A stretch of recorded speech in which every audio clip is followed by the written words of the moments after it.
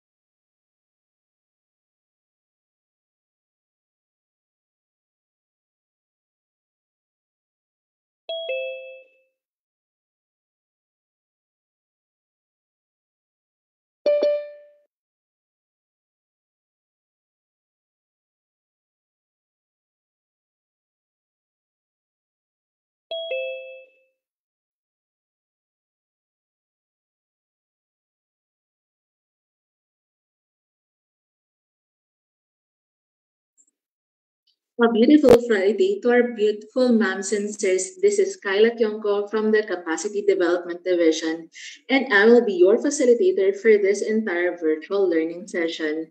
Before we start, may I ask our Zoom participants to please give us a quick thumbs up just to be certain that you can hear us crystal clear.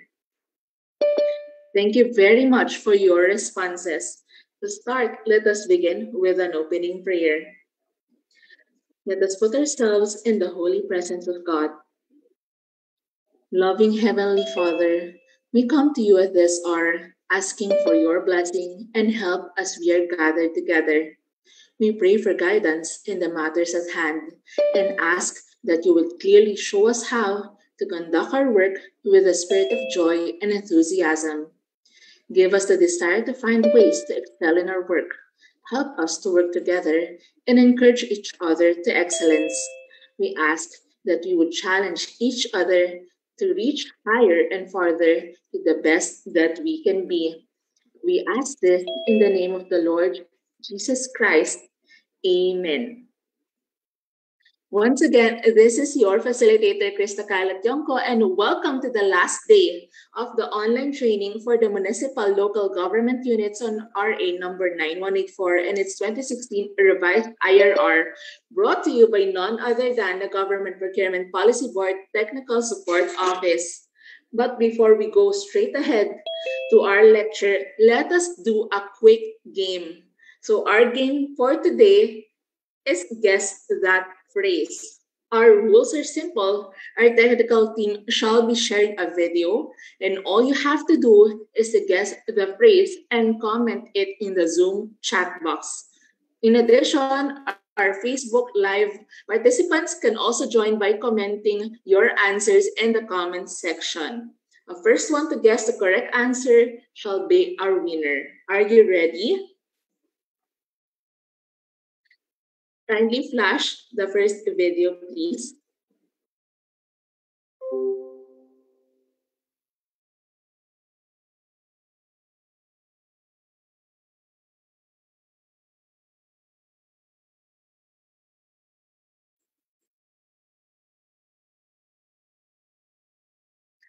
Okay. Alam po ba ninyo kung ano po yung line na sinabi ni Carlo Aquino dito sa movie na ito? Ayun ang bilis from LGU Arena Mr. Samson Villarosa. Akala mo lang wala, pero meron, meron, meron. Tama po ba yung ating sagot? Mo lang wala, pero meron, meron, meron! Pa. so yun, tama po ang sagot ni Sir. Akala mo lang wala, pero meron, meron, meron. From bata-bata paano ka ginawa? 1998. For our next Sound, please.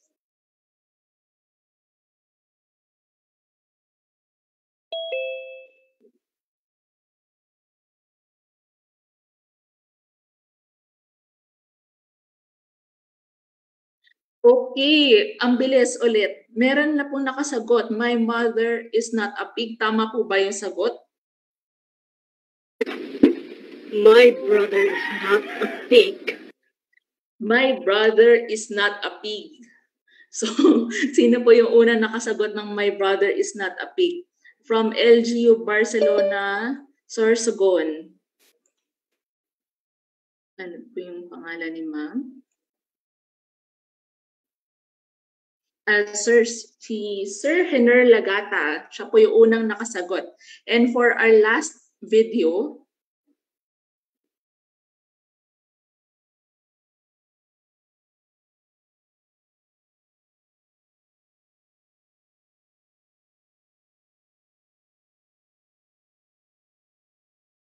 Alam po ba ninyo yun? Wow! So, may, ang unang nakasagot is from LGU Libon. Miss Yvonne ulit, you're just a second-rate trying hard copycat. Tama po ba yung sagot ni ma'am? You're nothing but a second rate, trying hard, copycat. Ayun, you're nothing but a second-rate trying hard copycat. May nakasakto po ba sa ating phrase?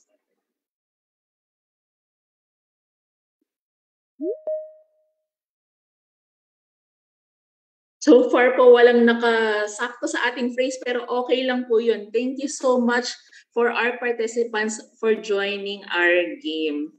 So ayan, I think we're all ready to dive in our lecture proper for today. So at this juncture, we are now at the last day of our training session. Thank God it's Friday, ika nga. So we would like to extend our gratitude to all our participants for staying with us until this point. Before we dive into the actual lecture proper, allow me to announce the Early Bird Awardees for today. Congratulations to our Early Bird winners from LGU Delphine Albano Isabela, Mr. Romel Salvador. And from LGU LGU Santa Cruz, Laguna, Miss Maria Lourdes P. San Miguel. Congratulations again, ma'am and sir. Our event secretariat shall coordinate with you on how you may claim your special token within the course of our program. Also, just a quick reminder to our Zoom participants, please don't forget to register your attendance through the Google form link to be provided by our event secretariat through the Zoom chat box. Okay. Also, just a quick recap of yesterday's learning activity. We had a very productive session on alternative methods of procurement, where we discussed the different alternative methods as applicable to the municipalities and what is required for the specific modes of procurement. This is led, of course, by a resource speaker, Mr. Reynaldo Villion. And for our fifth and final day, um, I would like to remind all our participants, if you haven't done yet, please register through the GPP BPSO online training management system using the control number provided by our event secretariat.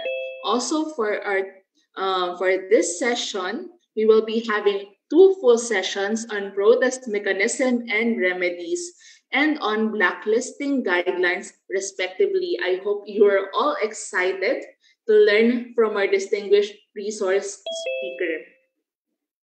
So with that, it is with joy to introduce to you this session's resource speaker.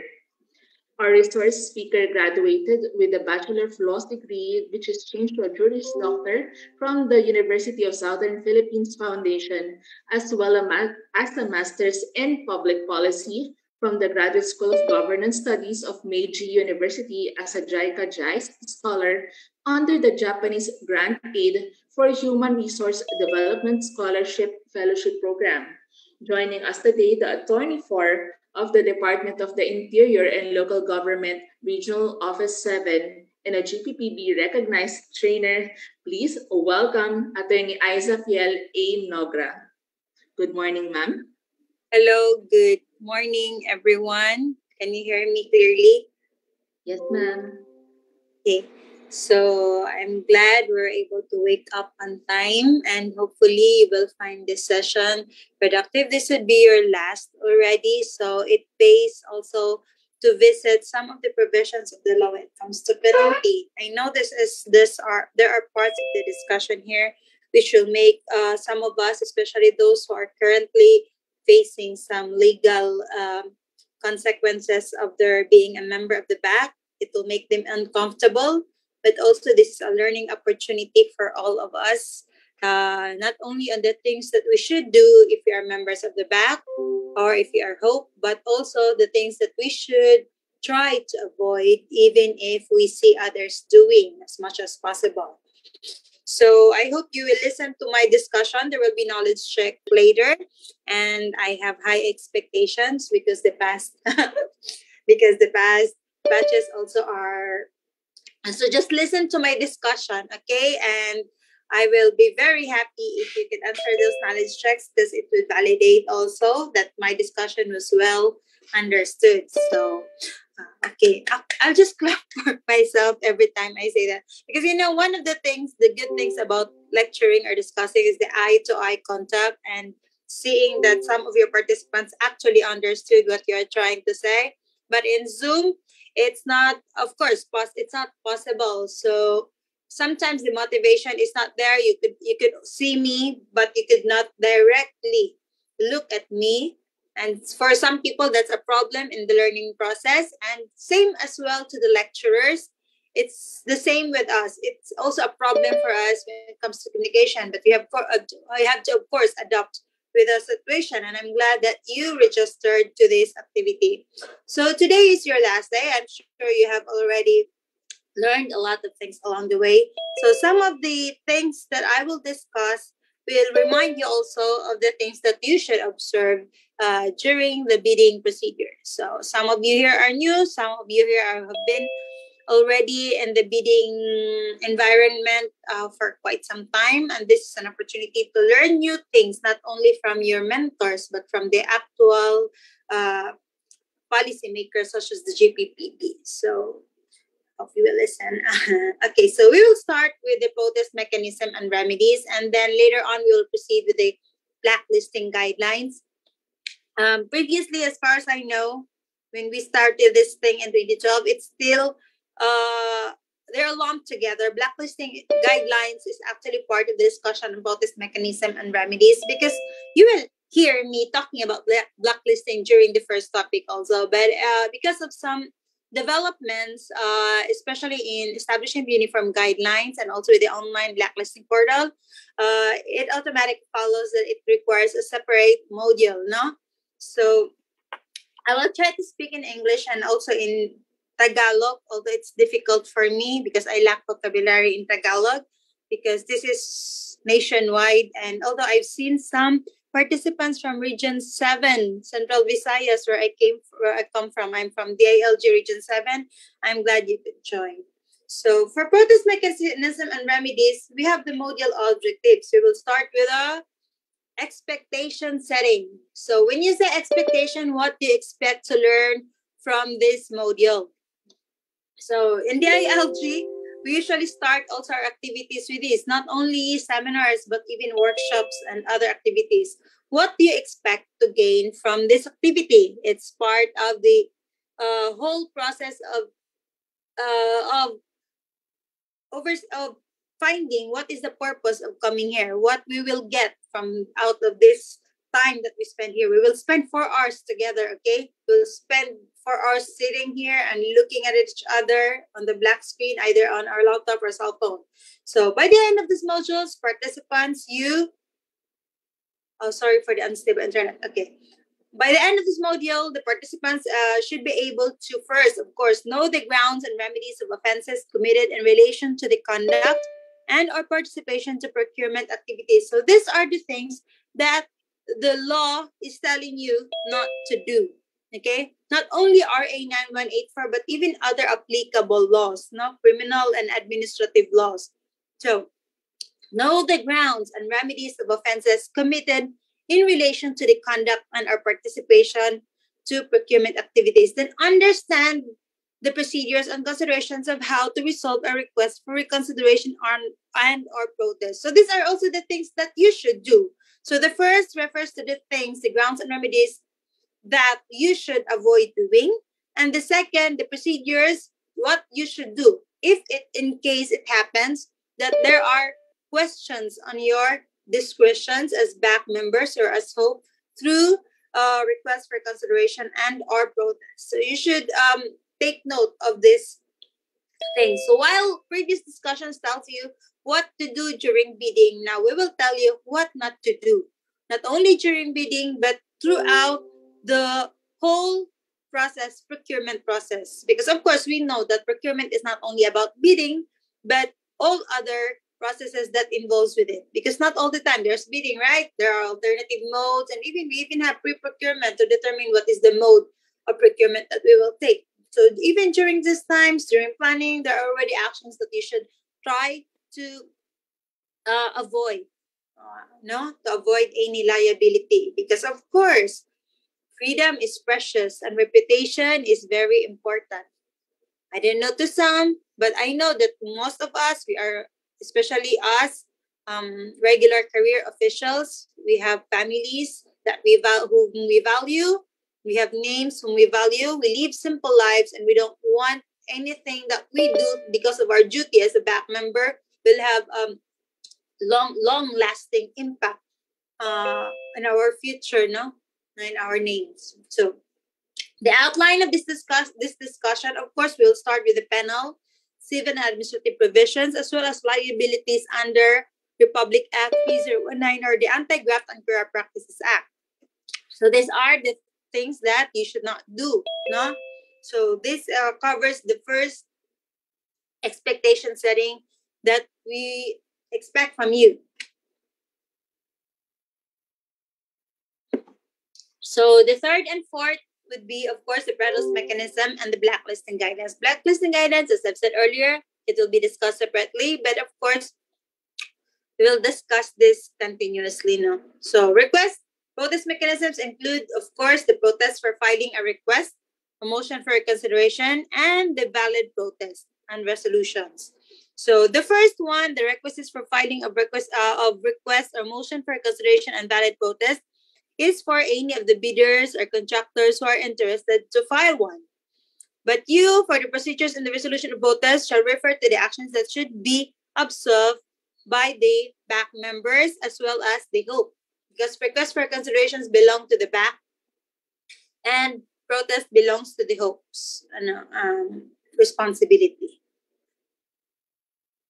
So next slide, we'll start already. So the penal civil administrative provisions. It is very important for us to discuss it fee together because it is uh, basic that sometimes in our through the in in the occasion of uh, our function, na, in the occasion of doing our duties, sometimes our act will give rise to three liabilities. We call that uh, threefold liability.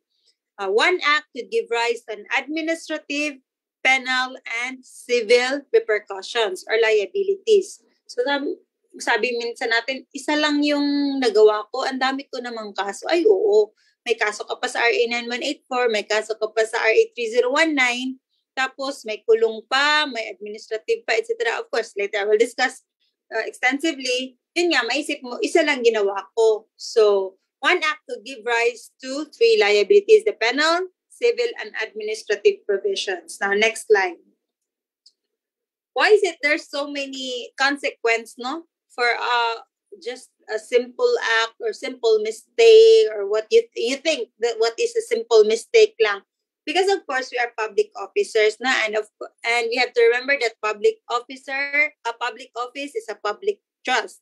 And there's a high standard of ethics required for us from us no? The standard of ethics required to be observed also not only by the procuring entity and us the uh, part as part of the procuring entity but also with the bidders, manufacturers, suppliers, or distributors during the procurement and execution of contract.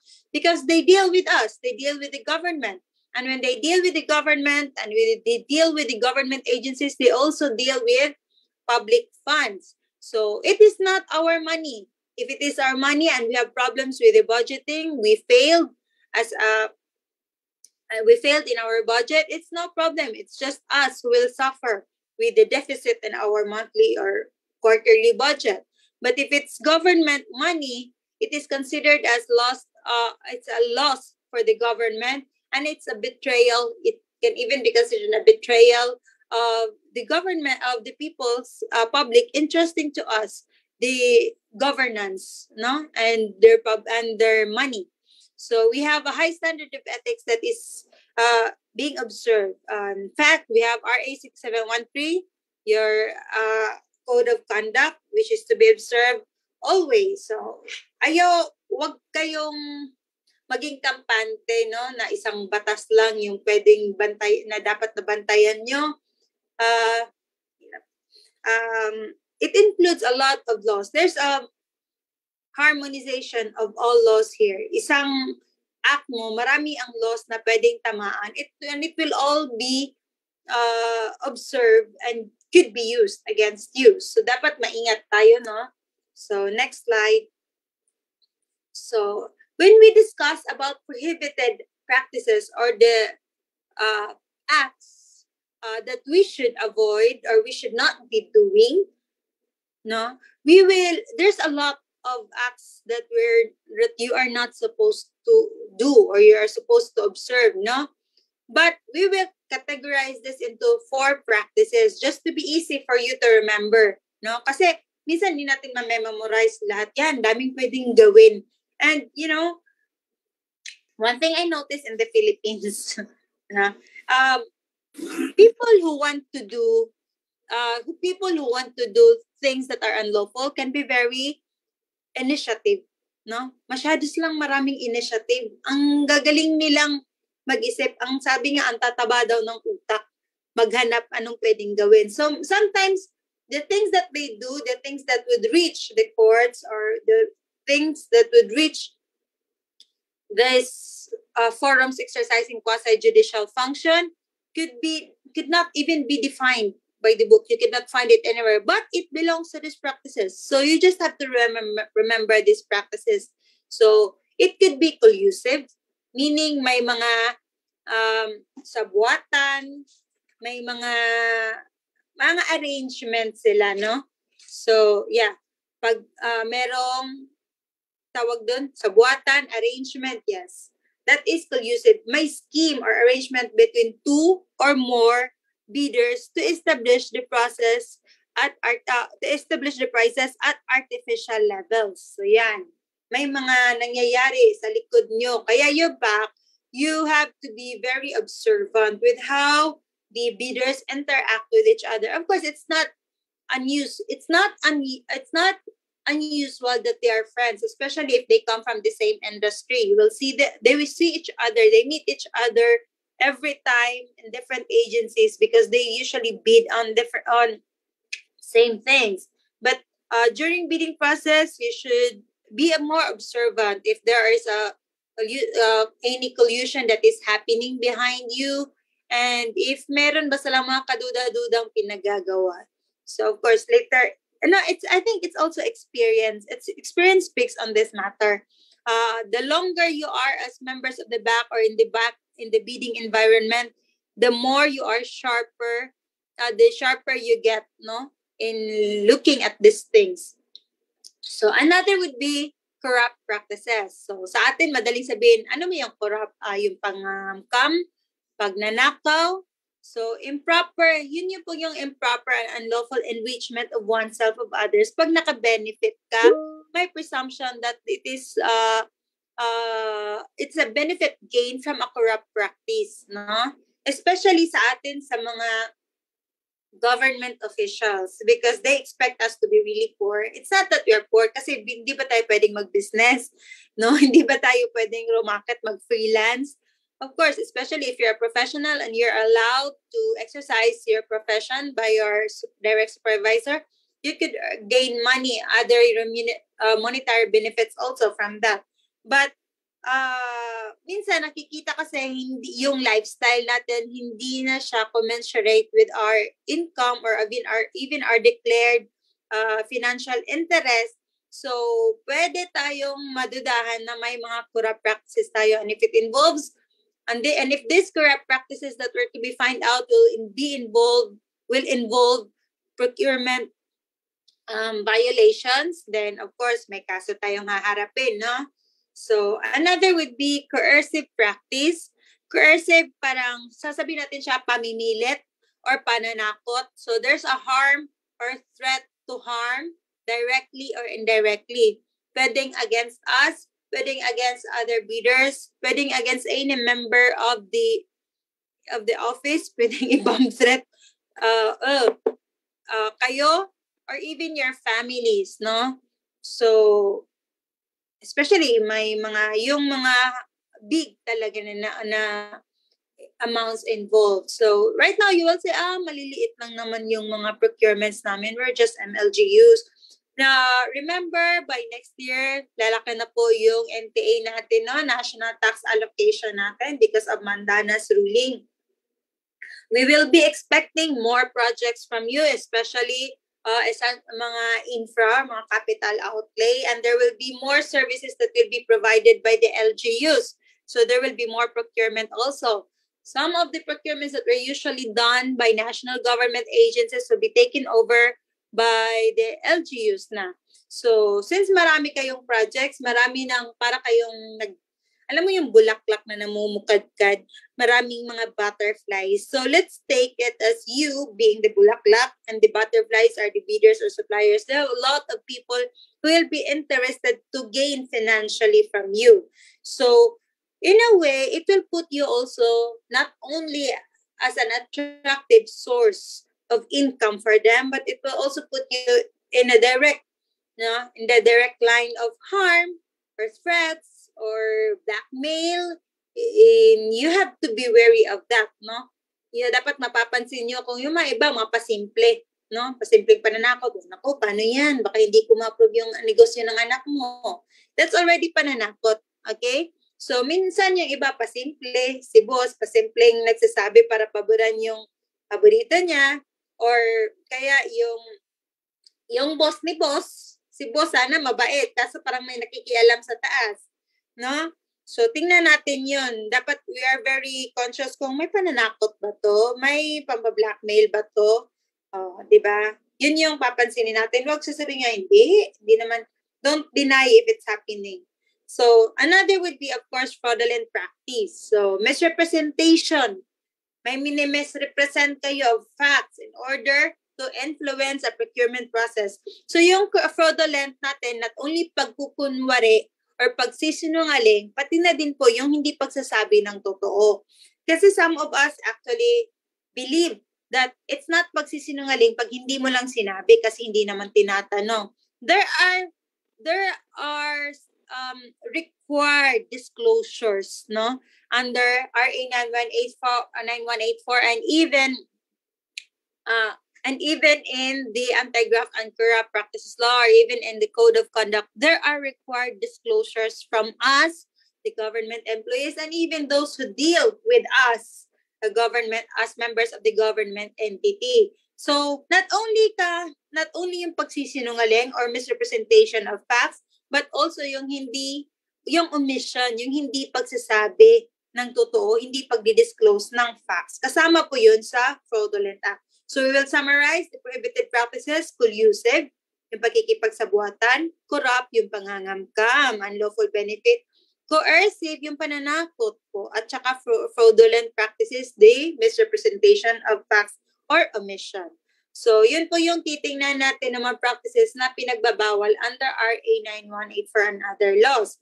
So, ano ano ano yung mga uh, ito, may knowledge check pa. So later, I will discuss one by one different uh, offenses that could be committed that could belong to this kind of practices, no? So take uh, notice. So before we proceed, we have this knowledge check. Uh, it's prepared by the GPPB just to see if uh, baka may natutulog sa atin. so, yeah. May prices Yes. yata.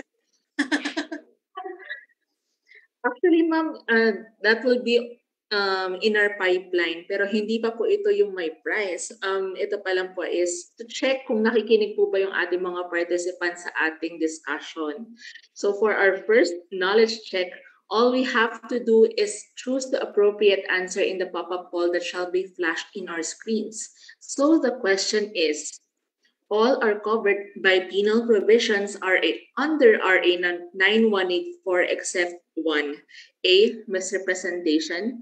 B. Collusion. C. Connivance. Or D. Malicious mischief. For our Facebook Live viewers, again, you may also participate by dropping your answers in the comment section.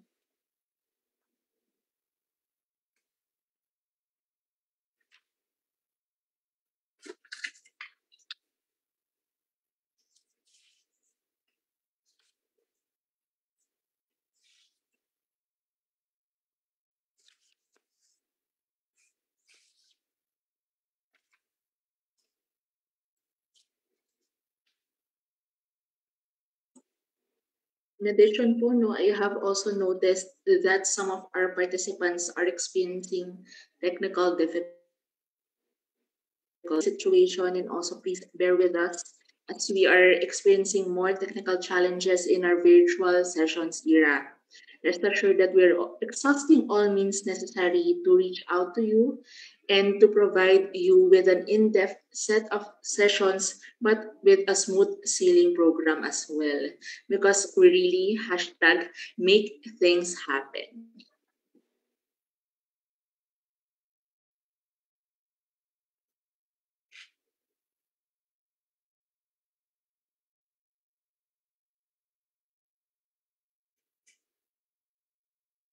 All right, ma'am. I think we have the majority of our participants who answered our poll question.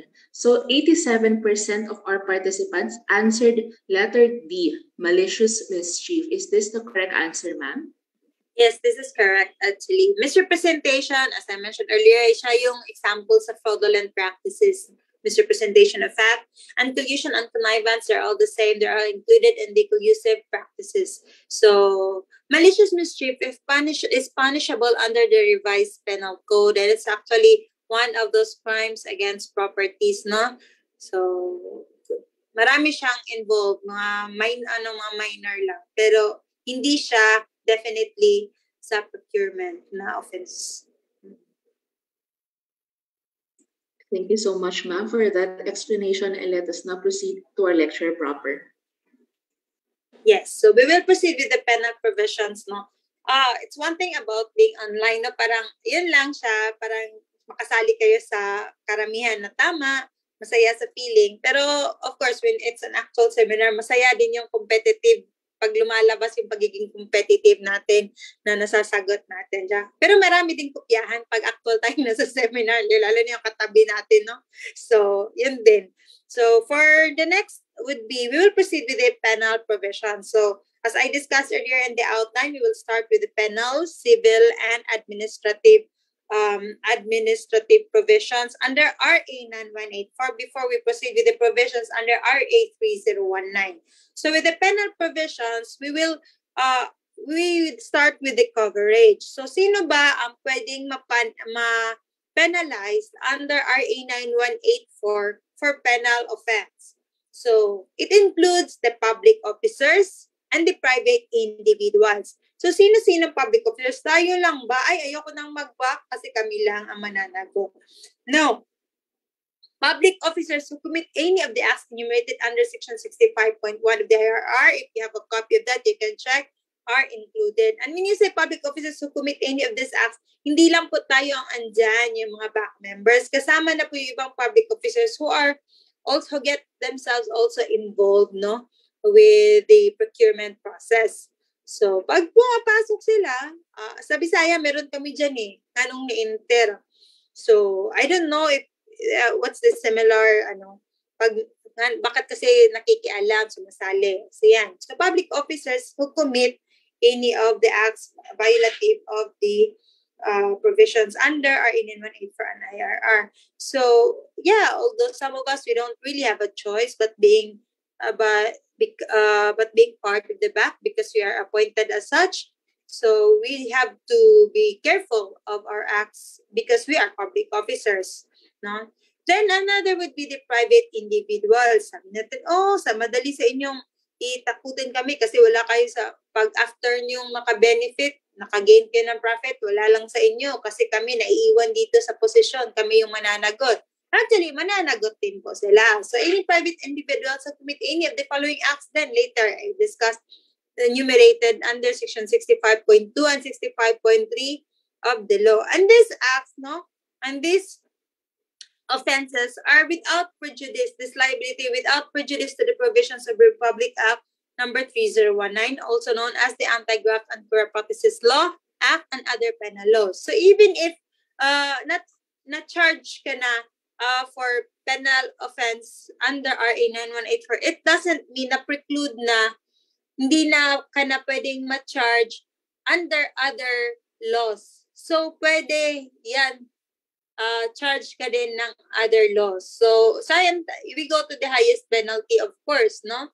Oh. So, minsan makalusot ka under RA 9184 kasi hindi na-observe yung process. Meron tayong kasi later ma-discuss exhaustion of administrative remedies pero hindi ka makalusot sa RA 3019. Kaya ingat-ingat pa din po tayo, no?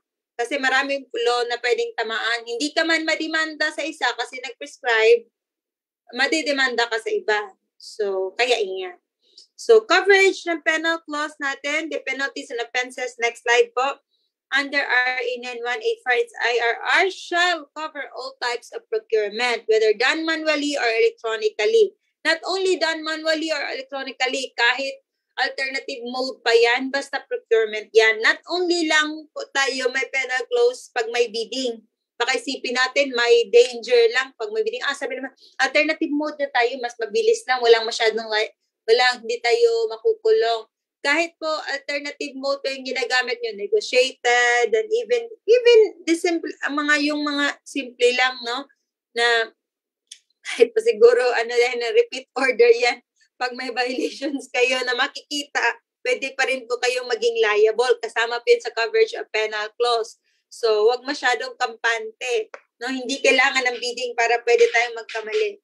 So whether done manually or electronically at all types of procurement, yes, it is covered by RA 9184's penal clause. No? Per, tapos meron din po tayo, um, so not only yung coverage ng penal clause natin na tao, juridical, uh, natural person, tayo as sole entrepreneur, as back members, as HOPE, as TWG, even juridical entities, um, like for example, those who uh, who obtain their personality not through natural birth, but through laws such as the article, you know, sa corporation code, tapos yung mga sole entrepreneurs din, mga partners, din sa partnership, mga joint venture, they also have a certain liability. So, especially yung mga uh, directors, officers, employees who actually commit the, the foregoing acts, no? So if ikaw, ta, na, you're a natural person and you have a,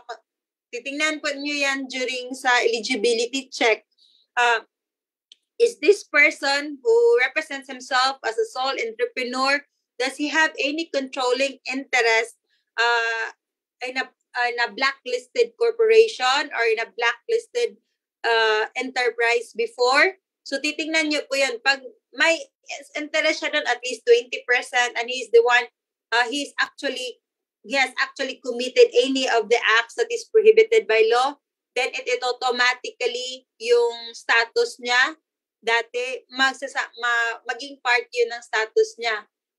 Kaya titingnan niyo yan during eligibility check. So, kaya it pays to make, how do I say it in Tagalog? Yung kay-kay use when you scan the pages of the eligibility check, it pays to yung TWG, titingnan nyo yan, yung mga na-mention nila na mga uh, later yung sa mga incorporation, uh, mga incorporation papers nila, makikita yung mga pangalan, uh, baka may mga blacklisted, mga blacklisted yan. So titingnan yan ng TWG ha, kasi meron naman tayong online portal for the blacklisted individuals. So also penalties. So what are the penalties under penal uh, provisions of RA 9184? Next slide. Lagi po nating tandaan, pag sinasabi pong penal, criminal po yan, may kulong po tayo dyan. Uh, unlike administrative and civil, uh, civil kasi usually pera yan, involved. Pag administrative naman, apektado yung trabaho at negosyo natin. No? Trabaho for us, negosyo for the prospective bidders, for the private sector na na-involved. Pag penal po, kulong po yan. Yan po yung time na may himas rehas tayo. Not only the principal penalty, may, may accessory penalty pa yan. So, imprisonment of not less than 6 years and 1 day but not more than 15 years. Pag sinasabi po kasi 6 years and 1 day, yan po yung minimum. Hindi po siya pwedeng babaan na maging 6 years na lang. Kasi po, pag sinasabing may 6 years, kaya importante po yung one day na wala yung uh, findings, mayroon siyang guilt beyond reasonable doubt. Kasi yun yung quantum evidence of evidence required under criminal law ang six year niya, hindi siya maging eligible for probation. So, kailangan talaga siyang mag-serve sa loob. So, may himas rehas po tayo dyan. Kaya, ingat-ingat. And not only that, meron pa tayong temporary or perpetual disqualification from public office. Tayo as public official, matatanggal tayo sa trabaho or masususpend. But only that, no? Sila, although sinasabi dito public official, pati din po yung private individuals. Pag may perpetual disqualification po yan, pag engineer siya dati sa isang, eh, dati nagnenegosyo siya, civil engineer siya, meron siyang contractor siya, hindi na siya makapagnegosyo kasi permanently disqualified from transacting business with the government na siya. O sabi niya, apply na lang ako ng trabaho kay Mayor Friends naman kami.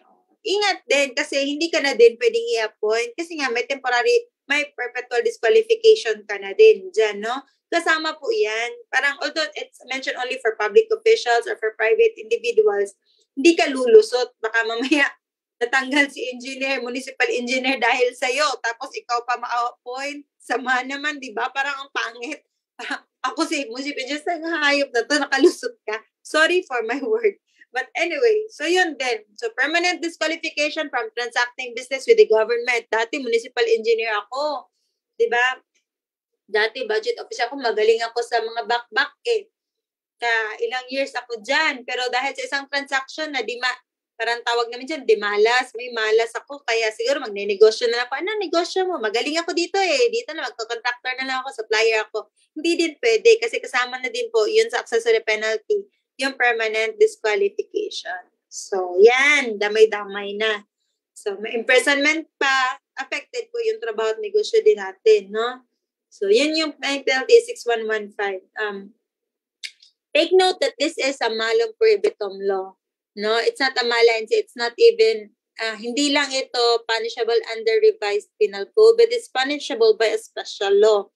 So, hindi siya lang na, ano, mas, not only the intentions will be taken, yung tawag namin dyan is the intent to commit the offense, the, the fact that you committed the offense is already will already make you liable. So hindi magmamatter yung intent nyo. Hindi siya good defense yung intent nyo. So kaya careful tayo sa mga ganyan, yung mga offenses na punishable under um, special laws. So next slide. So jurisdiction over the offenses defined under the rule shall belong to appropriate courts according to laws existing at the time of the commission of the offense. So yung RA 9184 po, automatic po yan dadaan talaga. Of course, kung may mga complaints, dadaan tayo sa uh, may request for consideration pa, yung bidder, may protest pa, yung RTC naman, sila yung mag-handle ng mga any petition for certiorari if in case there are questions on the decision of the back or the hope, no? But if it's a penal provision, kasi yun yung sa standard, no? Pag may mga reklamo regarding the bidding procedures.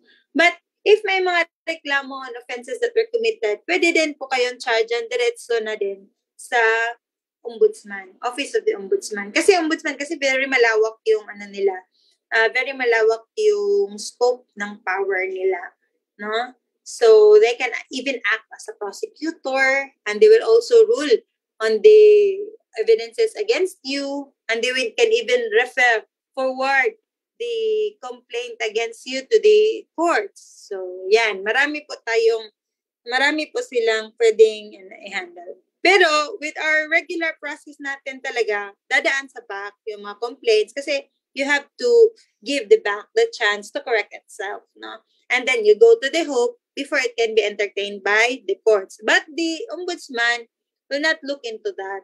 Siyempre, mas malawak yung coverage nila. Pwede silang diretsyo na tatanggapin nila yung case against any of the members of the back or against other ano, pag private individuals, sasabihin natin, ombudsman at sandigan bayan naman, they only hear and decide cases against officials, public officials. But of course, kahit private individual, pwedeng isama yan sa kaso pag they are conspiring with the public officials. And also, you have to take note, no? Depende sa salary grade nyo. It could be the Sandigan Bayan.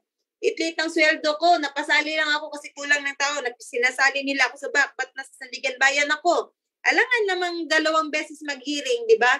May hearing sa Sandigan Bayan, may hearing pa sa Supreme Court. Isasama ka na pag may may someone sa grupo nyo na uh, may jurisdiction yung Sandigan Bayan. No? So, and also that, anyway, tayo, we have to be open that being a public officer, not only as a member of the back or whatever, being a public officer, we're open to suits. So, pwede tayong mademanda pag may mga questions sa integrity natin, sa mga pinagagawa natin. And your best defense, of course, is your the fact that you have not committed anything. so, yun, yun lang yung defense natin talaga. So, that's why you have to know that these are the uh, um, the bodies where you could be tried no, for any acts, either the criminal, civil, administrative. So offenses committed, ihiwalay natin to, next slide, by public officers. Ano ang pwedeng maging mali natin as public officers? Pwedeng sinadya o hindi sinadya. So yan, open any sealed, sealed bids, including but not limited to bids that may have been submitted through the electronic system. So pag uh, prematurely before the opening of bids, but after the submission of bids, kasi yung iba kasi, yung submission of bids nila, hindi same day uh, ng opening of bids. In some cases, same day. In some, hindi. Kasi hindi naman required, no? Um, like, for example, could be, kasi di ba yung mga bidders, kasi pwede nilang isubmit uh, a day before. Lalo na pag galing sa malayo. Kasi we don't have geographical limitations na. Even from, even contractors from Holo, or Batanes could already bid uh, from any procurement activities of LGUs in Cebu or Bohol or in Samar. No? So, since minsan mini-mail na lang nila or submitted electronically, minsan nauna. So, even if they submitted early, they could even replace that after as long as wala pa yung deadline. Uh, they could, uh, you are not as members, as TWG, as BACSEC, you should not open any of these sealed bids. Otherwise, there is a presumption na may there is a presumption na may matatawag na mangyayaring collusion or uh, corrupt practices. Bakit mo titingnan? May bala ka bang inform yung iba? Kung ano yung offer ng isa? Diba? or may collusion, may mga sabuatang nangyayari sa likod, kaya tinitingnan nyo magkano yung offer ng iba. No? Para, oh, pag malaki yung sa kanya, uh, i-withdraw ko yung bid ko, papalitan ko. So, may presumption kasi dyan eh. Uh, the reason why it is prohibited, it is to avoid you being influenced or being the means for corruption or collusion or being influenced ay uh, na maging lenient na lang kayo kasi sayang yan, mababa.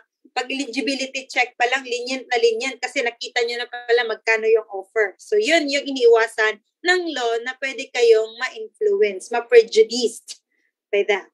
So another would be delaying without justifiable cause the screening for procurement process. So delaying without justifiable cause, the screening of the eligibility, the opening of bids, the evaluation and post-evaluation of bids, the awarding of the contracts beyond the prescribed periods of action. So yung mga process na yun, as mentioned before sa inyo, yung sa standard bidding procedures, pag may delay yun, dapat justifiable. Because if it's not justifiable, then it is considered an offense committed under RA 9184. So what could be the justifiable grounds? Of course, there's a lot, especially in the Philippines. This is a typhoon country, no? Kadalas tayong binibisita ng mga bagyo minsan hindi talaga tayo makapag-report sa office. Nakaschedule na tayo ngayon, bigla, super typhoon. No? Also, mga, um, kunyari, uh, lindol. Tapos, naiwan, tuma, nag-start na kayo. Tapos, biglang lumindol, takbo kayo sa labas. Ay, hindi pala, mag-duck, ano pa pala kayo, tago pa pala kayo sa table. Pangat no, hindi ko masyadong na-embody yung mga disaster drill. So, you duck, you cover your head. Basta yun, bagsak ako sa ano, earthquake drill. So yun, tapos labas kayo sa building, pag uninhabitable, uninhabitable na siya, tapos naiwan nyo yon kasi hindi mabilis si Bak mag-isip. hindi niya nabitbit yung mga uh, na-submit na na documents, yung box nyo. So, naiwan doon, hindi pa kayo pinapasok. That's a justifiable cause kasi ni-inspect pa yung building, hindi kayo makapasok, walang isang pinapasok sa inyo. Bumabaha.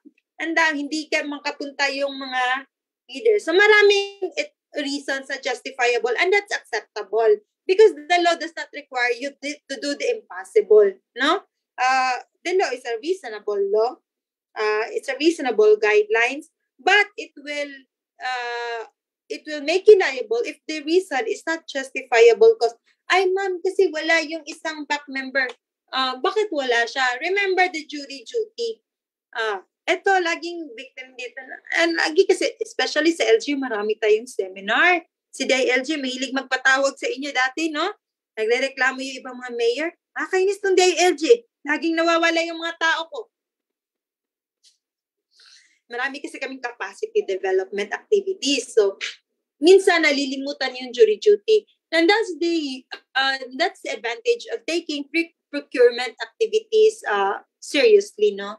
Ako, kahit sa office namin um, as member of the PAC, although I'm, kasi meron kaming, ano talaga, meron kaming chairman, but I would, my suggestions are well taken because kasi nga medyo trainer din ako. So, lagi ka talaga sinasabi, it doesn't, kahit meron tayong requirement when kailangan may pre-procurement, ganun, uh, maganda lang talaga na ma-schedule lahat. Kasi especially for an agency, a procuring entity where almost everybody is going around, always on official business, maganda talaga maset yung schedule nyo. Or you could work around with your schedules, no?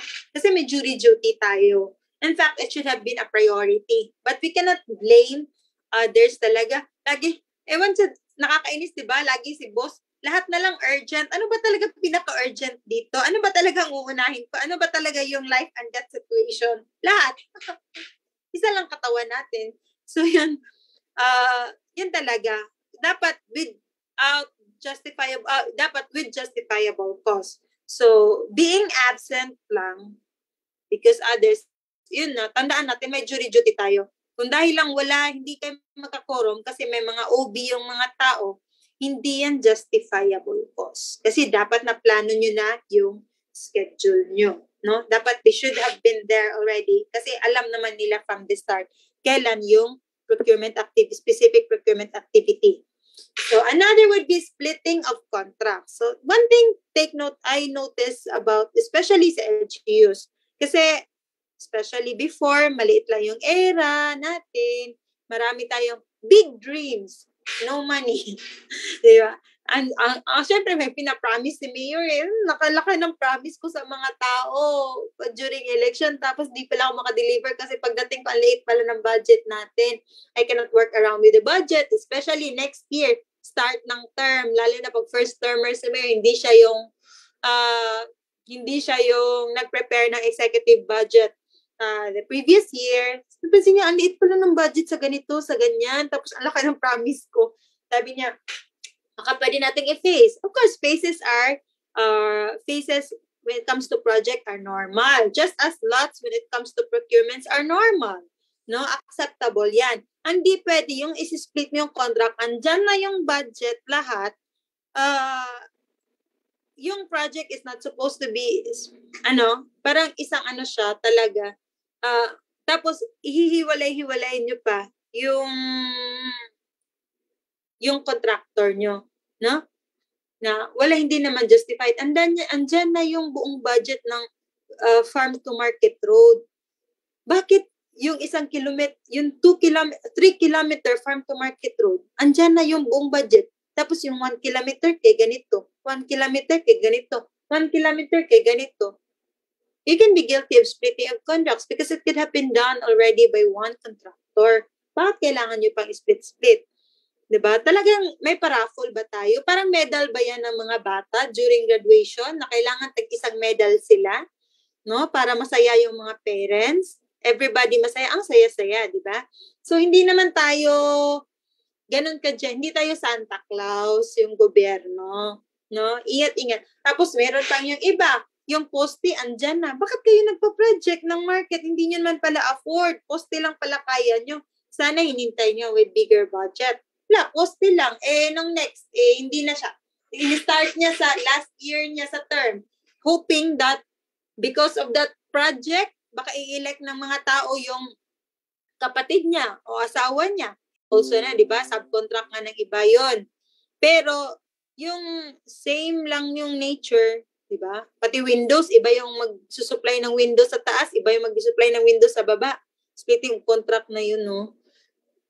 So, yun, ingat tayo dyan. Huwag masyadong generous sa, ah, sa paraffol. So, when ng paraffol ng project. So, when the head of the agency abuses the exercise of his power to reject any and all bids, if you remember, Section 41 of the RA 9184, na meron tayong reservation clause by the hope if he finds like may hindi nasunod sa procurement procedure or disadvantages to the government na yung contract or hindi natuloy yung kontrata or maraming factors na pwede niya i-exercise ni Hope, the head of procuring entity, yung reservation clause niya. Now, what if he keeps on doing that? Kasi minsan talaga nagkakamali tayo, di ba? What if he keeps on doing that? It depends na if it appears already that he abuses the exercise of his power to reject any and all bids. The keyword here is abuse then of course he can be charged against RA 9184 for penal offense. That's considered a penal offense, ha? Hindi yan administrative lang. Bakit? Kasi nga, it could open, it could be an indicator that there is corruption and collusion or connivance that is happening. Bakit ayaw na ayaw niya pag yan yung nanalo? Baka naman yung favorite hindi nanalo. 'Di ba? baka laging may mas lowest bidder. Tapos hindi nila ini-expect yung lowest bidder, yan yung mapipili. Kasi yung napapromisan pala ng project, hindi siya, hindi, mas malakas siya ng 1 peso.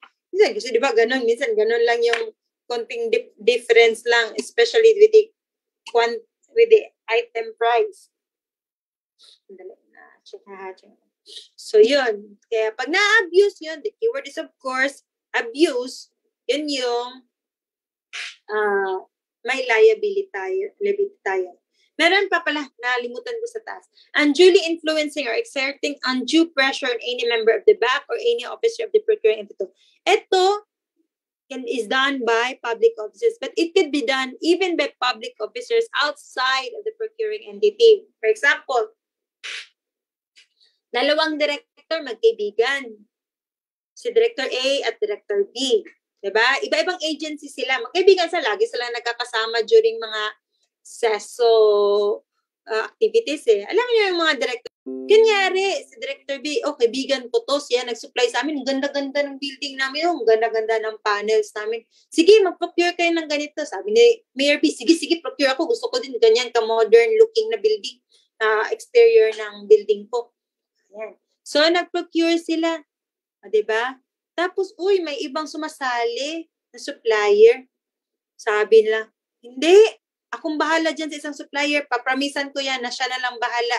Uh, siya na lang dito sa project ko. Itong supplier na to, siya yung ganinin mo. May undue influence yung isang mayor. So, although hindi siya kasama sa procuring entity, nakikisali siya. So, tinatako niya isa, pag, pag sumasali ka sa bidding na yan, hindi kita pa joinin dito sa bidding ko sa isa. So, yun, may undue influence or exerting undue pressure, no? On any member of the ba, any of the, kaya, oh, ikan, hindi ko yan ipopromote. Hindi kita ipopromote pa, ah, hindi ko pa-promote yung anak mo. Nag-apply yung anak mo dito. Hindi ko yan tatanggapin pag hindi mo i-grant. So, yung mga example ng mga undue pressure, no? nakikialam sa lab, yung mga tagalabas, hindi sa part ng procuring entity, pero nag-exercise nag-exercise sila ng undue influence to uh, to affect the result of the procurement activity. So yun yung titingnan kahit hindi yung public officer na yun, sabi niya, ha, mayor lang ako ng ano, let's use mga wala akong tinatama na, hindi ko talaga alam. Sige, ma'am, uh, ano, uh, mayor lang ako ng municipality. Eh, ba't nasama ako sa kaso ng back ng municipality? Kasi nakikisali ka. No? So, yun yun. So, pag nakikialam. So, yan. By private individuals naman, ano naman yung mga liabilities na pwede sila magkagami, magkamali? Ito, nasasali to sa pollution. Agreement and submission to submit bids with pre-arranged lowest bid. Bakit ka lagi natin pinapakalaman? Yung nagne-negosyo sila, diba? Nagne-negosyo lang naman sila. Parang, kanya ka ano lang, parang bigayan. Yan, may, para buhay tayong lahat, may pangbigas tayong lahat. Eh kasi po, remember your one of the principles of procurement, yung competitiveness, competitiveness natin. So, competition kasi is a very one of the important principle of procurement because it guarantees the government a chance to have value for money to get the same quality of goods for a less for a lesser amount paid. So, kung may competition, we will tapos well, maganda yung pagkagawa ng technical specs natin na hindi talaga pwedeng hindi pwedeng i-compromise yung quality, but because there is competition, we will get it for a better price. Diba? Sana. Yun yung idea. But if there is collusion between the bidders or contractors, sino, ah, ikaw muna ako, sige, mag-submit lang ako, kunyari, ganun. So, kasi minsan pag isa lang yung uh, isa lang yung nagbibid, minsan nagtatanong tayo, di ba, bakit bakit asan yung iba? 'Di ba may suki tayo dito pag ganitong mga project. Bakit hindi sila nagbibid? Sa amin talaga nagtatanong kami niyan. Kasi alam na namin sino yung mga usual nagbibid ng mga ganitong print sa printing materials, sa mga ganitong uh, sasakyan. So, nagtataka ka bakit hindi nagbibid yung iba? Hindi naman mababang mababa yung APC mo. So, titingnan mo niyan, baka mamaya naghaharangan sila sa may usapan na Lalo na pag batch-batch, especially, di ba, mayroon tayo ngayon sa mga medical kits. Oh, na first batch muna sa contact trace, kasi first batch ay every six months lang yung contact tracers, di ba? So, may mga, oh, first batch, bili tayo ng mga face shield, tsaka mask. Oh. bakit, bakit ano, bakit sila lang, isa lang, tapos sa next naman, o hindi na rin nagbibid, yung isa, iba na naman. Parang may usapan ba? Kasi it's not normal. Every businessman wants to gain profit. So bakit bakit uh, hindi nagbibid yung iba? Nagbabayad naman kami. So, makaka-question ka doon. Eh, as back members, you should be observant of that. And, you know, kasi tayo alam natin sino yung mga nagsusupply natin palagi. So, dapat observant tayo bakit wala ngayon. Bakit ito? Sa ngayon, A. Sa yun, next, si B na naman. Kasi, di ba, parang may sabuatan na nangyayari. That's a particle user process. Then, agreement to secure undue advantage. So, yun, any undue advantage uh, is presumed na yung undue advantage, ang gobyerno ang nadidihado. At pag ang gobyerno ang nadidihado, syempre may liability yan. Kasi we are supposed to protect the interests of the government, us being government officials and employees. So if we allow these private individuals to secure undue advantage, it is as if we allow the government to lose this, uh, to lose, uh, to suffer injury or to be taken advantage. So, sino magpo-protect sa government? No? Tayo, kasi we are the representatives of the government. Government itself is abstract.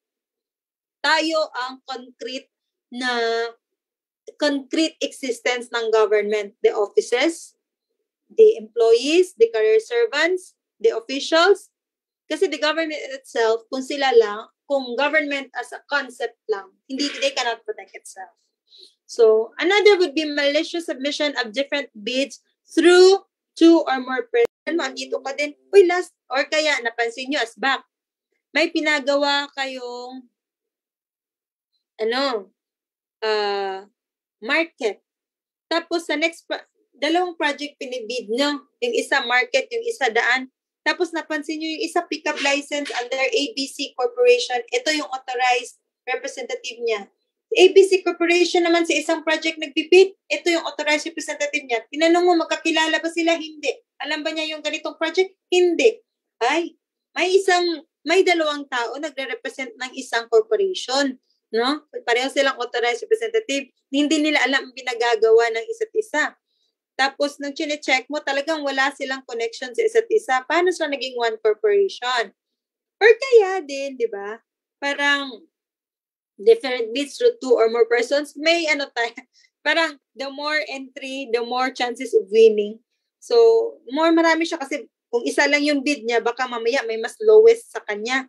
So, dalawa tatlong bid niya para siya, para grabe naman kung may mas mababa pa sa kanya. di ba? Kasi ang mangyari niyan, pag siya lang pa rin ang mababa, tapos hindi naman iba yung uh, yung next lowest, pwede din siya mag-withdraw. Isip niya, ah, mag-withdraw lang ako pag wala namang iba. Diba? So, employment of scheme disadvantages to the public. Yun nga, any scheme that is that is disadvantageous to the public, we are for profits. Of course, we understand that our suppliers, contractors need to gain profits. Otherwise, we cannot entice them to bid for government projects, no, di ba? So, profit is a great motivation for any businessman. But we have to make sure as back members or as hope na we cannot allow these people to employ schemes which will be disadvantageous to us. So yung um, nalulugi na yung gobyerno, okay lang naman yung makagain sila ng profit. Huwag lang disadvantageous level to the government. Like for a while before we proceed with the administrative sanction. Hello? Yes, Hello? yes ma'am. Go I'll ahead take po. the rest of break. Ah. Ah, okay. Okay, let's uh, flash some AVP na lang siguro. Thanks. Sige po.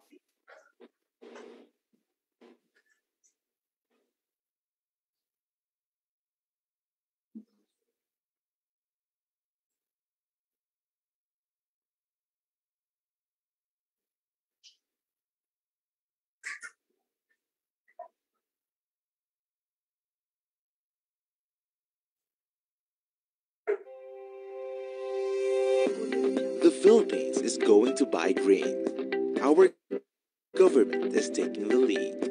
The Philippines Green Public Procurement Roadmap avoid harmful chemicals and are manufactured through cleaner processes. They are efficient to use and consume less energy and water. At the end of life, precious materials are recycled. GBP reduces the pressure on the environment. GPP is a partnership between the government and businesses. GPP opens up new, exciting, and reliable opportunities for businesses supplying green products. This in turn makes green products also affordable for private households. A first batch of 20 product categories has been prioritized for GPP, and more will be selected over time. The priority common supplies and equipment products are multi-copy paper, toilet paper, record books, cleaners, chairs, disinfectant sprays, trash bags, liquid hand soap, detergent powder, and LED lights and bulbs. The priority non-common supplies and equipment products are computer and laptop monitors, air conditioners, vehicles, fridges and freezers, copiers, paints and varnishes, food and catering services, training hotels and facilities, toilets and urinals, and textiles such as uniforms and work clothes. The well-established public procurement processes in the Philippines, such as the PhilJobs, will ensure fairness, transparency, and open competition for the green venture. Everyone can become an active consumer of green products, which save energy and water, are not harmful for health and climate, and which are recyclable.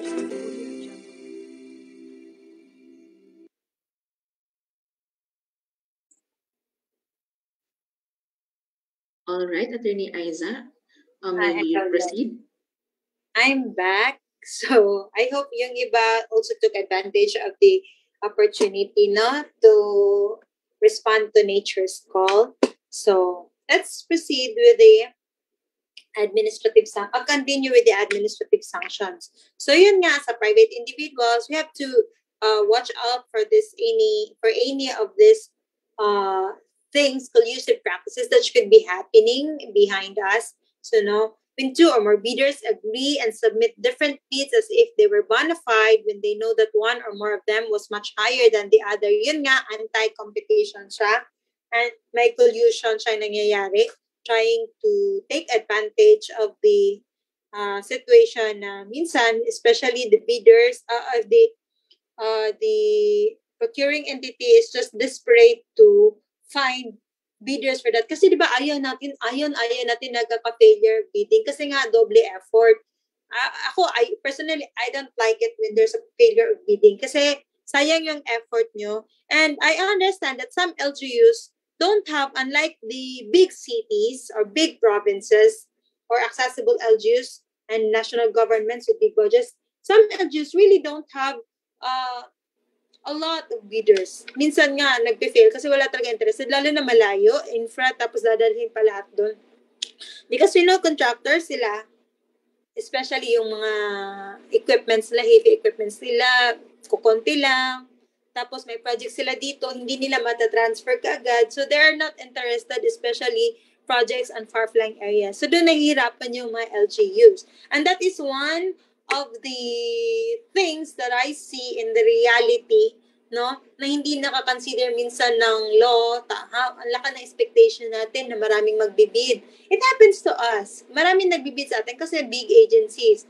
Tapos yung mga big cities, they never lack of suppliers or contractors. But for small LGUs talaga, naghahanap na lang ng paraan minsan yung mga hope may mag mag mag proceed lang yung project. So some of those paraan talaga minsan borderline na siya na mga corrupt practices para lang may magka-project. And some private individuals are taking advantage of that, no? So when two or more bidders agree, submit different bids as if they're bona fide, Then, two or more bidders enter into an agreement which call upon one to refrain from bidding from procurement contracts.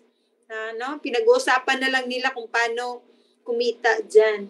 So, when a bidder maliciously submits different bids to two or more persons, lalo na mag magbibid sila dun sa mga malayong-malayong bayan na hindi alam na hindi naman pala sila yan, yung corporation na yan, pinapagamit lang. So when a bidder by himself or in connivance with others employs schemes which stands to restrain the natural rivalry of the party. All of these uh, prohibited uh, acts are designed, are enumerated, are included in order to avoid situations where there will be collusion, coercive, fraudulent, and corrupt practices. Kasi nga, pinipresume ng law na um, may nagte-take advantage. Pag nangyayari yung mga practices na yun, may kumikita behind, may nagte-take advantage sa government. And we want to avoid that situation. So, yun lang talaga babantayan. And the more you are, the more ka kasi nakikinig. Ako din, like for me, when I do seminars, dati may mga seminars ako with PIC. I don't know why, when na-introduce ako sa nila, then they included me already.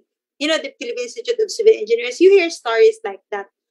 So, although I keep quiet kasi minsan hindi naman nila alam ako pala yung ako pala yung lecturer nila at the start kasi especially 10 years ago I was a lot younger so minsan naririnig mo during dinner ah okay so these are the ano pala dun sa project dun so with DLG before we had Bea and Ray uh, the Bohol earthquake assistance the uh, Yolanda projects and then we also have this like of mga road projects or salintubig, BUB projects. Maraming mga kakilala doon. Tapos you hear stories. So, yun yung babantayan din, you as back. You talk to each other. Kasi nga, di ba, they also talk to each other. Alangan naman yung mga suppliers na ang they talk to each other to connive, to connive against the government. Tapos kayo, you don't talk to each other. Hindi nyo malalaman, hindi pala yan yung, ano, na may mga collusion pala nangyayari or misrepresentation. So yeah, there's a question about questions later kung kailan kami mag-answer. There will be an open forum after this. Um, just wait lang ah, kasi we need to be continuous in the discussion. So, by private individuals and your submission of eligibility requirements containing false information, again, as mentioned, it's fraudulent, no?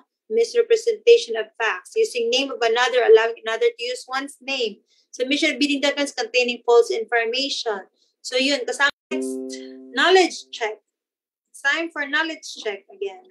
Yes, ma'am. All right, participants, for the second knowledge check, the question is, is the non-submission or delay in submission of documents for the final awarding of contract considered automatically as withdrawal of bid? Is it A, yes, or B, no, must be proven to be without justifiable cause?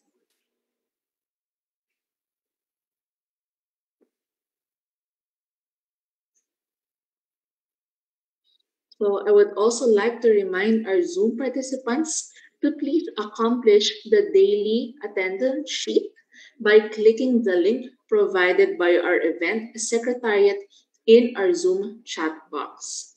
So if you have or are experiencing difficulties in accomplishing the form, kindly inform our technical team through the Zoom chat box as well.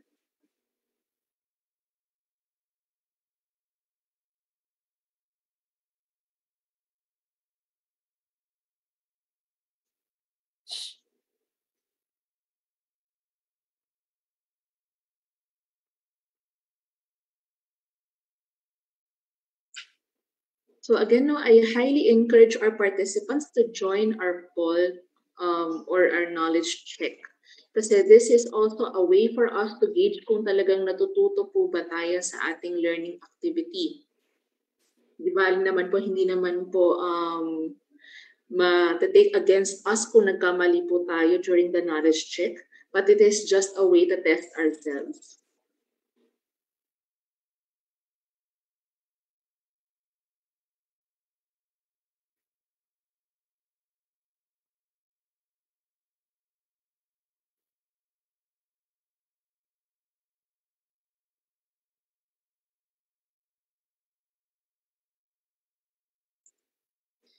All right, I think ma'am, majority of our participants have answered in the poll and majority answered no, must be proven without justifiable cause. Is this the correct answer, ma'am?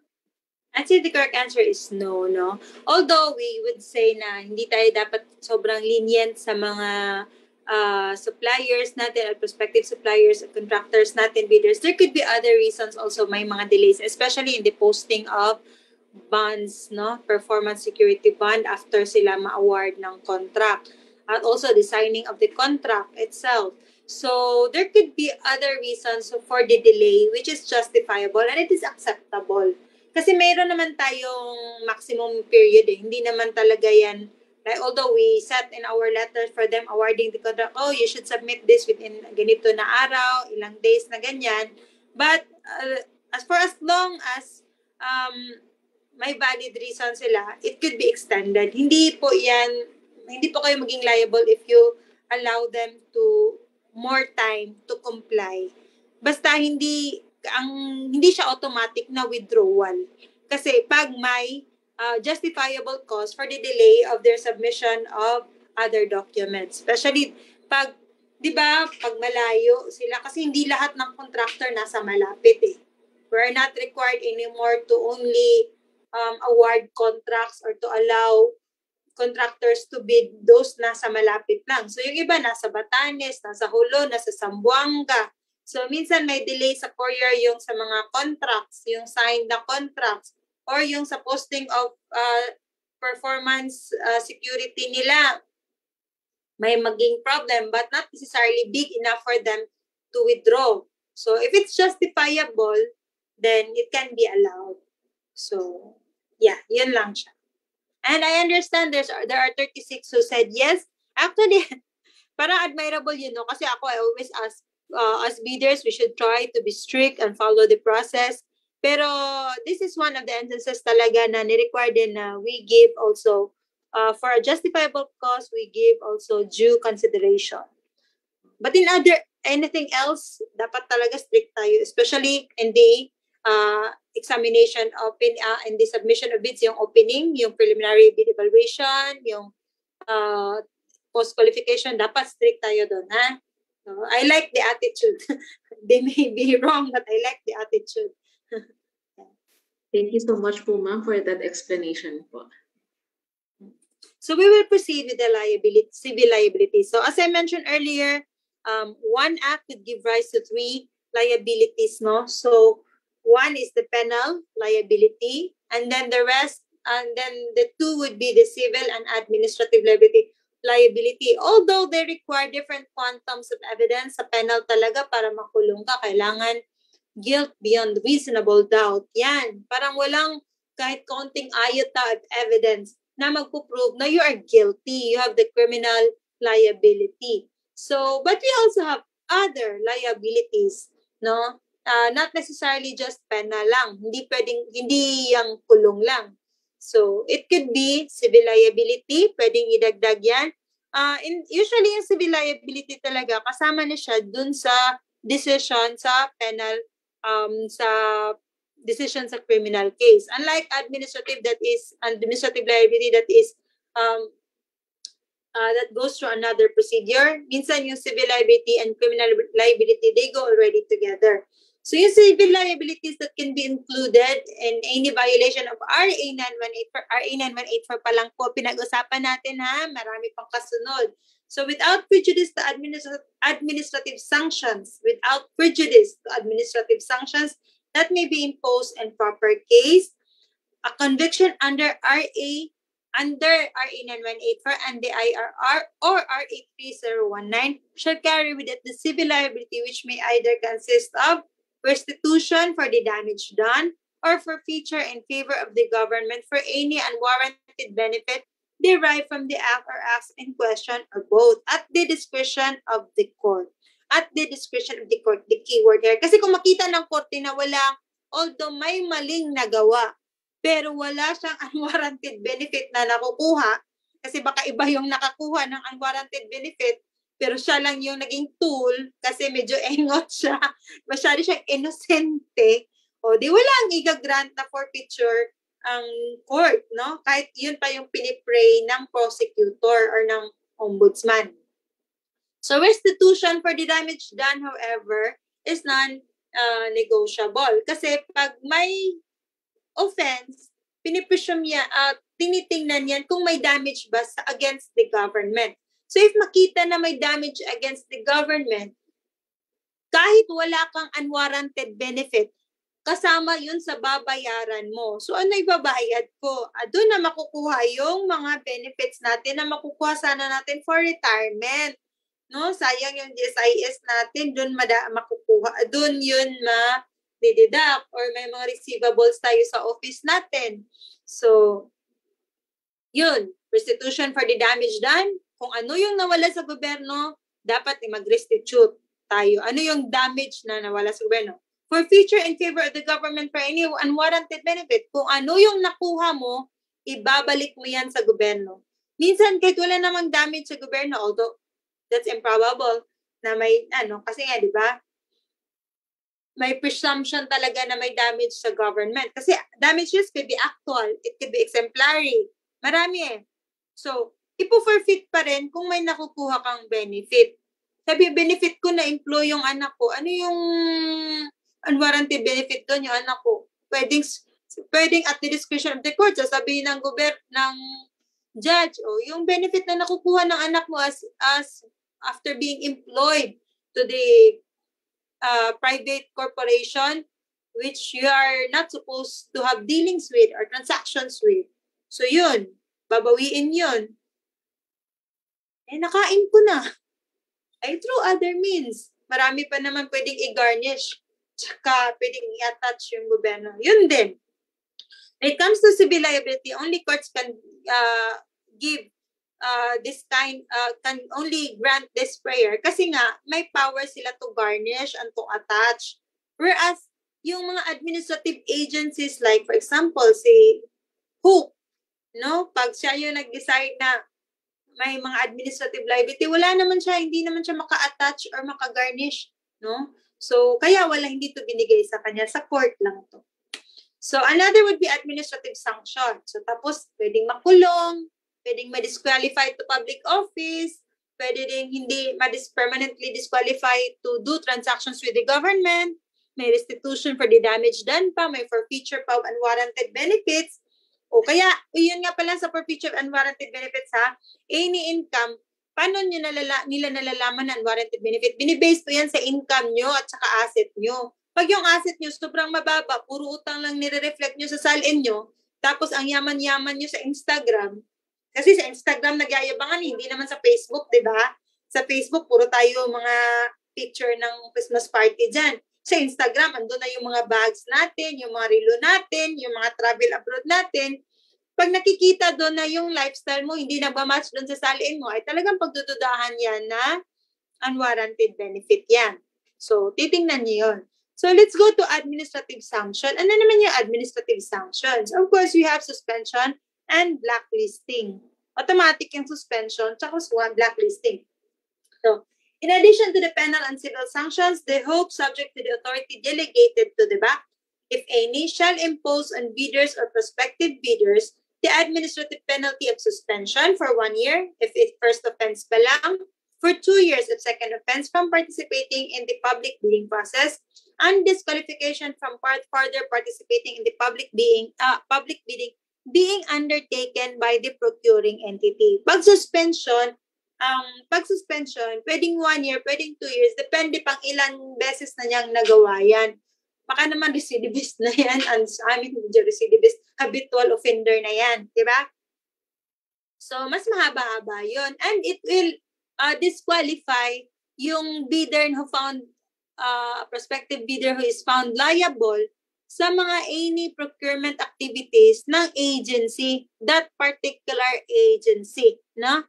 And any prospective biddings, any public bidding being undertaken by that agency or procuring entity. Pwedeng SEC, pwedeng LGU, sa inyo LGU. So, yun, yung pwedeng i-punish. Another would be disqualification from uh, failure uh, for feature of bid security or performance security. So, depende yon kung kailan na found out yung uh, yung offense. So, minsan, andyan pa yung during bidding process pa. So, yung bidding security pa ang pwedeng forfeit. Minsan, yung mga prohibited acts nila na di-discover while after na nag-grant yung notice of award, di ba? Or while during contract implementation stage na. So, siyempre, wala nang bid security. Ano na ang ipo-forfeit? So, yung performance security, dun, ipo, dun yun yung ipo-forfeit ng agency.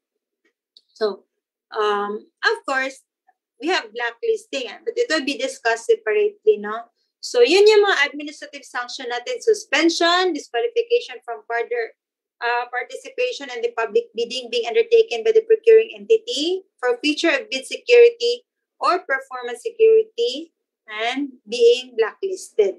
So, wala pa yung liquidated damages sa amin na mention sa inyo sa during bidding procedures na liquidated damages. Doon yun sa contract implementation stage naman yun.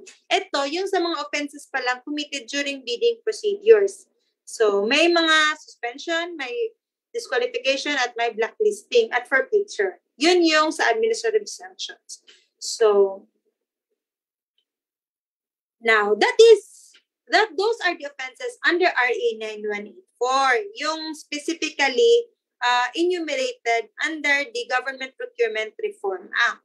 So, how about RA 3019? We will proceed with the liabilities under RA 3019. So, yung RA 3019 po, yun yung po yung Anti-Graft and Corrupt Practices Law. Uh, the offenses that are punishable there could include either acts committed during procurement or other acts. So, yung RA 9184 purely kasi procurement activities yung ina-anticipate niya, no? So, pero sa RA 3019, it involves any acts which could be called tainted with corruption. So, yun yung yun yung difference under RA 9184 kasi yung may liability lang yun nag-induce, nag-persuade, nag-influence because it's considered a coercive practice. Di ba? Yung threatening to harm or injure. So, con, ano yun, connive, uh, coercive practices yun under RA 9184. But under RA 3019, ikaw, pag inalaw mo yung iba to persuade you, induce you, or influence you to commit a violation, so of course, the keyword here, if ang yung persuasion ba, induction ba, or influencing ba, is for you to commit or violate our offense, no? Pag wala naman, iba lang yung pinapersuade, influence ka, hindi naman siya consisting of a violation. Hindi, walang ano doon, liability. So you have to be strict with the elements. So, why is it na ako pa nga yung biktima? Nude pictures ko yung pinapantakot, kuha ng ex-boyfriend ko. Tapos, na-hack yung cellphone ng ex-boyfriend ko. Tapos, ako pa yung ma-demanda. Kasi ganito po yun. You're public officers uh, part po ng requirement po para maging members tayo ng back, tinitingnan po yan yung integrity natin as a person, as a back member, di ba? Remember the requirements in the appointment of the back. Kasama po yun yung integrity natin. As a public officer and as a back member, pinipresume ng law na we act accordingly. In all time, at all times, either in or outside, inside or outside of our work. So, kung we act with integrity, the lesser chance na may na makahanap ng butas yung iba para takutin tayo. And also, if you act with integrity, you are supposed to report these deeds. Ang hirap, no? Kasi nga, especially if life na natin yung involved or life ng mga anak natin, uh, buhay ng anak ko, hinustage yung anak ko. Diyos ko, wag naman. Ang grabe, billion ba yan? Yung contract na yan? Para hostage pa yung anak ko. Di ba? So, so, for example, yung reputation ng anak ko or life ng life ng asawa ko, o yung involved dyan, baka alisan ng oxygen yung asawa ko sa public hospital, sa government hospital. Oh, so, maraming involved dyan and you're expected to still maintain integrity even in the face of these threats, no? Even in the face of these um, coercive, coercive dangers of coercive practices. So, yun lang siguro. You are, uh, this provision emphasizes the principle that members of the back should not in any way allow themselves to be pressured or influenced in any way and that they should police or person their functions based on the mandate of the law and the dictates of their good conscience. So yun yung in-expect sa inyo. Next would be, of course, directly or indirectly requesting or receiving any gift, present, share, percentage, and benefit for himself or for any other person in connection with any contract or transaction between the government and any other party wherein the public officer in his official capacity has to intervene under the law. So, klaro po yan, directly or indirectly, pwedeng dumiretso sa iyo yung benefit, pwedeng sa pamilya mo.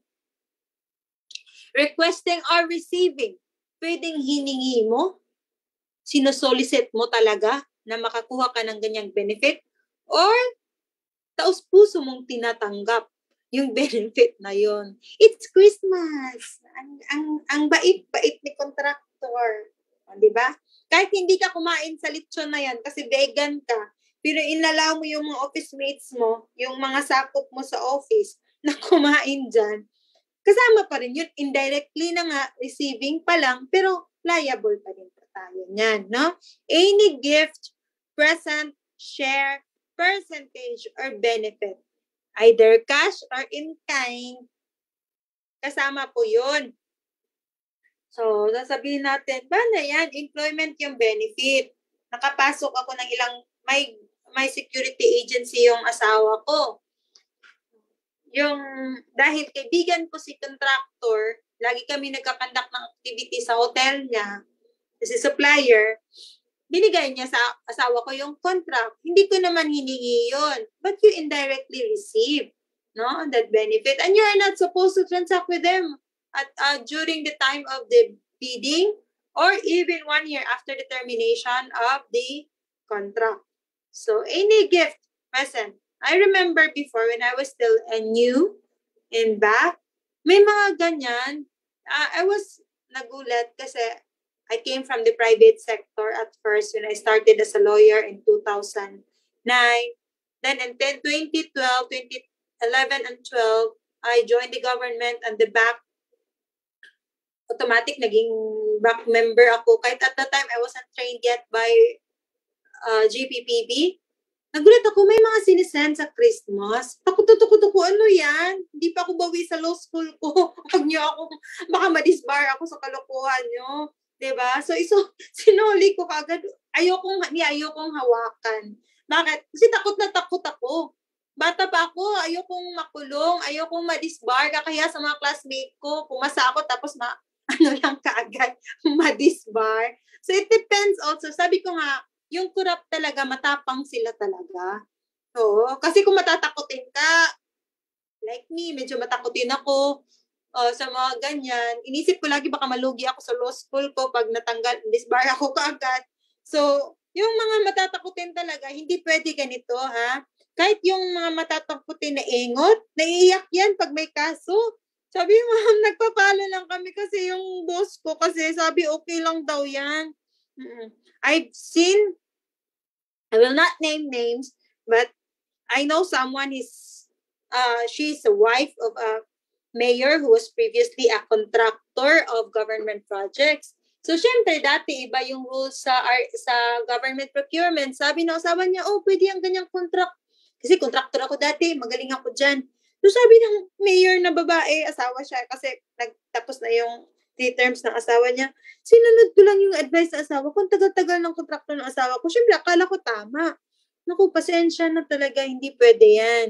So, may siguro, I, I don't know if he received benefits, but the law usually presumes that you receive benefit pag may mga ganyang ano, that you receive. You have to be careful because the law presumes a lot and it could work against you. So, careful with what you receive, especially during Christmas, di ba? Kasi, before sa private sector, kasi yung mga retainers namin, they will receive, uh, we will be receiving gifts from retainers. Akala ko normal yun. But, although, sa law school naman, lagi naman pinag-aralan itong RA 3019, no? Pero, nung I was in the government, I realized that it's true pala. Ang dami pala talaga magtatry. Minsan, wholehearted lang talaga yung mga wholeheartedly binibigay sa'yo sa sobrang happy ng contractor. But you shouldn't. Okay? You shouldn't receive. That is if you fear for your life. so, yun lang. uh, accept at your own risk.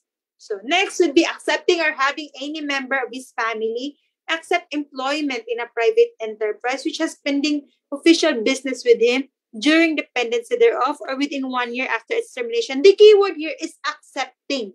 Huh? or having any member of his family accept employment. So if andyan na siya, talaga, from the start, hindi na po yun kasali. No? But of course, i-declare, eh, ikaw, you're a responsible member, you should, know, oh, my and daughter work for you. Tapos yan, titingnan mo yan kung anong, gaano ba ka-importante yung role ng daughter mo dyan sa company na yan. Kasi, di ba, your daughter is your first degree relative. Tapos baka may importante yung role niya dyan sa company. It doesn't matter if your daughter or your son is a top notcher in the accountancy board or the civil engineering board or a highly recruited architect, no? Nagtitrain pa, nag-apprentice pa sa abroad. It doesn't matter if it's really highly recruited and that it is uh, it is it is not a surprise that he would be hired by his own merits kahit own merits pa niya, kahit hindi mo sinasabi na dahil lang anak ko siya, kaya siya na-hire, the fact is, our, under RA 3019, it is bawal. So kahit hindi pa dahil anak mo siya, kaya siya na-hire dyan, bawal po yan. And you can be liable under RA 3019. So another would be causing, ito, paborito ito ng mga bitter, mga angkalaya. Causing any undue injury to any party including the government uh, or, next po, next na slide. Okay, section 3E, ito, marami dito.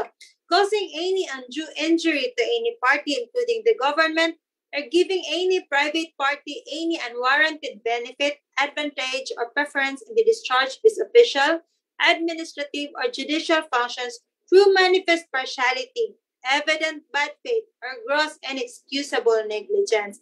Ay, paborito po yan ng mga bidder, not only in the procurement, but even us who are doing our regular jobs, di ba? Pag makikita nila, ah, I was injured, I was unduly injured, I was unduly hurt, I'm really hurt. Di ba? Parang nakakanta ni Mimi, it's really hurt na magmahal ng ganito. So, and cause any, any undue injury to any party, including the government or any private party. So sila, pag nasaktan sila sa mga ah, nakikita nilang pinagagawa nyo, gagamitin nila yan. But always remember, your best defense, no?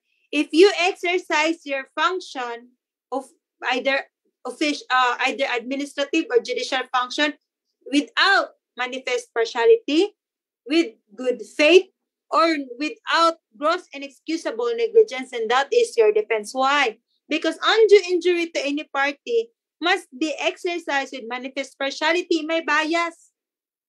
Evident bad faith. Obvious, alam na niyang mali, ginagawa pa rin niya. Di ba? Alam na niya. Na-advise na siya na wag, wag mong gawin yan. Ginagawa pa rin niya.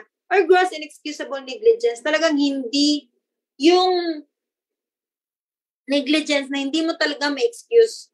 Kasi na talaga obvious na, alam mo na ang pwede maging consequence pag ginawa mo yan, tinutuloy mo pa rin.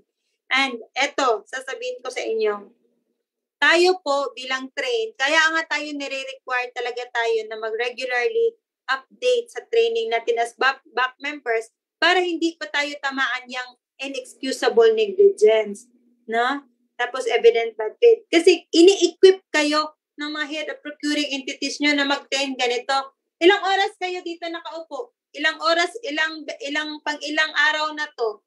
Yan yung oras na inalaw kayo ng hope nyo, ng immediate supervisor nyo, na instead gumawa ng, instead mag-attend sa mga kailangan la- niyang ipagawa sa'yo, nagtitrain ka. Para wala ka po kayong excuse later. Sabi niyo, hindi ko po alam yan. Ay nako, dapat alam mo. Nag-spend ka ng time mag-train, di ba? Ako, sabi ko sarili ko, ang hirap maging back member at same time trainer ako ng ganito. Wala ako, lagi akong walang excuse. Hindi ako pwede mag-claim ng good faith. Hindi ako pwede mag-claim ng good faith. Kasi sinasabi ko sa back, hindi ako pipirman yan. Hindi ako makaklaim ng good faith pag pipirman ko yan. Tapos medyo may question ako kung necessary ba yan o hindi. So, yan.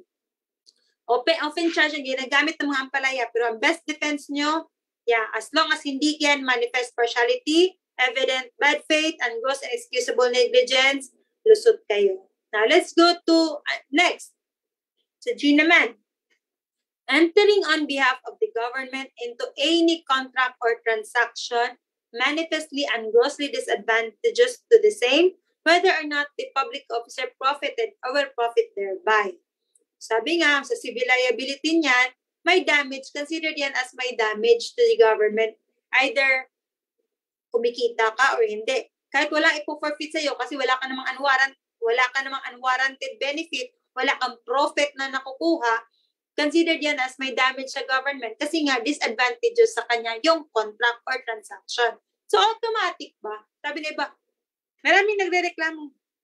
Ma'am, binibigay ang contract na yan kahit walang bidding. Di automatic yan kasi di ba the law allowed you to uh, negotiate contracts or procurements. May mga marami tayong alternative mode of procurements. Hindi-discuss yan sa inyo earlier.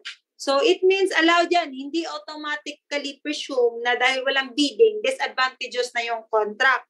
What makes it disadvantageous? It's the overpriced contract amount. It's sabi niyo, pasok naman sa ABC. Ang tanong, yung ABC niyo, paano yan siniset? Baka naman mamaya hinakalim, hindi nyo na market analysis yan, kumukopya lang kayo sa ibang LGU, aminin. Di ba? marami sa atin nagkukopyahan lang kasi magkakakilala tayo sa iba-ibang LGUs, di ba? Our colleagues. Meron kasi tayong mga leagues, leagues eh. Sa LGUs, meron tayong mga leagues ng ganito, ng mga treasurer at assessor, meron tayong leagues ng mga MPDC, meron tayong leagues ng mga disaster, uh, DRRMO. So, because magkakasama sila sa ilang leagues, uy, meron tayong ganito. Oh, talaga, ang galing. Sana kami din, pag may budget si Mayor, ganun. So, minsan nagkokopyahan. Ah, yung, example, yung ah, ABC sa medyo far flung na municipality para sa ganitong heavy equipment, ganito yung price niya. Ikaw na nasa andyan lang sa malapit lang sa city, yan din yung price mo, hindi mo kinakonsider. Bakit nga ba mahal sa kanya? Bakit sa akin susundin ko to? Eh, mas marami kang potential suppliers. Mas less chan- mas more chances na maraming magbibid sa iyo na hindi masyadong malayo yung travel. Bakit ka mangungopia? Iba yung considerations niya, iba mang considerations mo. ba? Although we get good ideas from them, we get good ideas from each other, but when it comes to the ABC, you have to have a market analysis and you have to watch back ah, ito ha, mga back. Bantayan no yung mga end users nyo kung ano nung pinaglalagay sa PR at PPNP. Akala shopping list, no? No, kung ano nung pinaglalagay. Ang tindi, minsan, ano pa, pati yung upuan, gamer's chair pa ang hinahanap. Bakit kailangan mo ng gamer's chair? Di ba pwedeng ordinaryong swivel chair lang, office chair? Bakit kailangan yung gamer? Kasi ma'am, matagal akong nakaupo. Nagmo-monitor ako, nag-include ako. Ma- Matagal ka nakaupo. Natural, 8 hours binabayaran ng gobyerno sa'yo. Kailangan mo ng gamer chair para dyan. So, bantayan nyo yung mga pinagsasa- pinagsusulat nila sa PPMP, ha? Baka lahat ng pinagsusulat sa PPMP, ikarga nyo lang diretso sa APP. Baka kung ano-anong pinagsasabi nila sa PR nila, tanggapin nyo lang. Remember, hindi sila naku ang nakukulong. Kayo ang makukulong pag may makita yung COA na mga unnecessary or overpricing. So, yun. On behalf of the government, you should make sure to watch this money uh, um, properly. To spend this, no? Yung hindi kailangan, huwag. Kung kailangan naman, there should be a justification talaga. Kasi we cannot then compromise our the results of our work by always looking for the cheapest, no? Kung ano lang pwede. Sa atin, low, low, hinahanap natin na price, pero dapat it matches our requirement, our technical requirement. Kasi baka mamaya mababa yung presyo, hindi niya kaya yung, hindi na nagmamatch sa requirement natin. So it must not be disadvantageous lang. Yun lang talagang yung requirement. Hindi siya overpriced. Pag sort kayo. Yan lang.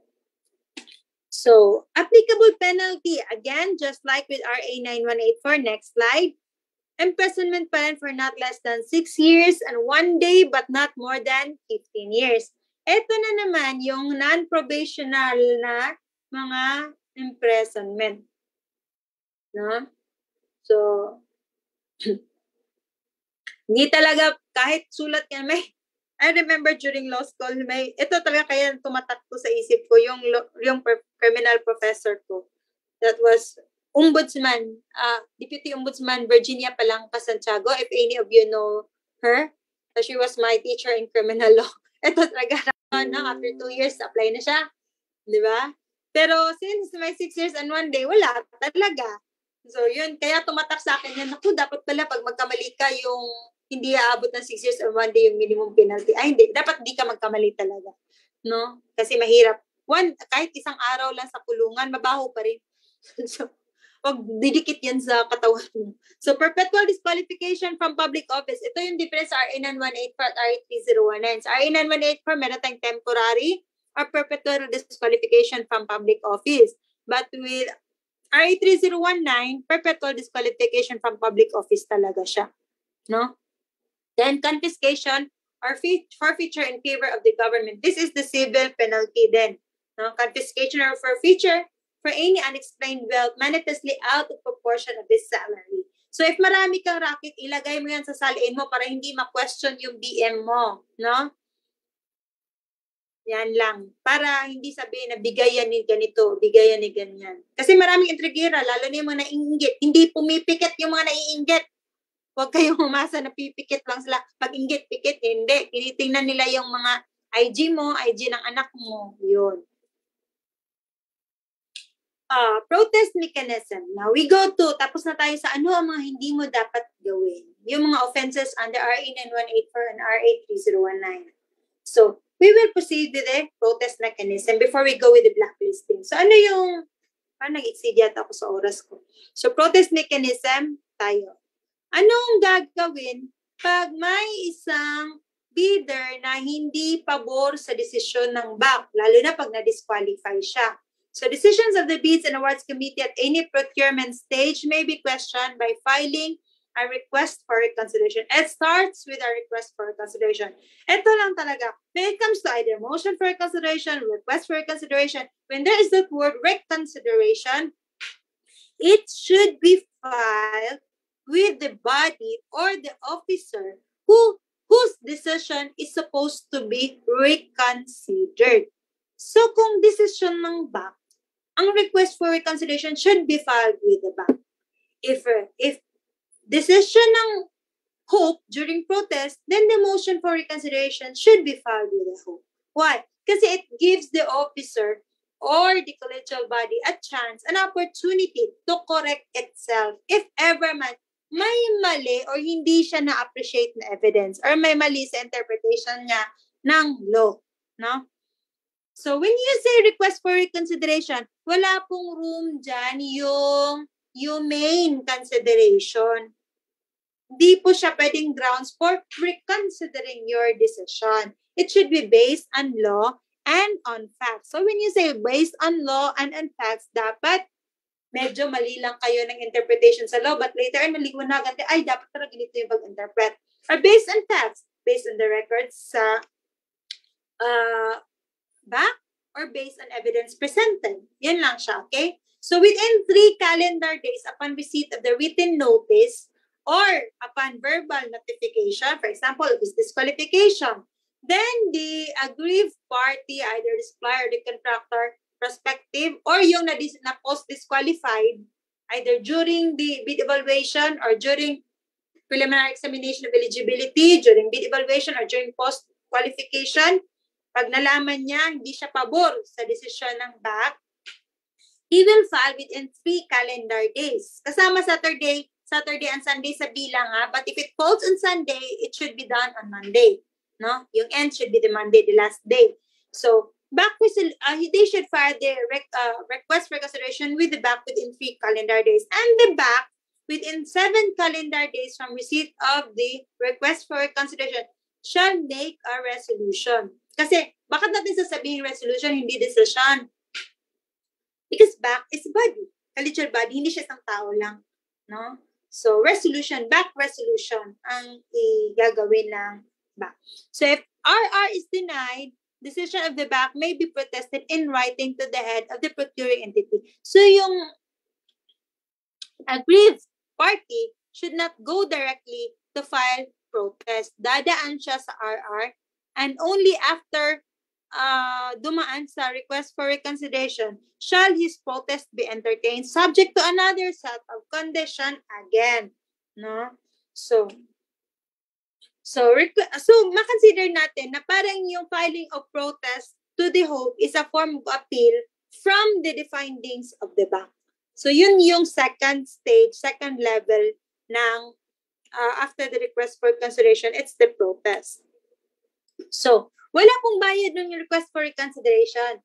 Pero yung sa filing of protest po, kailangan na po siya verified at may protest fee na. So it must be in writing through a verified position paper accompanied by a payment of non-refundable protest fee to be paid in cash. Wala na po yung bid securing decla- uh, bid, BSD ha, yung bid securing declaration. Pang bidding lang po yon. Mag-protest fee po, dapat in cash yan. Hindi din letters of credit cash po talaga. And the certification against forum shopping, baka mamaya kung marami-rami na din siyang pinafile. After ng decision ng request for consideration, dinimanda niya kaagad yung mga members ng box sa ombudsman. Tapos nag-file pa siya ng protest sa sa Hope, di ba? So dapat may certification against forum shopping siya. Kasi iniiwasan niyang forum shopping, forum shopping na yan, na may isang body fully assuming, o may isang officer fully assuming that he has jurisdiction of the complaint, yun pala, may ibang body at officer na rin na nag-handle ng complaint, similar issue. So, yun yung iniiwasan dyan, na maraming, para siyang, para siyang nagsa-shopping kung ano yung decision na favorable sa kanya. Di ba? Uh, it's a form of abusing the system. So it's addressed to the hope. The verified position paper must be addressed to the hope. And filed within seven calendar days from the receipt of the decision of the back resolution. So, yun. Next. Next slide. So. Ang requirement ng protest, verified position payment, uh, position paper, and payment of protest fee, addressed to the Hope and filed within seven calendar days from the receipt of the back resolution. So next page, I will show you a sample of a verified position paper. Uh, basic po siya. Ito yung makikita nyo parang uh, ipsum, ganun, yung parang sa ano na, wala pang laman. Pero ito yung la nakalagay sa kanya, bidder's name and office address, it should show the bidder's name and office address and the name of the project or contract. Kasi maraming contract or project minsan yung bidder, no? Especially LGU, sabay-sabay yan. So implementing office or procuring entity, uh, brief statement of facts, issues to be resolved. Ano ba yung fact? Ano ba yung issue to be resolved? So, other matters and information pertinent and relevant to the proper resolution of the protest and certification against foreign shopping should be attached. Dapat may facts at yan at issues to be resolved. So, hindi pwede yung uh, protest at request for consideration ang hihingi lang ng awa. Hindi pwede yon Kasi hindi naman based on facts yun. Based yun lang parang pinapa-decide kayo based on your emotion. Parang magigilty pa kayo. Parang sinasabing hindi kayo mabait pag hindi ginagrant. Hindi naman to contest sinong mabait. No, it's appreciation of facts and issues that is to be resolved. So, yung verified position paper nyo, dapat naka, ano yung purpose ng verification? Kasi 'di ba, yung verified yung mga position paper kasi minsan ginagawa na yan ng mga lawyers, company lawyers, especially if it's a corporation. No? They have their retainer lawyers. So, yung position paper nyo, it will just show that the affiant, yung pumirma, yung either yung authorized representative ng company or yung CEO mismo or yung sole entrepreneur, affiant has read and understood the contents na pinaglalagay niya dun sa reklamo niya. Allegations therein are true and correct based on personal knowledge or based on authentic records. Baka mamaya hindi niya alam pinagsasabi ng ng lawyer. Baka mamaya, copy-paste lang si lawyer. Lahat ng protest niya sa lahat ng clients niya, the same. Tapos you see, affiant, uy, hindi ko sinabi yan ha. Hindi, dito sa verified position paper mo eh. And you verified it. It means you have read it. You cannot deny anymore that this is your allegation. Oh, uy, sinabi ko, ito yung reklamo ko. Eh, wala dito sa verified position paper mo. Ha, bakit? Eh, isa yan yung na-raise ko sa request for consideration, but it is not in your verified position paper. And in your verified position paper, you are supposed to have read and understood the contents thereof. Pag hindi mo naisali, hindi yan kasama sa... Wala pong leave of court na po. Huwag kayong maniniwala pag minsan pag ibang lawyers yung gumagawa, baka mamaya may motion for extension pa yun ha, at saka leave of court to make, to, to file amendment. Eh, hindi pwede yan sa atin. Simple lang simple lang yung procedure sa protest. No need to complicate with a lot. Kasi yung rules of court kasi, it's only suppletory pag hindi pinoprovide sa rules natin kung anong dapat gawin. Pero pag klaro sa rules natin, there's no point of applying the rules of court here because this is just an administrative process pa. No, this is just an administrative remedy. So, So, yan. And after, of course, madiku uh, next slide. Next slide po. Yan. Next slide din po. So, after, of course, na ma-resolve na yan ng, ano, after ma-file yung protest, take note that when you file a pro, uh, balik po, balik po. Ah, ah yan. Take note that when the aggrieved party file a protest, it must be verified with certification against non-farm shopping and there's payment of protest fee, hindi po ibig sabihin niya na titigil na yung procurement process. Tuloy-tuloy pa rin po yung award ng contract. Kaya we have to strictly observe with the periods provided by law. So the hope shall resolve the protest within seven calendar days from receipt thereof. Head of the back section furnish a copy of the uh, furnish the bidder with a copy of the decision within seven, seven calendar days from receipt. So may mga periods tayong ino-observe para hindi ma-prolong yung uh, hindi ma-delay yung whole procurement uh, procurement stage, lahat ng procurement stages that will follow. So, resort to regular courts. And pwede bang dumiretso after request for consideration if he is not happy or if after protest if not happy, pwede bang dumiretso si aggrieved party? Ang ganito lang yan. The request for consideration and the proper filing, proper filing of protest must be observed before any aggrieved party can proceed to the filing of petition for certiorari with the uh, with the regional trial courts under Rule 65. Kasi yung Rule 65 po, under sa revised rules of court, yan yan po yung tinatawag na um, petition for certiorari uh, for grave abuse. Ang grounds po is grave abuse of discretion amounting to lack or excess of jurisdiction. Ang didemanda po dyan yung buong opisina, yung procuring entity, especially the Hope and the Back, who they will allege as committing a grave abuse of discretion. Yeah. Amount, pag wala po lahat yun, considered yun na hindi niya na-avail yung administrative remedies available to him and that it could be a ground for the dismissal of his petition for certiorari. So yun yung i-observe nyo ha. You could make that as a defense pag ididiretso kayo sa regional trial court. Hindi po CA, RTC po tayo kasi may hierarchy of course and RTCs are allowed to receive uh, petitions for certiorari. So, start tayo sa RTC. So, pag hindi po dumaan sa inyo for request for consideration or hindi po proper yung filing niya sa protest o wala talagang protest, this could be your uh, defense. Uh, failure to exhaust administrative remedies for the dismissal of any petition for certiorari filed against you. Okay? So yan, may depensa kayo pag di yan dumaan sa inyo. Ito naman, next slide, yung protest fees. This is actually established since 2012. Hindi po kayo ang nagde-decide kung ano yung protest fee nyo. Just as the same na may yung GPPB, mayroon silang magkano dapat yung bid security, maximum and minimum. Pero ito po, fixed po siya. Hindi siya fixed na amount or fixed percentage, but rather, depending on the range of your ABC, your approved budget for the contract, magdidepende kung magkano dapat yung protest fee. I tried computing this one when I started with GPPB uh, lecturing, no, TSO. And actually, sa kung sakto talaga siya, walang, hindi mo masabi na unfair na yung 0.75% ng 50 million pesos, minsan mas malaki pa sa 500,000. Actually, mas mababa talaga siya sa 500,000. Just the same with the 0.5% of the 100 million is mas mababa kaysa 2.5 million.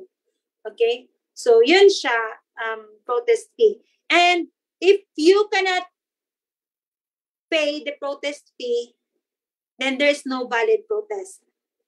There is no valid protest. But even if you pay the protest fee, it will not prescribe, uh, no? Uh, it will not prescribe anything. Hindi niya natutol whether you comply with the proper requirements of our protest will not toll the running of the period for the filing of protest and will not also toll the periods for the procurement running of the procurement days, no? yung deadline. Ang di lang pwede is i-award yung notice of award. Okay? Ang purpose niya na dapat bayaran mo yan para maging valid yung protest mo. At kung hindi, kahit hindi favorable yung decision ng Hope sa'yo, especially sa aggrieved, am, am I talk, at, let's imagine I'm talking to the aggrieved party. At kahit hindi, val, hindi favorable yung decision ng Hope for your protest, the aggrieved party can still proceed to the RTC. So, may knowledge check tayo before we end this session, before we proceed to the blacklisting guidelines. Uh, let's proceed to the next slide. Yes. Yes po, ma'am. We are now down to our last knowledge check for this topic. Again, participants, please choose the appropriate answer through the Zoom polling feature. The question is, the non-payment of the protest fee does not toll the prescriptive period for filing a protest and it becomes a justifiable basis for the hope not to entertain a protest. Is this statement true or false? For our participants, do you have questions related to the topic?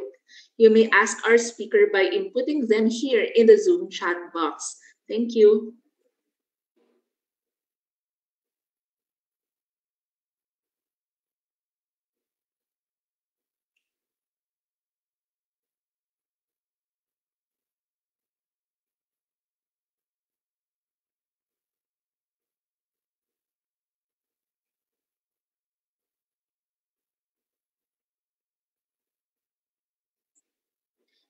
All right, I think the majority of our participants have already answered the poll. Um, 95% of our participants have answered true. Is this the correct answer po? Well, I'm impressed because that is the correct answer. At least na siguro na-emphasize talaga, natanim talaga sa utak nila na uh, yung non-pay, uh, yung payment of protest fee is a requirement. A non-payment will not uh, become a justifiable, a justifiable basis for the hope not to entertain a uh, protest. So yes, it's true.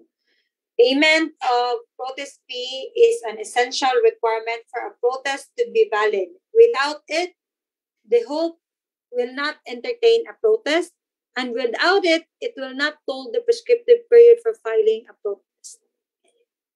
That's it. Thank you. So before I proceed to the blacklisting guidelines, I saw one question here which I could just answer anyway directly. So it's asked here, uh, regarding po sa liabilities, if ever may disallowance na mangyayari, kasama po ba sa po ba ang accountant at municipal treasurer sa liability? Ang masasabi ko lang, accountant should not have been part of the back So, yung disallowance po, klaro naman po yan sa uh, disallowance po sino yung liable. So, susundin niyo lang po yun talaga. Municipal treasurer, i-disallowed kasi yung expenses.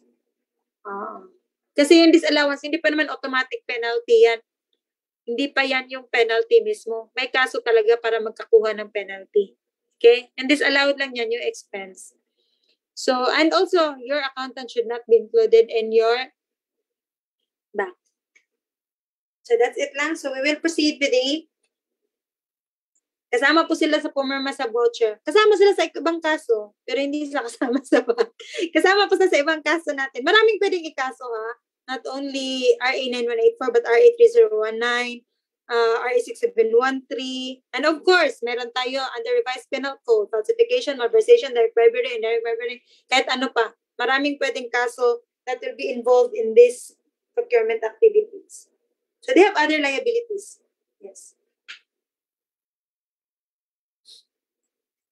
Yes, So, ma'am. next All right. That, That, that ends our discussion proper for today's first learning session. That was Attorney Isaac Yal A. Nogra of the Department of the Interior and Local Government Regional Office 7. Again, thank you very much, ma'am, for leading an in-depth discussion on protest remedy focused protest mechanism and remedies.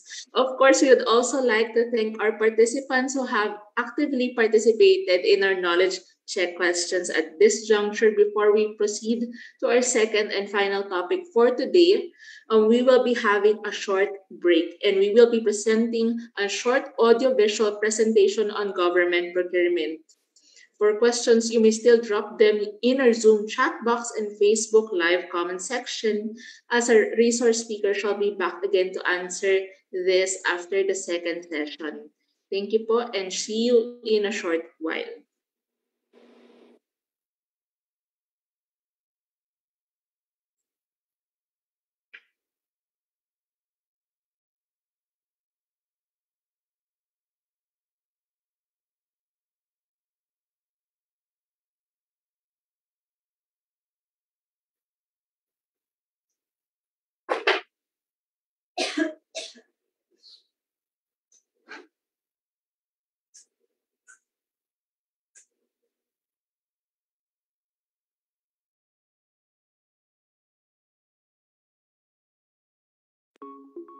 Have you ever wondered how sharing of issued blacklisting orders could be made easier for your agency? Well, with the Online Blacklisting Portal, or OBP, you are only one click away from posting and updating the status of your blacklisted entities and accessing information related to your agency's blacklisting history. Let me give you a quick walkthrough of the new OBP. To register, visit the link flashed on your screen. One registration per PE is allowed and only the official user can request for registration. After the successful registration, an alternate user can be added. Your registration will be validated upon receipt of the documents flashed on your screen. Within three days from the effectivity date of the BO, PEs should be able to post the BO by filling out the form in the OBP and uploading the copy of the approved BO. You can simply click on the Update Status tab from the Blacklisting Order Details screen. In case you need to change or update your account details, you may send a request to the email address flashed on your screen. For more details, you may visit the OBP homepage to access these files.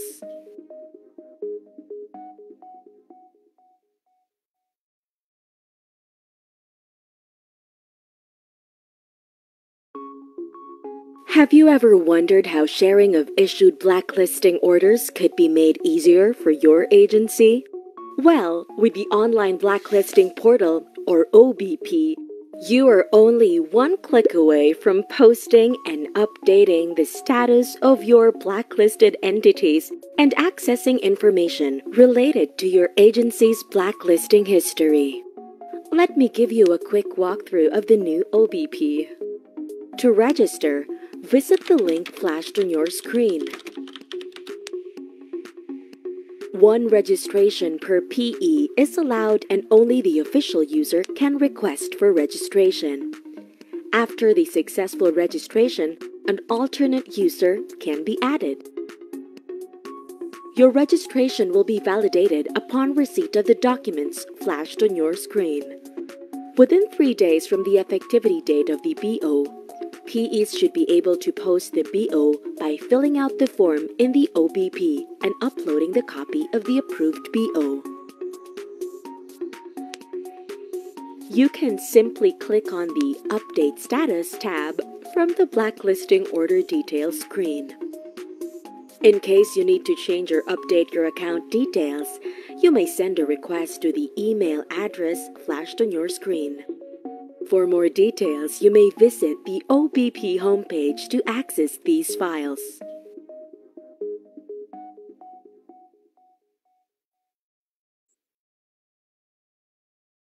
I hope everyone is back.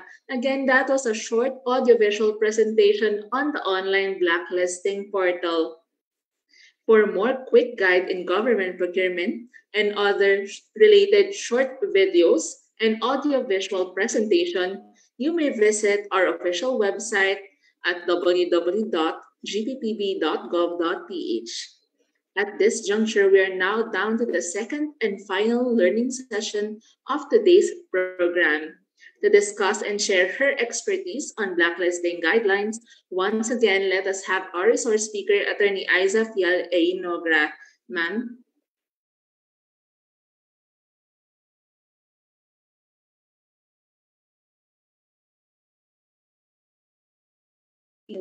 Oh, sorry, I forgot I was muted. And performance security, depending on what's applicable, are also the prohibition to join any procuring entity through suspension, but also includes blacklisting. So it is discussed separately because there's another requirement also to be observed.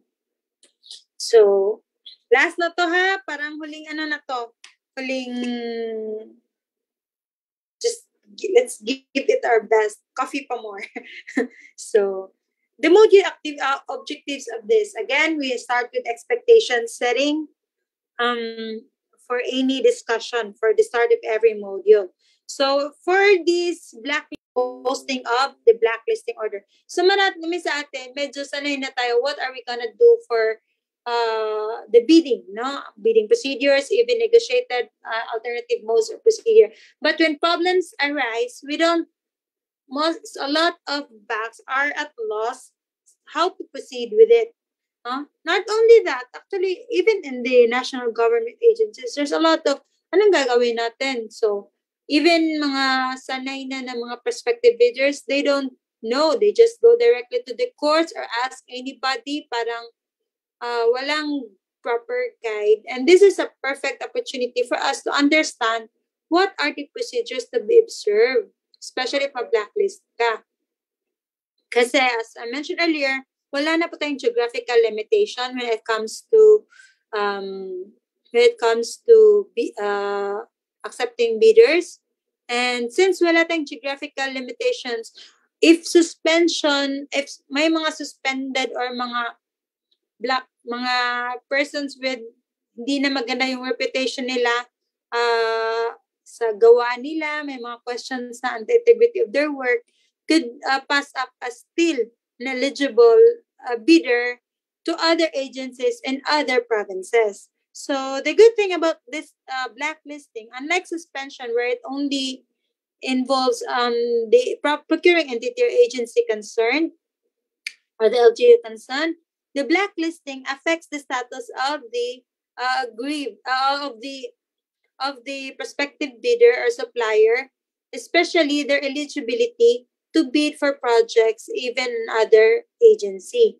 So since it affects their status, it gives us, the government employee, the public officers entrusted with the procurement uh, activities, uh, more opportunity to check, no? Since mayroon na tayong uniform guidelines and portal, it gives us more opportunity to check who are these people we are dealing with. So, this is very helpful for us. So the outline of the discussion is first the uniform guidelines. Next slide on blacklisting. So uniform na tayo, hindi na tayo from the procedures uh, to the inclusion in the portal and to the grounds. Um, same na lahat ng agencies, SUCs, LGUs, NGAs, GOCCs, same na tayo ng ino-observe na guidelines. So hindi na masabi na masyadong strict doon. If you encounter a prospective bidder who would say, oh, na-blacklist ako dun kasi ganun, ganyan, ganyan. Huwag kayong maniwala, syempre. Uniform naman ang guidelines. Eh. Um, they're just saying that to throw mud, mud, no? Sa um, nag-blacklist sa kanila. The fact is they're blacklisted and the guidelines have been followed. And uh, there's always a presumption of regularity in the performance of our duties. So anybody can throw mud at us, but for as long as we follow what's on the guidelines and the uniform guidelines, then it is presumed as a valid act, especially blacklisting them. It helps other agencies also to know who are these people. Then we will also discuss the blacklisting procedure. There are two blacklisting procedure stages we have to observe, no? One is blacklisting procedure during procurement stage na discover ka agad ano yung mga pinagagawa ng aggrieved oh, ng, ng prospective bidder or contractor during procurement stage pa lang and blacklisting procedure during contract implementation stage. Maybe it is a ground that is committed during contract implementation stage or a ground that is committed uh, to secure the contract, meaning during procurement stage, but was only discovered during contract implementation stage.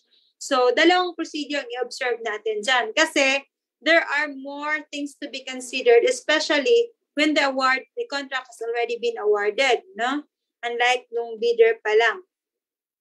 So, we will start with uniform guidelines and blacklisting. And there are two guidelines that is very, that are very important uh, for you to, con- to take notice of. And I'm sure you will have a copy of this already. It is in the new, it is, I think it's part of the annexes.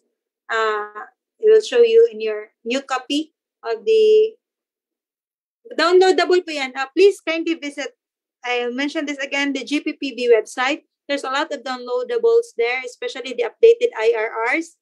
Uh, just check the GPPB, www.gppb.gov.ph to get your updated downloads of the revised IRR and JPPB resolutions.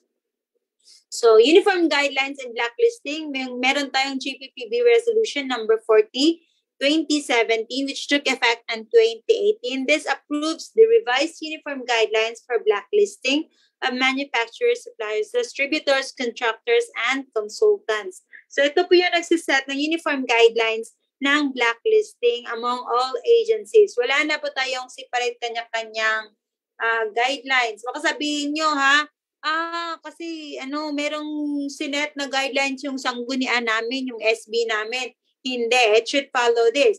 Why? You, you will argue that, but the Sangguniang Bayan is a legislative body and JPPB resolution is just an issuance of an executive body. Please take note that under RA 9184, the JPPB was created with a policy making power. In fact, it can even amend or or, or, or, or expand the uh, requirements of RA 9184. And you say, kasi nga, they are, it's a delegated power, just like how sanggunian legislative powers are delegated to you by the Congress through RA 7160 or local government code. Um, GPPB also has a delegated power through RA 9184.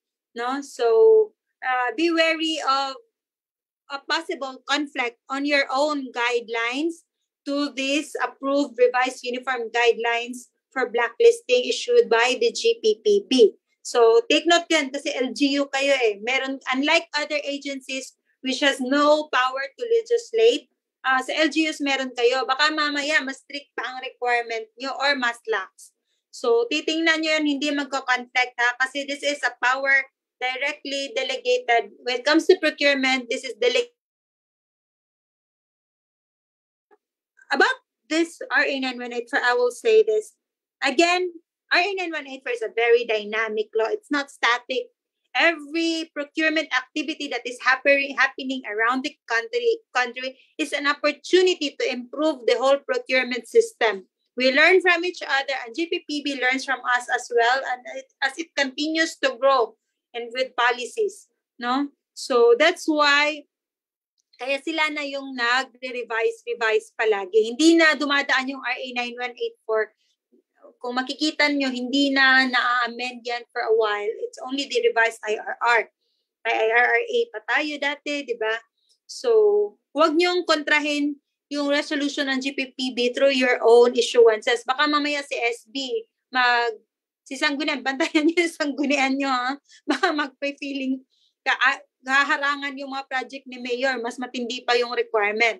So, hope you can remind them with this. So it's the GPPB who approves the revised uniform guidelines for blacklisting of these manufacturers, supplies, etc.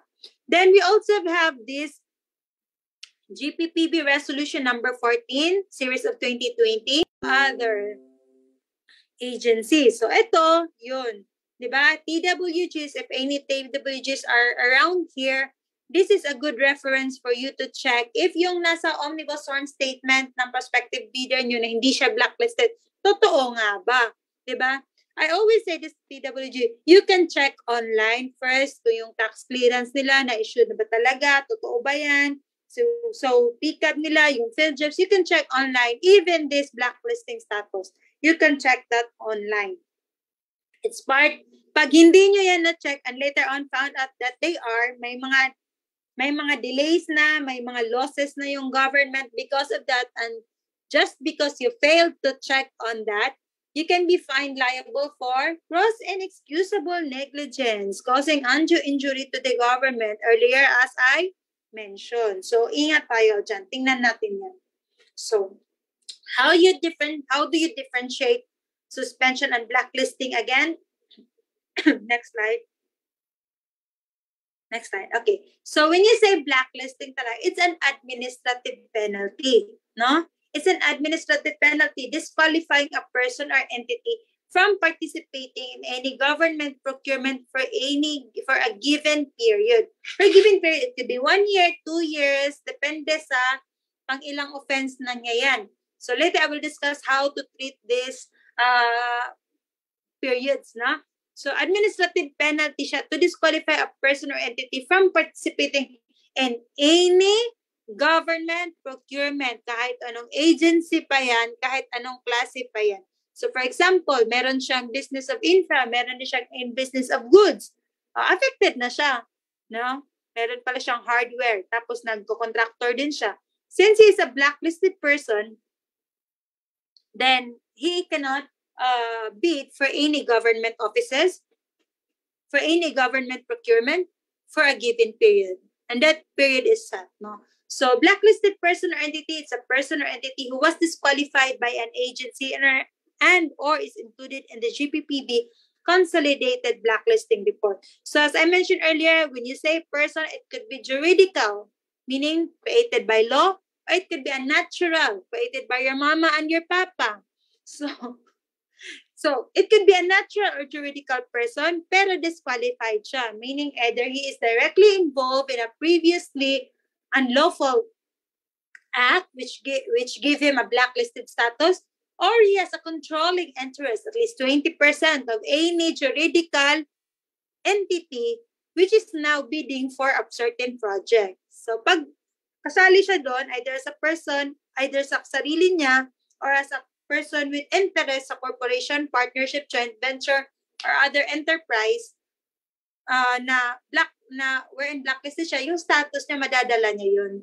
Okay? At yung status din ng company, madadala niya. So, yun. now, we compare it with suspension. If blacklisting is an administrative penalty, uh, disqualify you to participate in any government procurement for a given period. Suspension, however, is an interim penalty, meaning paunang penalty siya. Siya yung first to come before blacklisting. Interim penalty. Kasi nga, hindi naman madali yung whole procedure ng blacklisting. Pwedeng siya muna mag-start uh, before yung blacklisting order ma-issue. So, interim penalties imposed for infractions committed by a bidder during the procurement stage whereby such bidder is prohibited from further participation in any of the bidding process of an agency. It shall be effective during the period of motion for reconsideration and or appeal and shall terminate only upon final decision by the hope or appellate authority. So yung suspension, uh, yung blacklisting is an administrative penalty, no? It, it, it's even imposed during procurement stage or during contract implementation stage. Whereas suspension is an interim penalty at limited siya sa procuring entity lang yung effect. Hindi ka na makasasali, makakasali, makasasali or makakasali sa any procurement sa can, to can, hindi ka, you cannot anymore continue with the procurement activity where you are found uh, to have committed an infraction, no?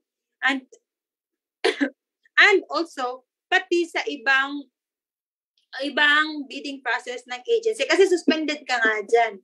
While ongoing pa din yung, and that suspension remains to be imposed kahit may motion for reconsideration ka pa, under appeal, at mateterminate lang po yan pag your, the decision, the hope will have a favorable decision uh, sa iyo. Yung may decision siya na favorable sa inyo, sa iyo. Hindi yung decision niya later, iba-blacklist ka na talaga or suspend ka talaga. So, what do you mean by appellate authority? Next stage. Kasi na-mention dito, nagde-decision ng hope or ng appellate authority.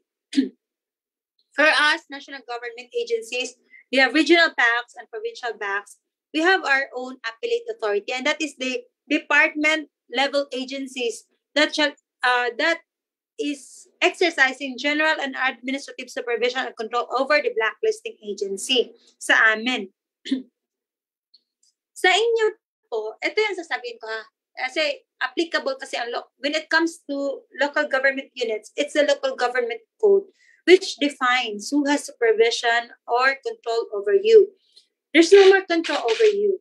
Kasi nga, di ba meron tayong local autonomy and it is enshrined by the Constitution itself meron tayong local autonomy allowing you to have a separate administrative, political, and uh, corporate personality with with the local government units from the local government units which is higher. Like for example, kahit barangay kayo, meron kayong separate uh, personality from the municipality. Kahit municipality kayo or cities kayo, mayroon kayong separate component cities kayo, mayroon kayong separate personality from the from the province. So walang appellate authority si governor sa inyo when it comes to procurement decisions that your hope makes the mayor at wala just the same way na wala ring uh, appellate authority ang ang munisipyo sa barangay when it comes to their decision as a procuring entity under RA 9184. Yeah, granted, there's a disciplinary po- power in local government code. There provides a disciplinary power of the higher sanggunian over you, but only if you are found uh, liable for grounds under Section 60. No? So, if ito, yung mga decision nyo as a hope, as a back, hindi po siya kasali dito. Unless meron kang grave talaga na abuse. But since the, kung sasabihin natin, may procedure kasi na pinoprovide ang RA 9184, then this one shall follow. Kasi nga, special law at general law, when it comes to procurement, the special law that is to be followed is RA 9184 and not RA 7160. Okay? So, meron tayo dyan eh. Special law and general law.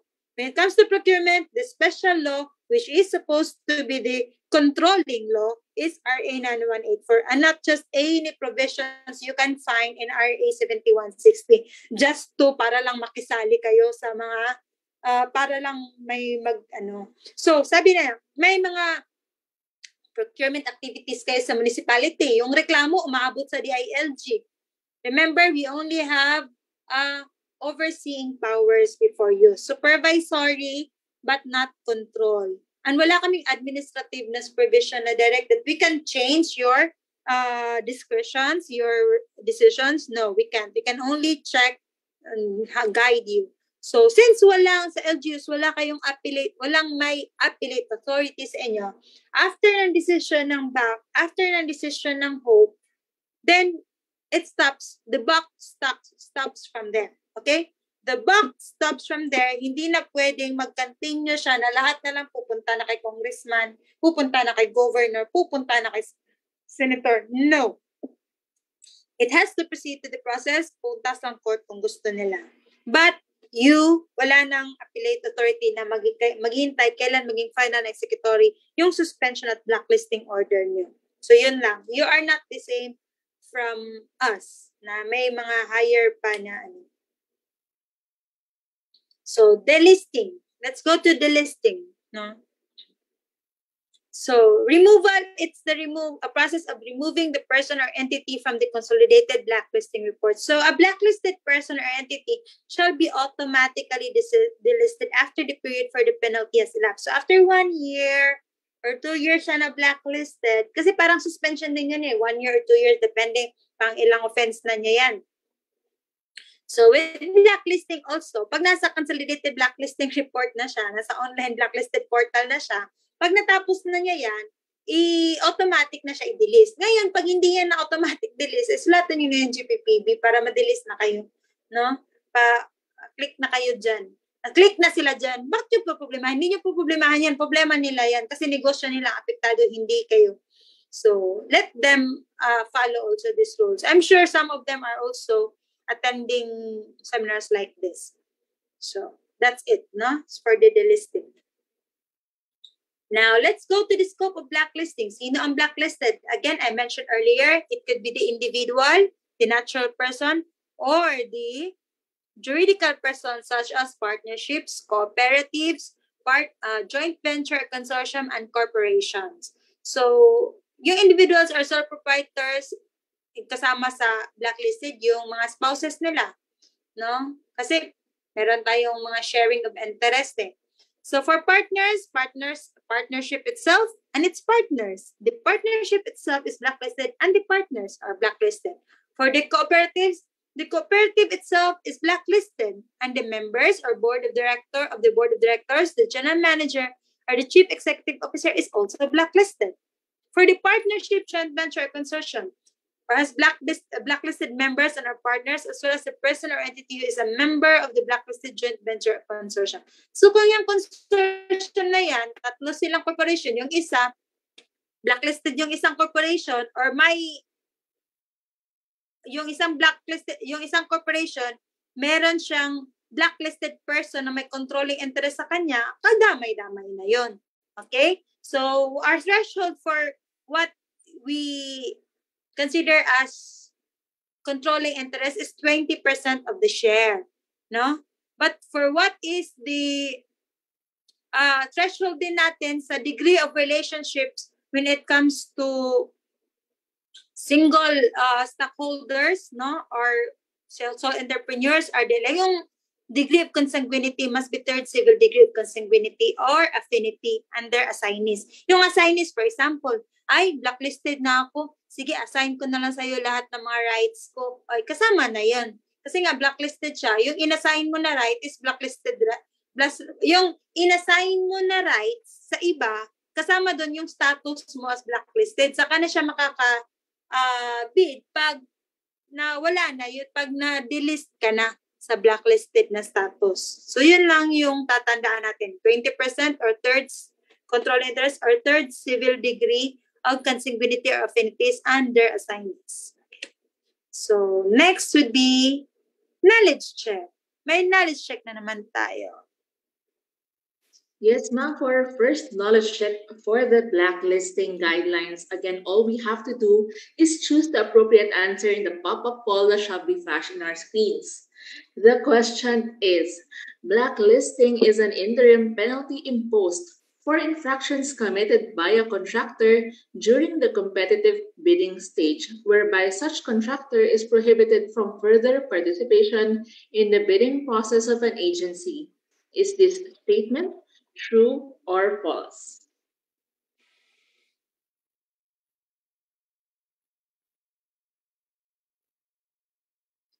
Again, blacklisting is an interim penalty imposed for infractions committed by contractor during the competitive bidding stage, whereby such contractor is prohibited from further participation in the bidding process of an agency. Is this statement true or false? We highly encourage our Zoom and Facebook Live participants to raise your questions all throughout the duration of this virtual activity using the Zoom chat box or the Facebook comments section. Please be reminded that only questions related to the learning session shall be accommodated by the resource speaker.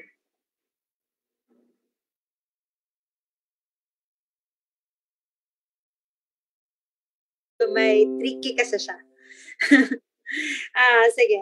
Let's answer that one. Ito na lang, emphasize ka. Blacklisting is an interim penalty. Is it an interim penalty?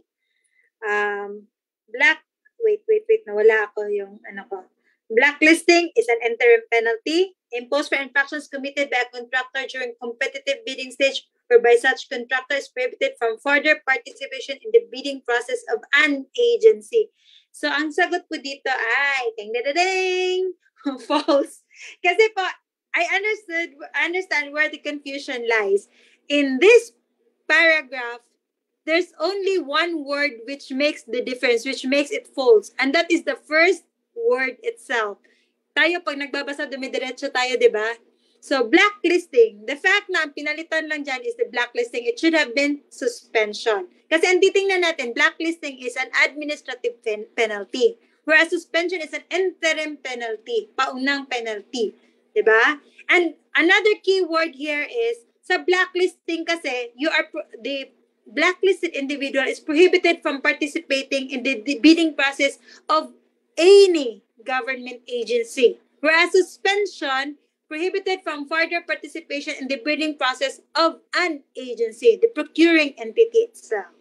So pag procuring entity lang siya, hindi pwedeng makisali at interim penalty pa yan, pauna pa lang yan, may to follow pa na bigger penalty, which is the blacklisting, that is suspension. Blacklisting, administrative penalty na siya, na affected na yung buong status ng uh, bidder or so much po, ma'am. eh. Saka thank you din po sa ating mga participants who answered the poll. So anyway, uh, that is given. And the next would be we will proceed uh, with the after understanding what blacklisting is and what suspension is and who whether or not we have an appellate, who is the appellate authority, no? Uh, we will proceed with the requirements for blacklisting. So as earlier mentioned, there are two uh, stages where blacklisting could happen. One during procurement stage And the second one, during contract implementation stage. So yung procurement stage, ongoing pa lang, wala pang na-award na con- 1-9. And for the filing of protest of any aggrieved party, kasi ang magpa-file ng protest, hindi naman yung nadi-disqualify lang, pati din yung iba na may napapansin. Na? Or any motu proprio grounds that the back have uh, observed, disqualifying a prospective bidder contractor could also be the same ground for blacklisting during procurement stage. So among those, of course, we will have to repeat uh, these enumerations for your uh, para mag ma-emphasize sa inyo yung submission of eligibility requirements containing false information of our falsified documents. So kasama siya dun sa um, fraudulent practices. So another would be submission of bids that contain false information or falsified documents, not only eligibility requirements but bids na daw, or the concealment of such information, concealment of such information on the bids in order to influence the outcome of eligibility screening or any other stage of the public bidding. Again, fraudulent acts.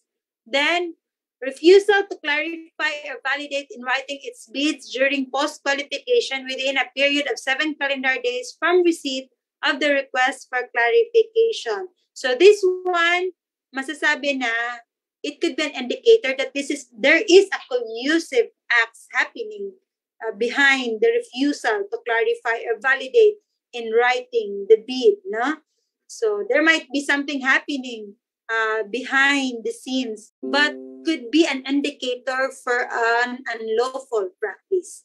So allowing the use, eto, hindi to seemingly innocent ha, allowing the use of one's name or using the name of the name of another for purpose of public bidding. Yan, mga fraudulent acts, misrepresentation of himself. And ito, withdrawal of bid or refusal to accept an award or enter into contract without justifiable cause after he has been adjudged as having submitted the lowest calculated responsive bid or the highest rated responsive bid.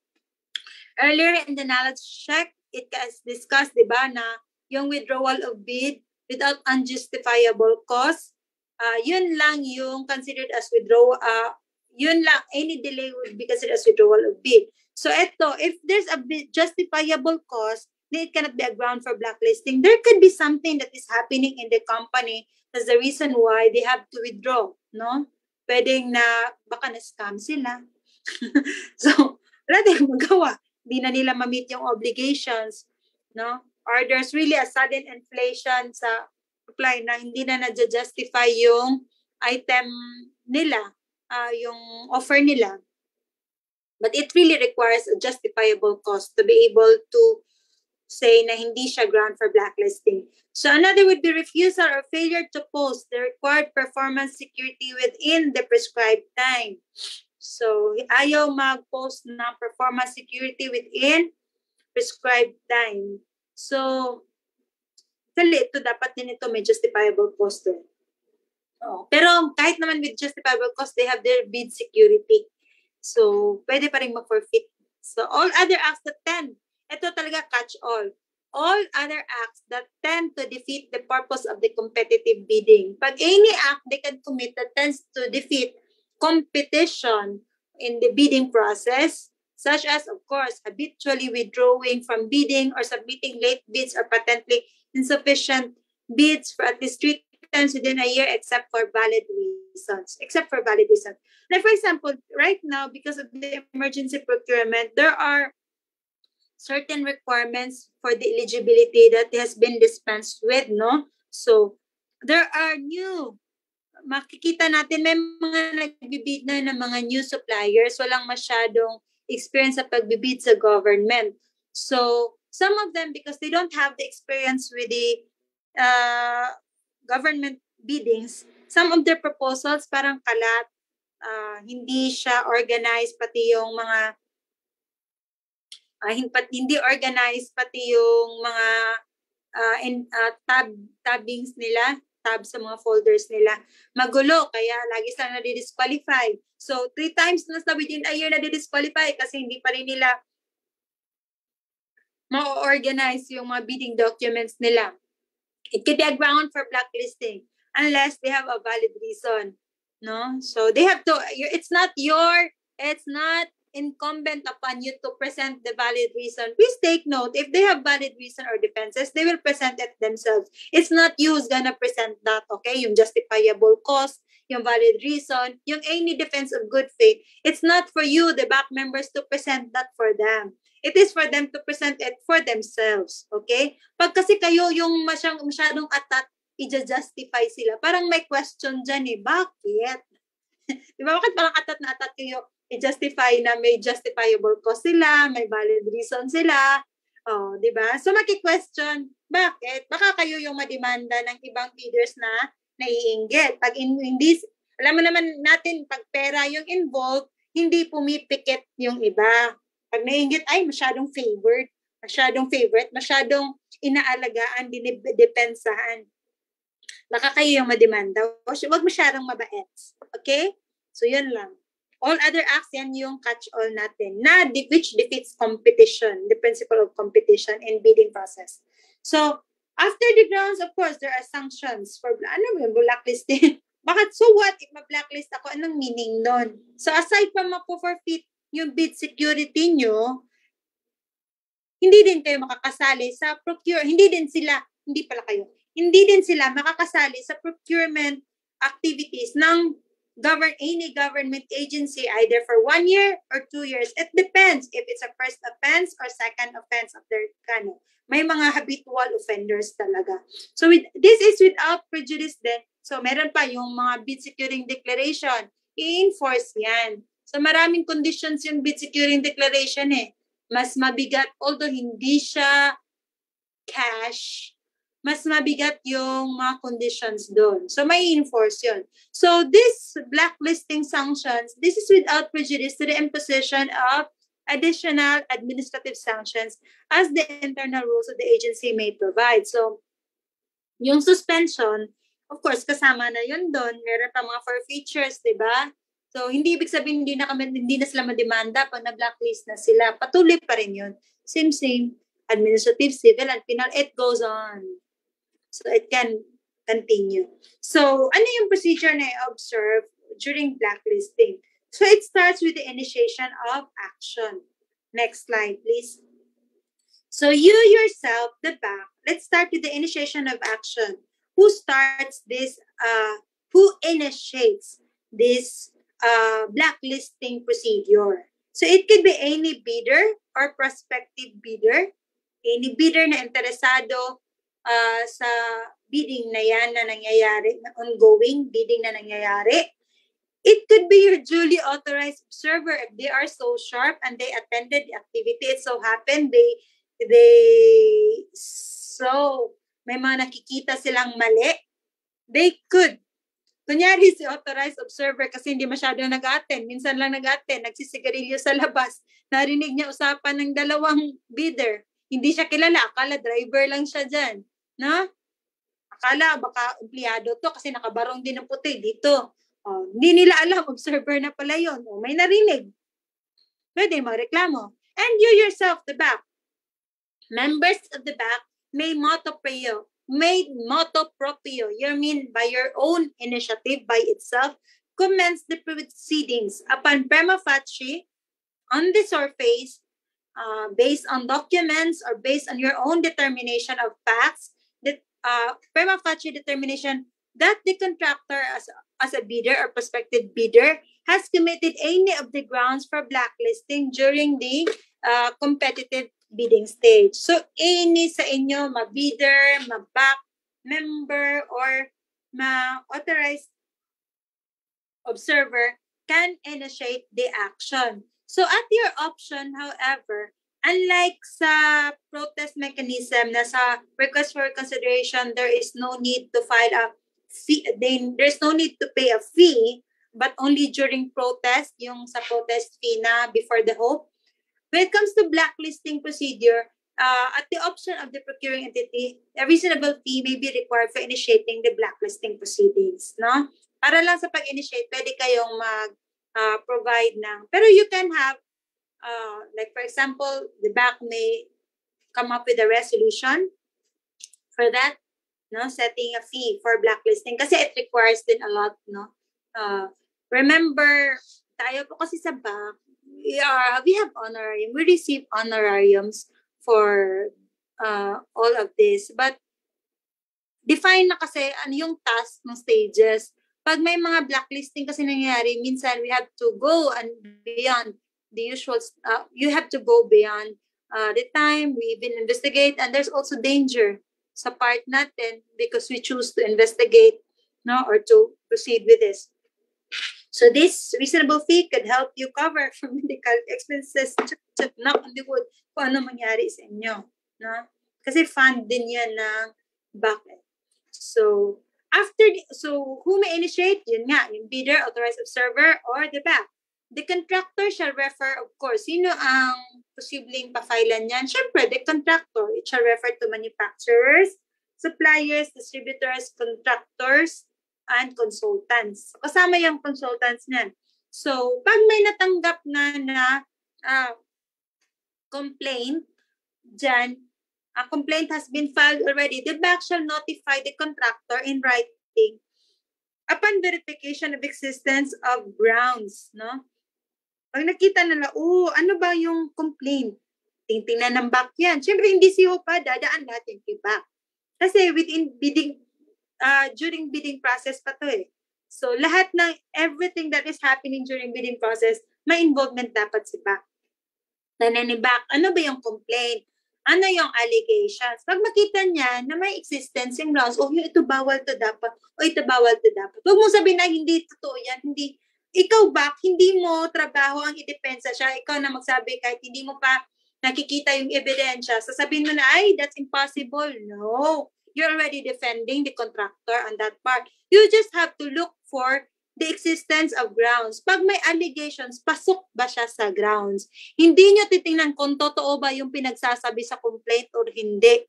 Ha? Hindi pa yan yung stage na titingnan nyo, totoo ba itong pinagsasabi? Hindi. Ang tinitingnan nyo lang, kung yung allegations niya, pasok ba siya sa grounds for blacklisting. Pag pasok siya sa grounds for blacklisting, you contract uh, you shall notify the contractor in writing of the blacklisting complaint filed against him, no? And then you shall ask him also if he desires to have a hearing to be conducted, if he requests one, or not na lang. Answer na lang siya diretso. Kasi po, sa administrative kasi, uh, established na kasi yan yung ano eh, yung administ yung due process when it comes to administrative uh, processes, no? Uh, ang requirements sa uh, requirements sa due process, yung hearing, hindi yung the right to be heard when it comes to administrative process has already been complied by the fact uh, by the fact that the uh, complaint party is given the chance to be heard not necessarily through a hearing, during a hearing, but the fact that he can submit his position or his answer. Yan lang po yan sa administrative. It's cardinal rights po kasi yan sa administrative proceedings, no? So, not necessary na all the time may hearing. Hindi po to criminal case. So, the consequence of being, then dapat din sa notice niya with the contractors para sa para the contractor will have an idea of the gravity of the situation, he should be notified of the consequence if masuspend siya at ma-blacklist siya para hindi niya i-ignore. Baka mamaya ignore niya, akala ano lang yan. Tapos later, pag may blacklist na, iiyak na siya.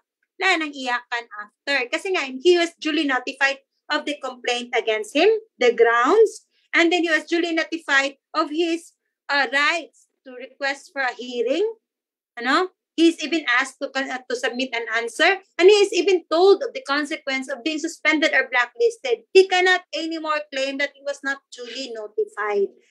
No? He is properly informed yung contractor. So the contractor shall submit its written answer.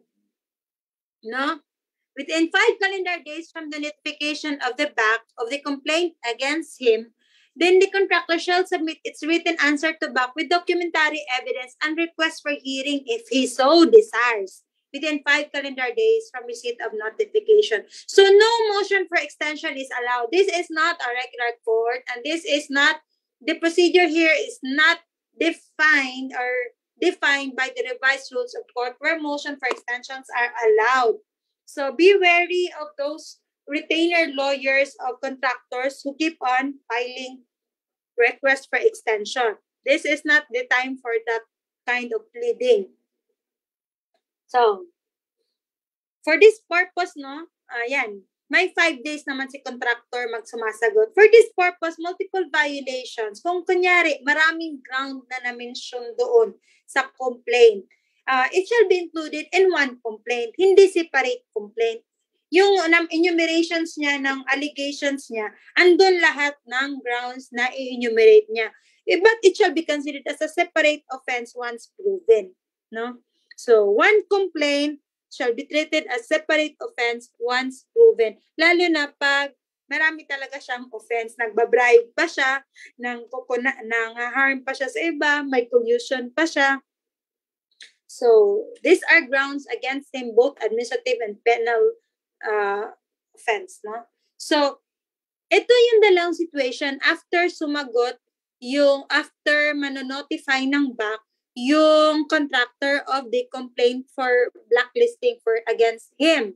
So it's either sasagot siya, the contractor submits an answer, or he does not submit an answer. Next slide. So if the contractor does not submit an answer, what will happen? No? So if he does not submit an answer within five calendar days from the receipt of notification of the back uh, of the complaint against him, then the back shall automatically, ito automatic, ha?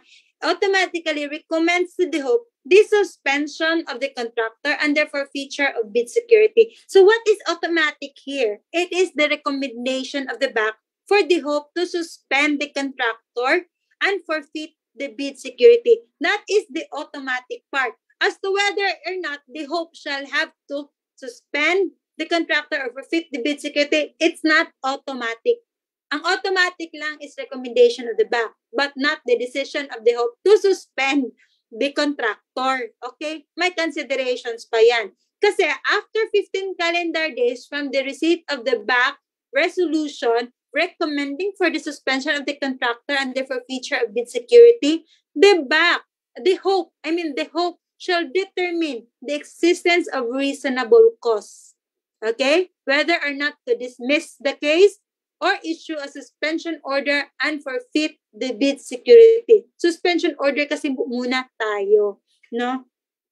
So after the back recommends to the hope the suspension, automatic yung recommendation kasi based yun sa existence of grounds. But for the hope, ang titingnan niya is existence of reasonable cause. Ha? Ang reasonable cause to show that there is a high probability that indeed the contractor did this and that. Okay, so let's make a differentiation. The back, uh, after the filing of the complaint, only has to check if on the existence of grounds. Titingnan niya kung sa allegation, andyan yung mga grounds for blacklisting. Okay? If the ho- if the contractor will not submit an answer, automatic yung recommendation niya to the hope for the suspension of the contractor and the forfeiture of bid security. But the hope within 15 calendar days from the receipt of back resolution has to determine the existence of a reasonable cause. Titingnan niya if indeed, based on the facts complained of, based on verifiable grounds, pwede posible, may high, may existence ba of reasonable cause to believe that indeed the contractor could possibly have committed these offenses. No? So yun yung titingnan ng hope. He could dismiss the case. He could ignore the recommendation of the bank. Although it is automatic for the bank to make such recommendation, the hope is not it is not automatic for him to suspend uh to issue the suspension order or forfeit the bid security. He can dismiss the uh, case if in if he finds that there is no existent there is no reasonable cause existing okay based on verifiable documents and facts so how about if the contractor submits an answer then the procedure will be different this time around it is not automatic for the bank to make such automatic recommendation no it is not anymore automatic for the bank to make such recommendation for the suspension of the contractor and forfeit the bid security. This time around, if the contractor submits an answer within five calendar days from the receipt of notification from the back, the back shall check first if there is a request for hearing or there is no request for hearing. Next, next po na slide tayo. So, titingnan niya. Una niyang titingnan, may request for hearing ba? Kasi if he so desires lang yun eh. Kung wala, then uh, if yes, then the back shall conduct a hearing. The hearing and the answer shall be the basis for the back to make uh, uh, to determine existence of fault. No? The result of the hearing and the position of the complainant in his answer shall be the basis of the back in determining existence of fault. But if there is no request for hearing, then the back shall only rely with the answer that has been submitted. Ayaw ko na ng hearing. Submit lang ako na answer. Bahala na kayo. Di ba? I mean, for me, that's it's still the same. What's the purpose of the hearing? It's just grandstanding. You can pause or you can just you can just uh put everything, your answer there. This is an administrative procedure. Ano? This is not a criminal procedure. No? So, the back determines existence of fault pa rin through the based on the complaint, based on the answer, and based on documentary evidences and facts that is verified, meaning based on records nyo. So, if yes, if yes, may nakita siya na existence of fault, then he goes back to this, uh, it goes back to the recommendation, back resolution recommending the suspension of the contractor and the forfeiture of bid security before forwarding it to the hope. So yan, after the back makes such recommendation for suspension of the contractor and the forfeiture of bid security within 15 calendar days again, 15 calendar days is given to the hope to determine again existence of reasonable cost. Kasi nga, ang hope may discretion din siyang separate from that of the back. Baka sabihin nyo, ang dami namang time. Hindi ba pwede mag-rely na lang si Hope sa findings ni back? But you're given the chance to make your own discretion and your own findings. So you have to exercise that. So yes, you can rely if you believe that your back has already determined existence of fault during hearing and in the answer. But you can. You, uh, kasi nga, di ba, uh, it is given by the law. The power is given to you are the head of the procuring entity. You are the ultimate authority in your in your agency. So, nasa hindi pwedeng you are automatically bounded, bind, na automatically mababind kayo sa recommendations ng bank. It's just a recommendation in the first place. It's not yet the decision. Di ba? So, pag hindi pa yan decision, recommendation pa lang yan, it has a weight you can give it a weight, but it's a, it doesn't necessarily bind you as a hope.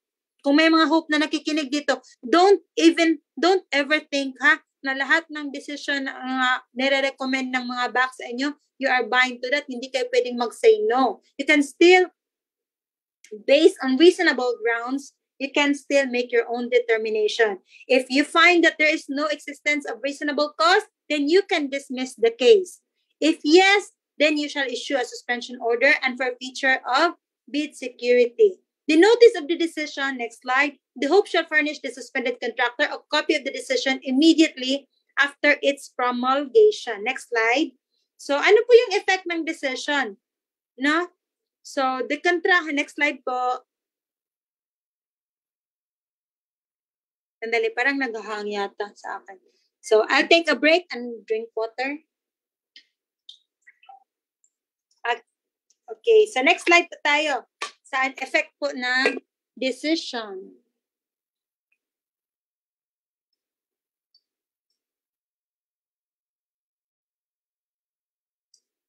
Next slide. Okay, yan. So ano po yung effect ng decision ni Hope to suspend the contractor and forfeit the bidding the bid security? Automatic po yan, ipa-furnish yung suspended contractor a copy of decision immediately after its promulgation and the effect contractor is immediately suspended upon receipt of the notice of the decision. The suspension shall remain in effect during the period of motion for reconsideration and appeal. And shall, balik po tayo ng one slide. Ayan. The suspension shall remain in effect during the period of motion for re- ay, mahina po boses ko. Okay na po ba? Yes, ma'am. Okay na po. Siguro kasi uminom ako ng tubig na bawasan yung power. Baka iba yung tubig ko. so, the suspension shall remain in effect during the period of motion for reconsideration and appeal and shall terminate only upon reversal of the decision by the Hope or appellate authority. So if it is not reversed, then the suspension shall continue either for one year or two years. And then if no motion for reconsideration or appeal is filed, or if the decision has become final and executory after the lapse of seven calendar days from receipt of the notice of decision, the Hope shall issue the blacklisting order to the contractor to follow na yung blacklisting order. Kasi nag-final and executory na yung decision after seven calendar days from receipt of the notice. Either notice of the original decision or notice of the resolution of the motion for reconsideration or appeal. No? If merong appeal. So, what if the contractor files a motion for reconsideration and appeal? No? Nag-decide siya, file ako ng MR. So, and then, within three calendar days, he should file that. He should be able to file that within three calendar days from receipt of the notice of the decision. Next po slide. Decision by the Hope. So yung decision po ni Hope, ang imo-motion for recon niya. Hindi po yung decision, yung resolution ni BAC. Kasi yung resolution ni BAC, it's just, it's not yet a decision. It's just a recommendation. Unlike the request for reconsideration and protest, yung sa mga resulta ng ano, yung request for reconsideration kasi, may decision kasi yung back, di ba, regarding procurement process. But when it comes to blacklisting procedure, hindi po decision yung sa back, recommendation lang po. Kaya hindi po nyo EMR yon. Ang EMR ng contractor is the res- is the decision of the hope, no? Deciding uh, the decision of the hope to suspend him, to suspend hi- to forfeit his bid uh, security and to issue his black and for and to avoid the issuance the auto uh, the issuance of blacklisting order muna. Kasi ma-issue talaga yung blacklisting order pag pa- magpa-final and executory yan. So yung contractor para hindi ma-issue yung blacklisting order after he received the notice of decision uh, of his suspension and forfeiture, then he shall file within three calendar days his MR. So yung motion for recon, ipa-file niya before the hope kasi it's the it's the hope's decision that he is asking to be ma, ma resolve yung appeal within seven calendar days, then titingnan yun kung i-grant or hindi. May appeal, yes. Pero, sa inyo, hope issues blacklisting order agad. May appeal, pero hindi nag-grant. O say, blacklisting order pa rin to follow. So, no, if it is, the, it is the decision to suspend that becomes final and executory, which results in the issuance of blacklisting order. Yung decision to suspend. Conversely, the blacklisting order contains, among others, the sanctions imposed on the airing contractor, such as the disqualification from participating in the bidding of all government projects. Kasama na yun doon. So, so one to the guidelines, uniform guidelines for blacklisting, the decision to suspend becomes final executory under the following instances. Titingnan nyo yan, if the bidder did not file a motion for recon, final na yan, an executory within seven calendar days. If the bidder did not file a protest, yung sa kanina naman, protest after his motion for reconsideration has been denied, final na din yan after seven calendar days.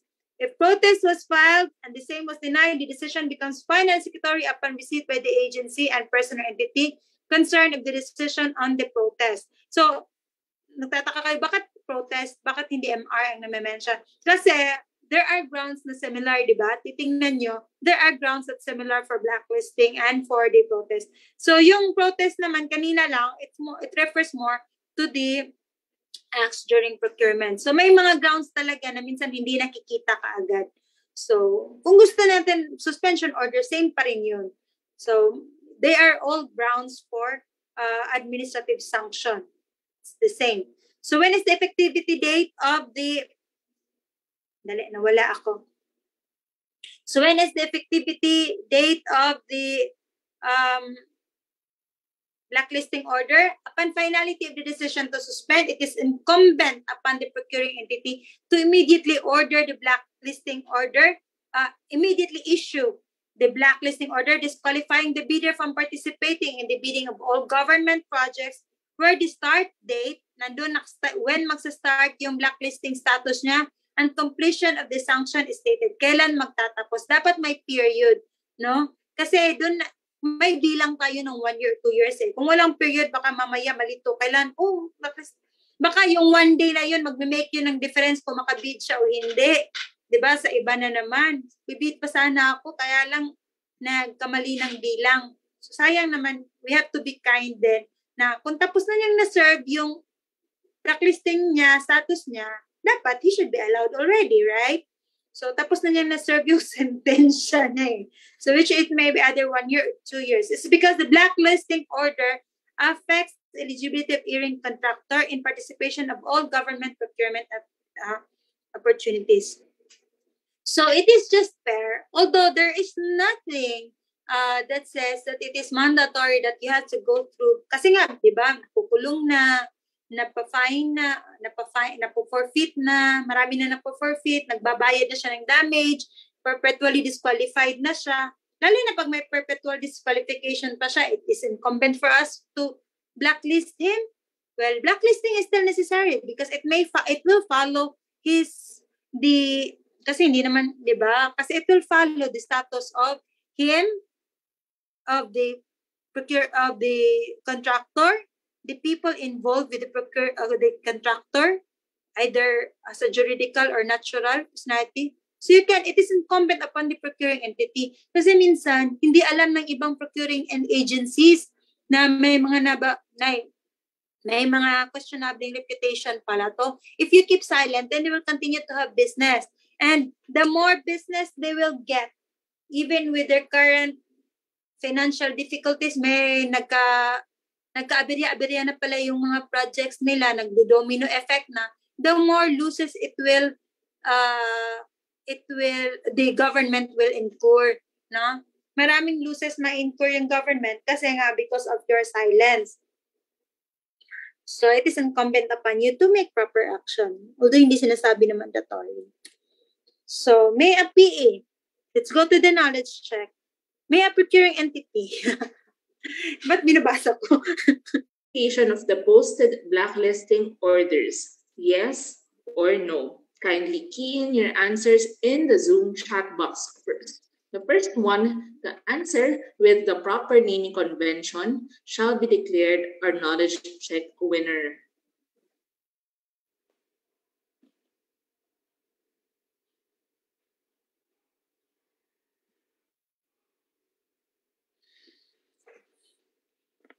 So allow me to check our Zoom chat box.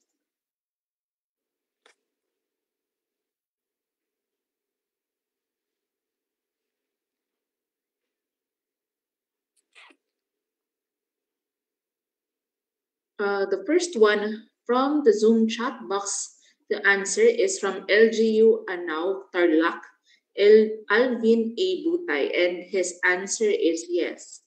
Is this the correct answer, ma'am? Yes, actually that's correct. You know, they deserve the prize for this question kasi it is not specifically discussed that indeed the PE can conduct can conduct necessary modification of the posted blacklisting order. So, parang common sense din sa kanila no na nakita nila kailangan baka nga naman kailangan talaga ng necessary modification kasi 'di ba?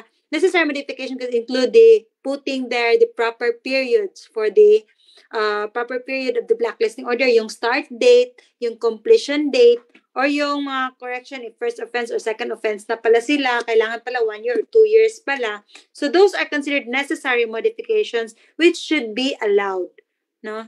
Kasi, ah, like for example, later I will discuss to you, yung mga blacklisting kasi, meron minsan nagsasapaw-sapaw na siya. May blacklisting order pala siya dito, may blacklisting order siya dito kasi habitual offender na pala siya. So, kailangan kasi i-adjust yung mga periods. Kasi may times na pwedeng mag uh, i-assume yung period ng blacklisting uh, sa isa. May times din na dapat i-serve na niya separately yon So, there could be a necessary modification because of those periods. No?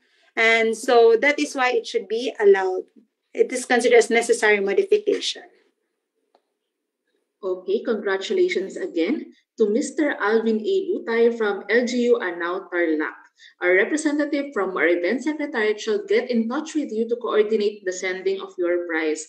And I would also like to thank all our participants who answered. Di bale, wag po kayong malulungkot. Lahat naman po tayo ay baong learnings from participating in our knowledge checks. And also thank you for attorney for that explanation. Let us now proceed to the final part of our learning session. Yeah, now we proceed with the blacklisting during contract implementation stage. Hi, finally. Ito, ang mas concern naman dito si Hope, no? So, tsaka yung mga members ng uh, project management team. Kung may mga, especially with uh, LGUs, I'm sure they have this pro- project management or monitoring team or cancel. Minsan nga kasali pa yung mga taga-sanggunian dyan. So, I just like to mention, no, wala lang, gusto ko lang sabihin, parang ang sarap makinig, mag-ano ng seminar, no, pag yung mga host natin, parang stewardess yun yung bosses. Lalo na yung mga mahilig mag-travel, namimiss na natin yung bosses ng mga stewardess. So, yun, masarap pakinggan, no, parang hindi tayo inaantok. Yung maganda yung bosses na mga nakaka- naririnig natin. Uh, so ito, grounds for blacklisting during contract implementation stage. Ano naman yung mga grounds pag na-award na yung contract? So, ito na sa naman siya. Um, during contract implementation stage, yung failure of the contractor due solely to his fault or negligence to mobilize and start work or performance within the specified period in the notice to proceed. No? So, meron tayo, meron siyang failure sa pag-start ng work to mobilize the work or performance within, ha, hindi na, parang uh, his own fault na, hindi na mali ng LGU. For example, the LGU will have to prepare the law. He have to prepare certain things, the right of way, etc. Ready na lahat. Pero hindi pa rin nag-start ng work si contractor through his own fault or negligence. Or hindi niya na-estimate yung kailan siya dapat mag-prepare dyan. Kasi yung iba pala niyang heavy equipments nasa kabilang project site pa. O hindi na natin fault yan, LGU, ha? Fault na niya yan. So that could be a ground for blacklisting, especially if uh, it causes uh, delay or injury to the LGU. Kasi may mga time is of the essence na project, di ba? Like for example, our disaster and ho, mga, like ngayon sa COVID, yung mga site natin for uh, isolation.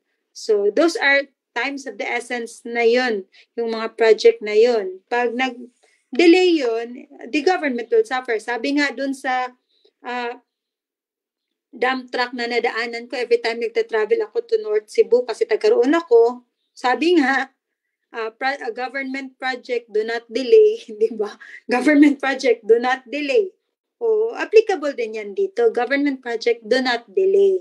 Oh. So, next would be failure by the contractor to fully and faithfully comply with its contractual obligations without valid cause, or failure by the contractor to comply with any written lawful instruction of the procuring entity or its representative pursuant to the implementation of the contract. So, alam naman natin sa obligations and contracts, kasama yon sa ano natin na may faithful compliance with your oblig with your obligations. Pag walang failure uh, uh, faithful compliance, unlike private contracts, we can just rescind immediately. But because government contracts are vested with public interest, marami tayong considerations, no?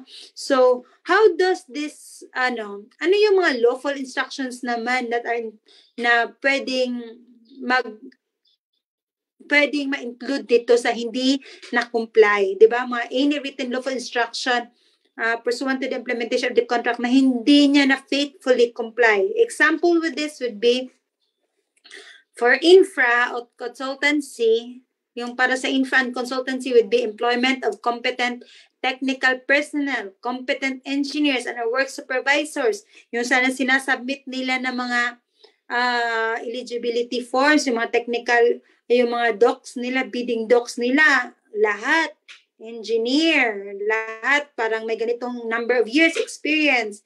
Pero yung pagdating doon sa actual, hindi nakikita ni Anino, no? Dapat may ganito. Ganito yung requirement, may mga ganito sa project manager, may ganito na mga iba-ibang mga posisyon. Tapos pagdating pala doon, wala No? Hindi pala same pinalitan ng hindi alam ni LGU, the procuring entity. Then another would be the provisions of warning signs on barricades in accordance with approved plans and specifications, 'di ba? Kasi especially sa LGU, may mga daan tayo, biglang butas, ang daming na aksidente. Hindi pala nila nilagay. Kahit hindi naman yan naka, ano, dapat meron yan. Kasi it will put the constituents' lives to harm, in danger, pag wala yung mga signs and barricades na yan sa projects. And stockpiling in proper places of all materials and removal from project sites of waste and excess materials. Pagkatapos ng project, lumayas lang binayaran din nyo, nyo din kasi kaagad. So, dapat kasama yon yung paglilinis nila sa project site, no? Tapos yung mga hinuhukay nila, hindi man lang na hindi man lang naalis sa paglalagyan. Ano bang kontrata agreement nyo? Anong gagawin yan sa mga hinukay niya dyan? Yung mga binakbak na semento, ano bang gagawin dyan? Baka iniiwan lang dyan. So, yan, kasama yan dapat sa mga mga uh, faithfully comply nila, hindi yung laya sila agad kasi ando na naman sila sa ibang project. Then another would be of course deployment of uh, committed equipment, facilities, support staff. And 'di ba kasi may mga list sila ng equipments na i na i-mobilize or i, i ilalagay dyan sa project site sabi may ganitong mga ganitong equipment, may mga grader, may mga piston, may kung ano-ano pa. Pero wala naman. Kasi 'di ba, alam naman natin contractors they don't actually own all those equipments, they are rented. And some of the contractors have been handling multiple projects and they could not anymore uh, some of them are over leveraged. So yun, responsibility nyo din yun. Tingnan nyo maigi yung NFCC. Was it properly computed? Baka may mga itinatago na projects na para uh, hindi makikita na hindi na pala over leverage na pala sila. Sino yung nakakabasa sa inyo ng Law on Leverage by Robert Kiyosaki? Yeah. So, yung Law on Leverage parang inverted na siya. Sobra-sobra na yung uh, obligations niya, hindi na niya kaya. So, yung mga equipments niya, facilities niya, staff at manpower niya, hindi na nakakaya yung prod, number of projects na accommodate niya. Nag-failure na siya to deploy. No? Sabi nga ni Frank Sinatra, I beat more than I could chew. So, yun yung nangyayari kay contractor. So, kumain siya ng sobra, nasusuka na siya. So, kaya titingnan nyo din kasi ground for blacklisting yun. Kasi, because of his over-leveraged status na hindi na niya mamimit faithfully yung contractual obligations niya with you. So, wag masyadong generous kasi kilala ko naman yung mayor doon. Oo, sabi nga ni mayor doon na ano, hindi pa sila tapos doon. Find the reason why. Bakit hindi siya natapos doon? Baka din na-delay din siya dahil sa iba ding project. So, don't be too nice and too generous in understanding them. If the failure is already because of their own fault, sobra-sobra, swapang masyado lahat ng project kinakain, hindi na nami, hindi na nag-giveaway sa iba. Lahat na lang kinakanya kanya na, yun pala hindi niya kaya. It could have been given to another contractor, contractor who could better give, uh, who could better do the project. No? So renewal effectivity dates of the performance. Ito, request ng request ng extend. Hindi naman pala in-extend yung performance security niya. Ginagrant nyo, bait-bait nyo, ma'am, sir, hindi ko matatapos. O, ginagrant nyo. Pero yung bit, yung performance security niya, case, kesyo, hindi nyo na-inspect, hindi nyo tinitingnan, hindi rin nyo in-extend. Eh, nung nagbigyan, nag-abscond na lang siya, nawala na siya, naglaho, parang bula, parang mermaid. So, ano nangyari? Wala kayong mahabol na performance security. No? So, ano na lang gawin nyo? Option nyo na na, i-blacklist nyo na lang siya. No? So, yun yung pwedeng option nyo na lang kasi hindi nyo na nahabol. So, yun, it's a, why is it a ground for blacklisting? Because it shows his bad faith. No? It shows his bad faith na he's not really uh, faithfully complying with his contractual obligation. He is not extend, he is not uh, performing with good faith. No? Alam na niya anong kulang niya, patuloy pa rin. So assignment and subcontracting, another also ground for blacklisting would be assignment and subcontracting of the contract or nawala yata tayo. Dali. Nawala yung screen sharing. Okay, yan. Another ground also for blacklisting. Oh my God, it's only 10 minutes left. So, uh, would be assignment and subcontracting of the contract or any part thereof, or substitution of key personnel name in the proposal without prior written approval by the PE. Subcontracting is not entirely prohibited, but what is prohibited is when you for the procurement of goods, unsatisfactory progress in the delivery of the goods by the manufacturer, supplier, distributor arising from his fault or negligence and or unsatisfactory or inferior quality of goods as may be provided in the contract.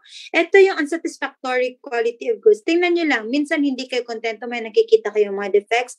Ibabalik yan sa kanila kasi hindi nyo tinanggap during inspection, hindi nakapasa for as long as hindi pa siya lagpas sa performance delivery niya, yung delivery date. Kasi the performance of the contract is during the period of delivery and the delivery date is the one that set. So kung advance siya nag-deliver sa inyo but later on you found that this inferior quality, he could still change that and you cannot charge him uh, for anything kasi may period pa naman siya to make proper changes.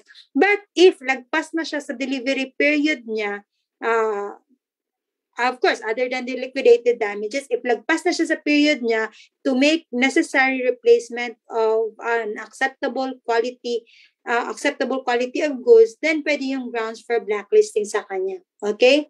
So for the procurement of consulting services naman, poor performance by the consultant of the services arising from his fault or negligence. Let's be clear here. Consultants do not enjoy employer-employee relationship with a contract uh, with the procuring entity. In fact, you may just set the times where he should come to the office to make necessary reporting or supervise, supervision or or other functions he could do but he is not it is not necessary for him to time in time out unless you require it and he agrees with it no?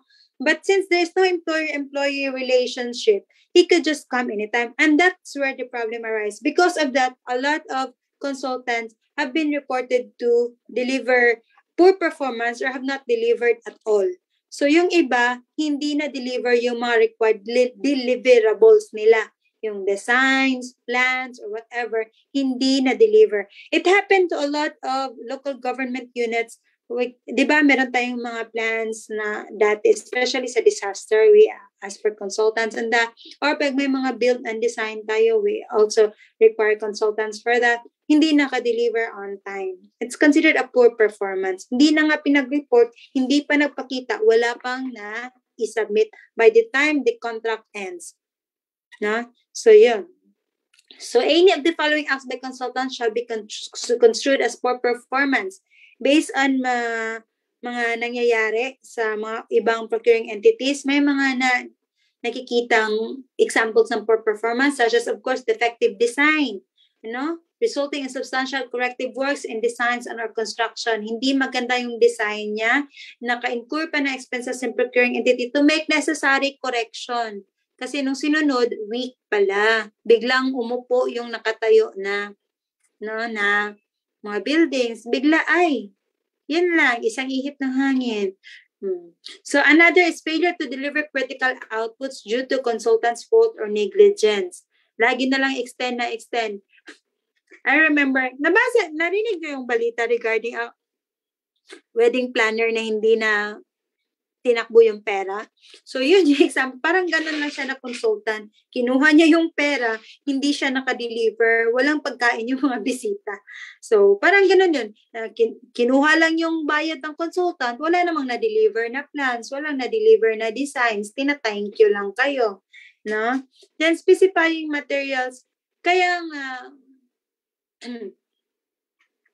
one thing you notice in the determination of the uh, winning bidder for consultants, it's always HR, HRRB, not RD. It's not anymore the calculate the calculated, but the highest rated. My performance, tinitingnan yung performance nila if they have the uh, potential to possibly meet the requirements. I'm please bear with me kasi medyo mahaba talaga. Uh, konti na lang, konti na lang tayo. Nasa mga last eight slides na lang tayo. Then, of course, allowing effective workmanship or works by the contracting being supervised by the consultant. Siya yung supervisor. Hindi siya nakikita naman dun sa project site. Kaya tuloy na ilusot yung mga maliliit na mga iron rods, no? So, yun. How about for the contractor naman sa infra? Infra, yung mga negative slippage, like 15% of the critical path of the project. So you have a Gantt chart for infra projects. And in fact, payment should be made in accordance with the progress report, di ba? So, wag niyo bayan. Uh, hindi pwedeng, kaya nga hindi kayo in-encourage na bayaran kaagad lahat kahit tinitingnan niyo dapat yung progress report. Kasi pag may slippage na nakikita niyo na, nag-accumulate yan eh. Nagbabacktrack na sila. So, pag nakikita nyo na may slippage na sila, i-ask nyo na din. Pwede na kayo na lang din mag-ask kayo sa kanila if they plan to request for extension. Do not wait for the term to expire. Ha? Kasi pa, ano i-extend kung nag-expire na yung period ng performance obligation?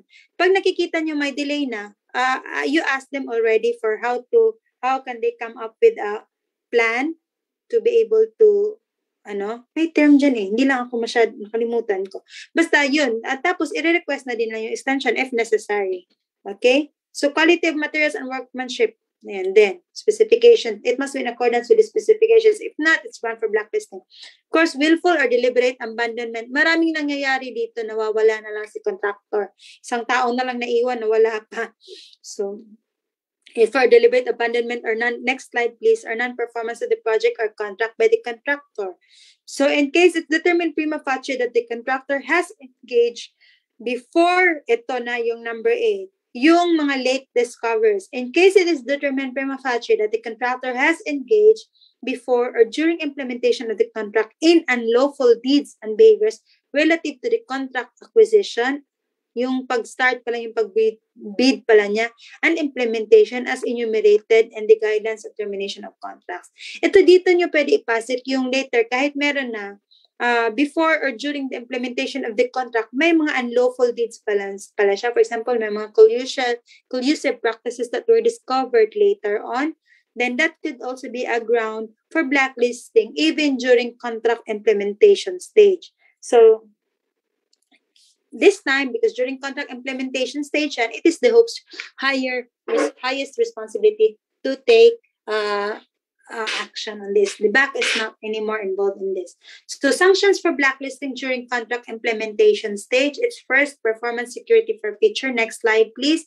Uh, yan, po-forfeit nyo, wala nang bid security. So, yung performance security naman ay po-forfeit nyo. Kaya it's very important for kaya nga yung performance security, it's very important na walang notice to proceed pag walang performance security.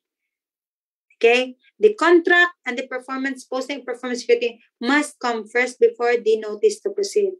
Okay. So first offense for blacklisting and second offense, just like suspension, it's one year and two years. So without prejudice, this is also without prejudice to the imposition of additional administrative sanctions as the initial as the internal rules of the agency may provide and are further criminal prosecution. So yan, yan. It does not preclude further criminal prosecution. Lahat pwedeng sabay-sabay. So ano naman yung procedure if blacklisting ha- procedure happens during contract implementation stage?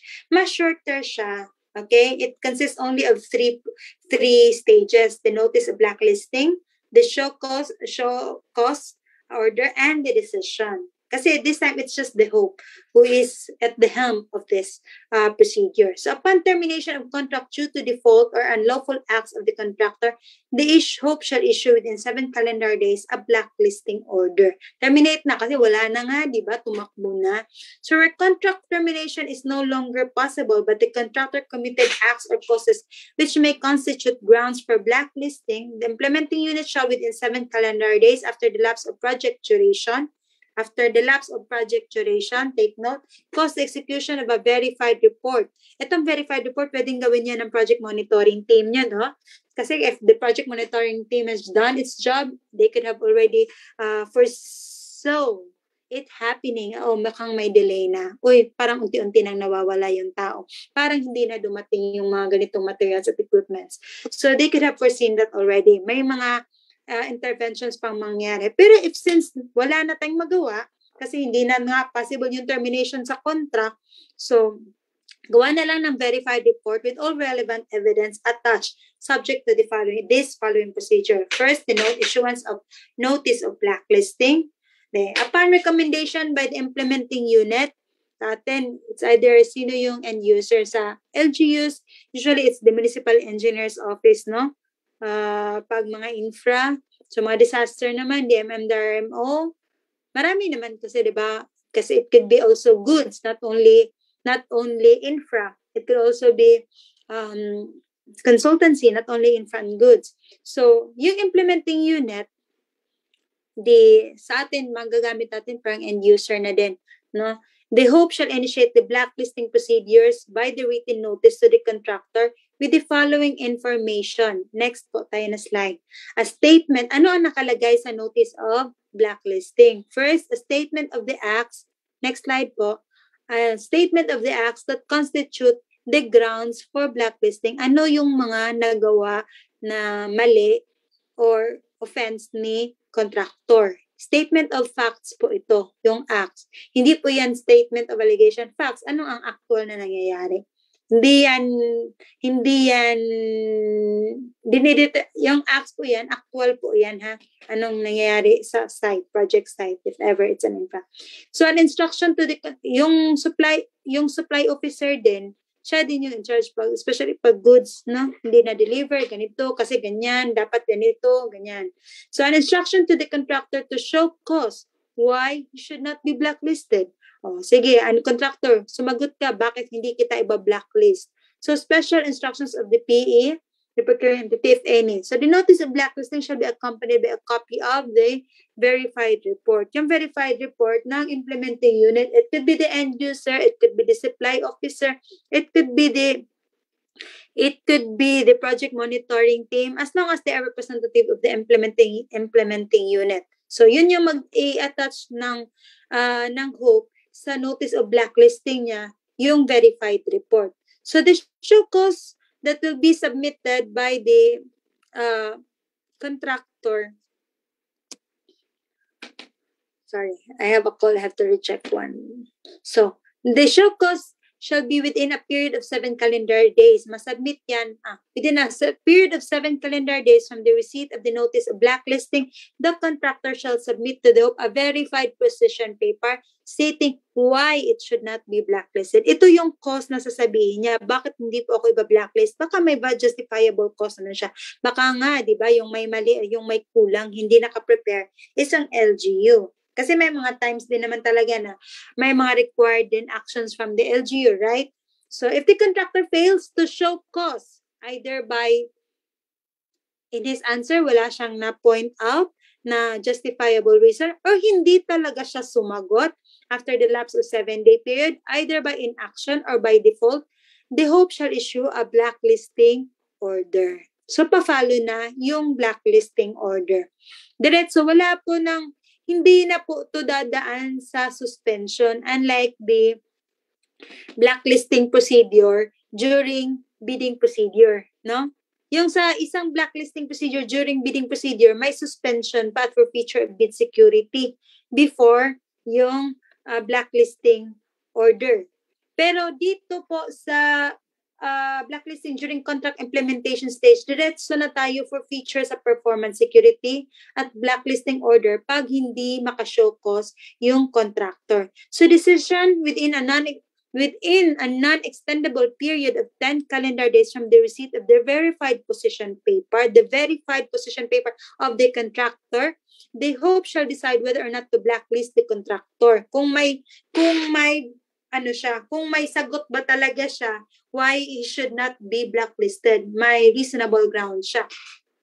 So the hope by in his discretion shall decide whether or not to blacklist the contractor. It shall serve a written notice to the contractor of his decision which shall become final and executory after the lapse of seven calendar days from the receipt of the notice of decision. So yan, black law, la, blacklist order na diretso kaagad yung i-issue ni Hope, hindi na suspension order. No? Kasi yung sa isa, issue mo na siya ng suspension order, may motion for recon pa, may appeal pa, may seven, may ano period pa sa pag ma-final executory na yung suspension order, saka pa lang ma-issue yung blacklisting order. But in this case, during contract implementation stage na blacklisting procedure, diretso na po yan yung blacklisting order. So what does blacklisting order? When does blacklisting order become final executory? Okay. You can provide for this if the bidder did not file a motion for consideration decision to suspend yung sa first na uh, klase ng blacklisting uh, said decision becomes final secretary after the lapse of seven calendar days counted from the notice of decision. But if the bidder did not file an appeal after his after uh, blacklisting order is issued before NOAA, yung tapos na yung uh, procurement process. So, pag before issuance of blacklisting, before issuance of blacklisting order, ano ang status ng blacklisted person or entity. The earned contractor may participate in the procurement of any government project except in the agency where he is suspended. Kasi suspension pa lang yun, di ba? Yung sa bidding procedures na blacklisting, uh, blacklisting procedures. At first, dadaan mo na siya sa suspension order. Hindi na siya pwede makasali sa procurements ng same agency, but he can still join in other agencies.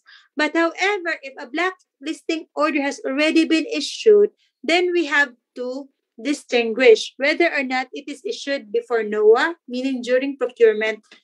Uh, it's a blacklisting order issued during procurement proceedings, during bid procurement, or it's a blacklisting order issued after NOAA, meaning during contract implementation stage.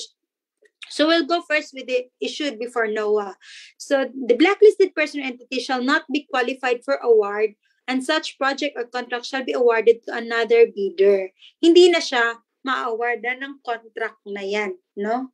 Uh, kahit siya pa yung lowest calculated and responsive bidder sana.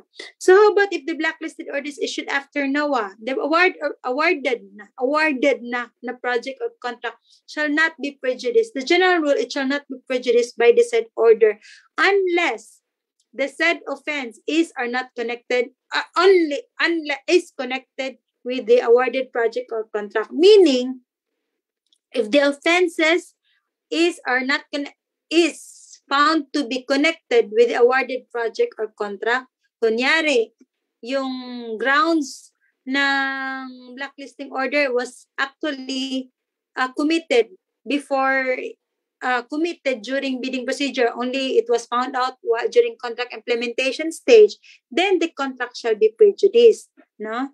Pero pag yung grounds for blacklisting niya during contract implementation stage, yung offense niya connected to the project, magdidepend na yon if pwede pang i-terminate ang contract or hindi na. Kasi 'di ba, meron na tayong tapusin na or terminate na yan kasi wala na talaga. Just like earlier discussed, no? So, ito yan siya. Upon termination of the contract uh, if contract termination is no longer possible or if a contract termination is still possible. So, pag possible pa yung contract termination, i-resend na yan, tapos ibibigay na niya, i-ano niya na sa iba. Ipaprocess na yung pag-assume ng iba. So, ano, ka, paano natin i-apply uh, yung penalty? Kasi some of the, kasi nga, di ba, while they are still suspended and the blacklisting order has not yet been issued because of the existence of a motion for reconsideration or appeal, pwede pa kasing nakabid sila sa iba, tapos for whatever reason, na-suspend na naman sila at naba-blacklist na naman sila. Medyo notorious din talaga to si contractor, no? So in case the penalty of blacklisting for two years is imposed during the pendency of a previous blacklisting order, the latter shall be deemed terminated. Yung nauna, tapos na yon at isubsume na yung two-year, bagong two-year blacklisting. So, dadagdag na lang yon Ha? Yung, if yung una niyang two years, tapos may bago na, idadagdag na yan. However, if an offense is committed already for the third time, third time or oftener na siya na blacklist, meaning Lagi na lang siya naba-blacklist. The penalty applicable shall still be blacklisting for two years. Lahat na yan, isa-serve na yan niya. Wala nang isa-subsume na iti-terminate na blacklisting period at isa-subsume na lang ng bagong blacklisting order. Lahat ng two-year uh, blacklisting order na nakuha niya sa lahat ng galit na LGU sa kanya, isa-serve niya lahat yan. Okay? So, three years, six years na yan. Four years, eight years na yan. And that should serve him a lesson, no? Uh, kaya nga, yung blacklisting, pinakaayaw nila yan. Okay lang sa kanila masuspend kasi hindi lang sasali sa inyo, pwede pa sa iba. Pero pag naba-blacklist kasi sila, it affects negosyo, profits. We know businessmen, they're all for profits. Kaya nga sila kung ano-anong pinagagawa because they want to uh, earn profits, right? So this is really an intense. It this is really a grave penalty for them more than sa kulong. Kasi kung makulong sila, pwede pang tuloy yung negosyo. Pero pag ma-blacklist sila, wala na, di ba? Hanap sa uli na ibang negosyo. So, blacklisting order form, next uh, slide. This is the uh, form that should not be, please don't modify this one. This is the standard blacklisting order form issued by the, uh, created by the GPPB and issued through GPPB circular number 03 year 2020. It's one of the downloadable forms in GPPB website. No? Andyan yan, ang link. https www.gppb.gov.ph downloadable forms, BO forms. So yun yung ida-download nyo. Huwag kayong gumawa ng sarili nyo ha. Kasi they require all the information that is needed there for the online portal. No? Kasi baka may pag gumagawa ka ng sarili nyo, may mawala, tatawagan pa kayo, 'di ba? So kailangan nila lahat ng information diyan for the portal and it makes it easy also for them to up, to upload and encode everything kasi series na 'yan eh. Oo. So, wag yun. So, the blacklisting order yan yung nakalagay talaga yung sa blacklisting order, department office order or board resolution number, complete registered business name, address, and field jobs registration number of the blacklisted person or entity, the license number if applicable, kunyari mga pickup nila or kung ano-ano pa. So authorized managing officer, the name, kasi yung liability, di ba? Kasi yung blacklisted order status, nagpa-follow sa individual, nagpa-follow sa next nila na iba nilang negosyo. So name of project, contract, allocation amount, specify, specific grounds or offenses committed, sanctions imposed, and its specific duration. Ito, yung sa blacklisting order. Kaya nga, pwede allow tayo to make necessary modifications. Kasi pwede kasing may mga kulang-kulang dito. No? So especially yung start and end dates, it's very important yung start and end dates. Kasi it's just like sa kulong, kailangan din malaman kailan siya na-commit to prison at kailan siya lalabas. So date of, show, of issuance of the order to blacklist. So we have this knowledge check already. This is this will be our last knowledge check for the day and for your batch. Yes, ma'am. For our last knowledge check for this activity, the question is, when does blacklisting order become final and executory? Is it A, if the bidder did not file an MR on the decision to suspend? Said decision becomes final and executory after the lapse of seven days counted from the receipt of the notice of the decision. B, if the bidder did not file a protest after his MR has been denied, the decision becomes final and executory after the lapse of seven days counted from the receipt of the resolution on the motion for reconsideration. C. If a protest was filed and the same was denied, the decision becomes final and executory upon receipt by the agency and person or entity concerned of the decision on the protest or letter D, all of the above.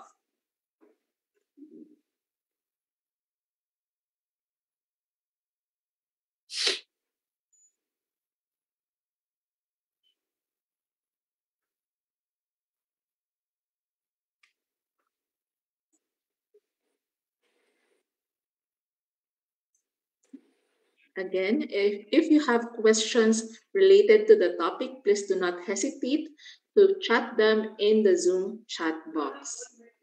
Thank you.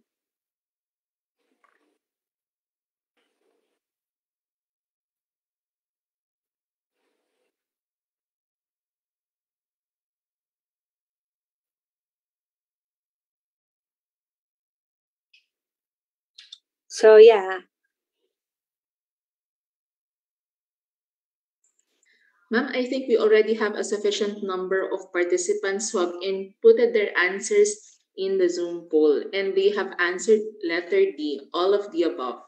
Is that the correct answer, ma'am? Yes, that's correct. Actually, this is already a recap no, of your.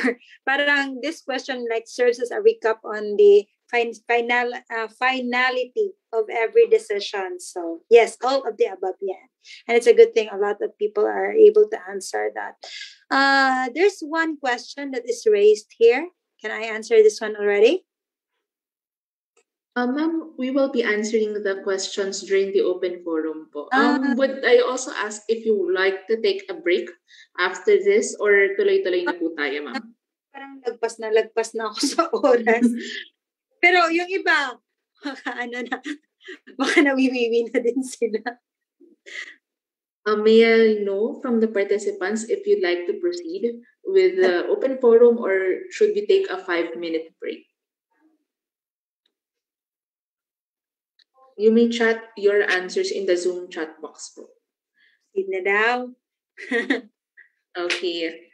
Okay. From the participants, mas okay po sa kanila na proceed na po tayo with the open forum. Lagpas na eh. Lagpas na tayo. okay po, ma'am. All right, so that ends our discussion proper for today's learning session. Again, that was Attorney Isa Fiel A. Nogra of the Department of the Interior and Local Government Regional Office 7. Thank you so much po, ma'am. Of course, again, we would like to thank our participants for actively participating and congratulations again to our knowledge check winner. May we confirm po na ano, wala na po tayong additional questions that will be addressed during the open forum. Pwede pa pong humabol. Okay. So at this juncture, please be reminded that questions are filtered as our speaker shall only be answering the questions related to our learning session. Once again, we have our resource speaker, Attorney Isa Fiel Enogra. So I think found only one question because the previous question I already answered regarding the accountant. Uh, sandali, ito. Start na kayo sa pinakamalapit. Ah, should a bidder be Um, done for complete ma'am, deliveries? meron po naka-flash, ma'am. Ah, sorry. Ako, I checked the chat box kasi. Ah, okay po, ma'am. Um, I'll read the question po. Patulong lang po to resolve an issue na bawal daw mag-transact sa LGU kapag merong kapatid or relative na employed sa LGU. Kami sa back ang basihan namin is Section 47 Disclosure of Relations. Tama po ba na hindi ipasali ang interested bidder or supplier to participate in the procurement of the PE because meron siyang kapatid, anak, or relative na nasa LGU pero hindi related within the third civil degree of the HOPE, back members, backsec, back TWG, and head of the end user unit as stated in Section 47, Disclosure of Relations. Meron ba ibang law na basehan sa pagbabawal? Ito, ha, RA 9184 mentions only up to third civil degree. But remember, RA 6713, your code of conduct mentions up to fourth civil degree. And also, RA 9184 mentions only na hindi ka relative ng back, ng back members, back secretary, TWG. But RA 6713 has more stricter requirements. So, kung hindi ka man tamaan sa RA 9184, baka pwede kang tamaan sa sa RA 6713 na Code of Conduct.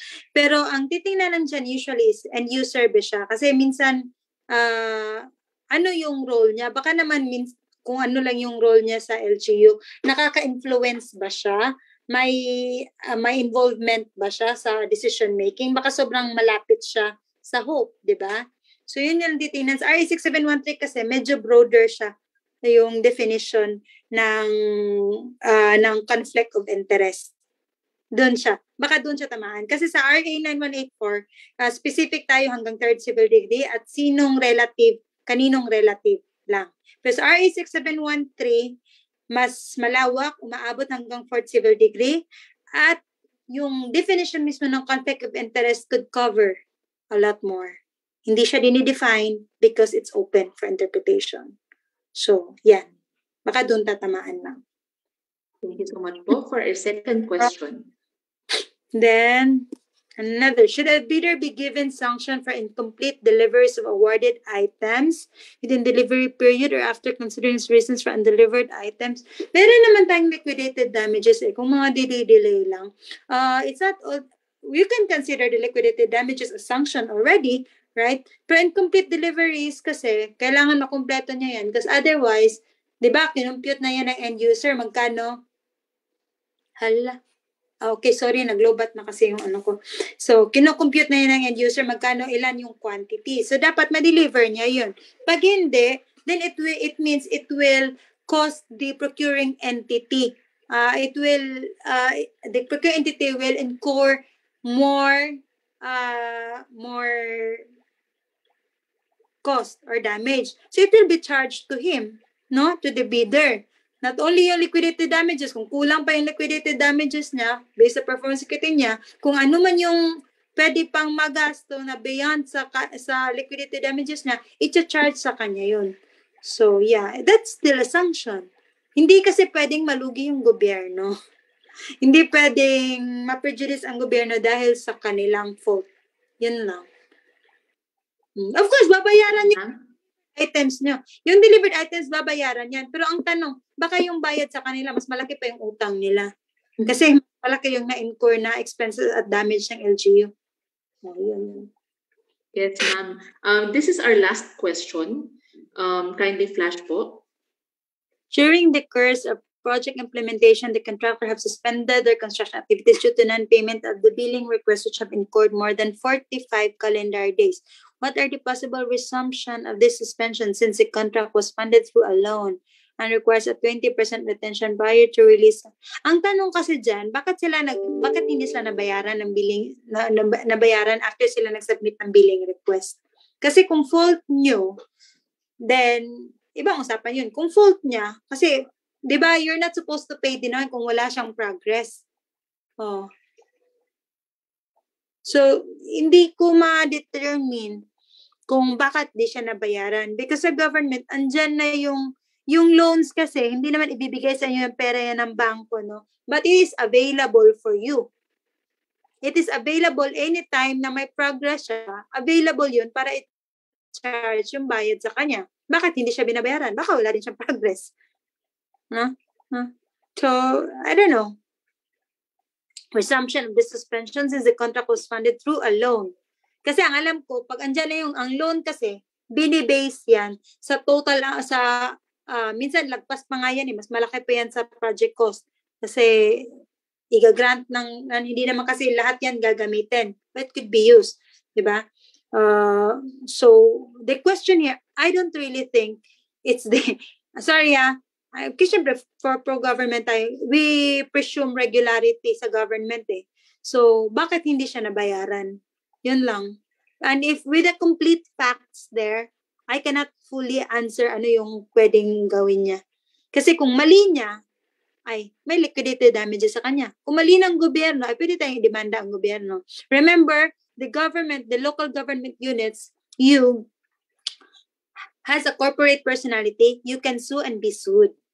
'Di ba? Yung procuring entity, you can be sued, local government units. So, if it's an enforceable contract, enforceable contract yan, madidemanda ang buong ang buong LGU. But if it's an unenforceable contract, there, there is a problem of the loan because of it. For example, yung sa authority ng mayor to enter into contracts, nagka-problema tayo dyan. Pag unenforceable yan, edi si mayor yung liable. Uh, but if, if I will not know what's the reason why hindi siya nabayaran, mahirap talaga mag magbigay ng definite na answer. Uh, Okay, thank you so much po, ma'am. And thank you to everyone who submitted their questions for our speaker. If you have more questions, you may still ask them out by visiting slido.com and all you have to do is just type the event code hashtag government procurement PH which the GPP BPSO will answer through an issuance or through FAQs. At this point, we would like to thank again our resource speaker, Attorney Aiza Fiel Arsenal Nogra, for accepting our invitation and for extensively discussing all the questions raised during our open forum. And to our participants who stayed also out the course of our program, thank you all very much. And again, thank you for our winners. Congratulations. And please check your emails or chat box as our technical team shall coordinate with you on how you may claim your special token. Now, before we proceed to the final reminders, allow me to provide a brief recap or bird's eye view of today's learning sessions. Today, we had an entire session on protest mechanism and guidelines, where we had a comprehensive discussion on the different penal, civil, and administrative provisions, as well as an in-depth discourse of the liabilities under RA number 3019. We also had a profound discussion on the protest mechanism, where we highlighted the requisites for filing a request for consider- consideration and valid protest we also had a fruitful discourse on the blacklisting guidelines, where we highlighted the uniform guidelines on blacklisting. Finally, we had a meaty discussion on the blacklisting procedure during the procurement and contract implementation stages Today's sessions are led by a resource speaker, Attorney Isa Pial A. Arsenal Nogra. Once again, we do hope that you were able to have a deep dive in today's learning session on all the learning sessions throughout our five-day learning activity. For the final important reminders, again, we would like to remind the participants to please accomplish the participants' daily attendance by visiting the Google Form link provided by our event secretariat. Rest assured that all the information gathered for this online training shall be treated with utmost confidentiality consistent with the provisions of the Data Privacy Act. Also, please be advised that the certificate of participation shall only be issued to the participants upon completion of the general evaluation, module evaluation, and resource speaker evaluation, which are all accessible via the GPPB TSO OTMS. That is bit.ly slash GPPB dash TSO dash OTMS using the OTMS control number provided by the Activities Secretariat. As you can see on your screens, once you log in in the GPPB TSO OTMS portal and key in the control number, the Evaluate training is on the bottom left corner of your page. Once you click Evaluate training, don't forget to click both the General Evaluation with the blue font as well as the resource speaker evaluation at the right portion with the I to complete your evaluation requirements. Finally, may we request everyone to please switch on your cameras to commemorate this learning session with our resource speaker, Attorney Isa. Let us have our groupie photo. We will be having three shots on my count. For the first page on my screen at the count of three, one, two, and three. Okay, for our second page at my count, one, two, and three. And for the last page at the count of three, one, two, and three.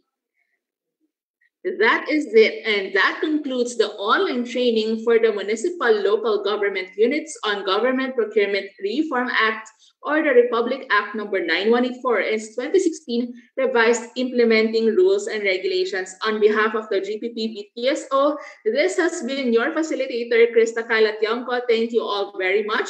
Mask up, stay safe, and see you in our future training activities. Ingat po tayong lahat.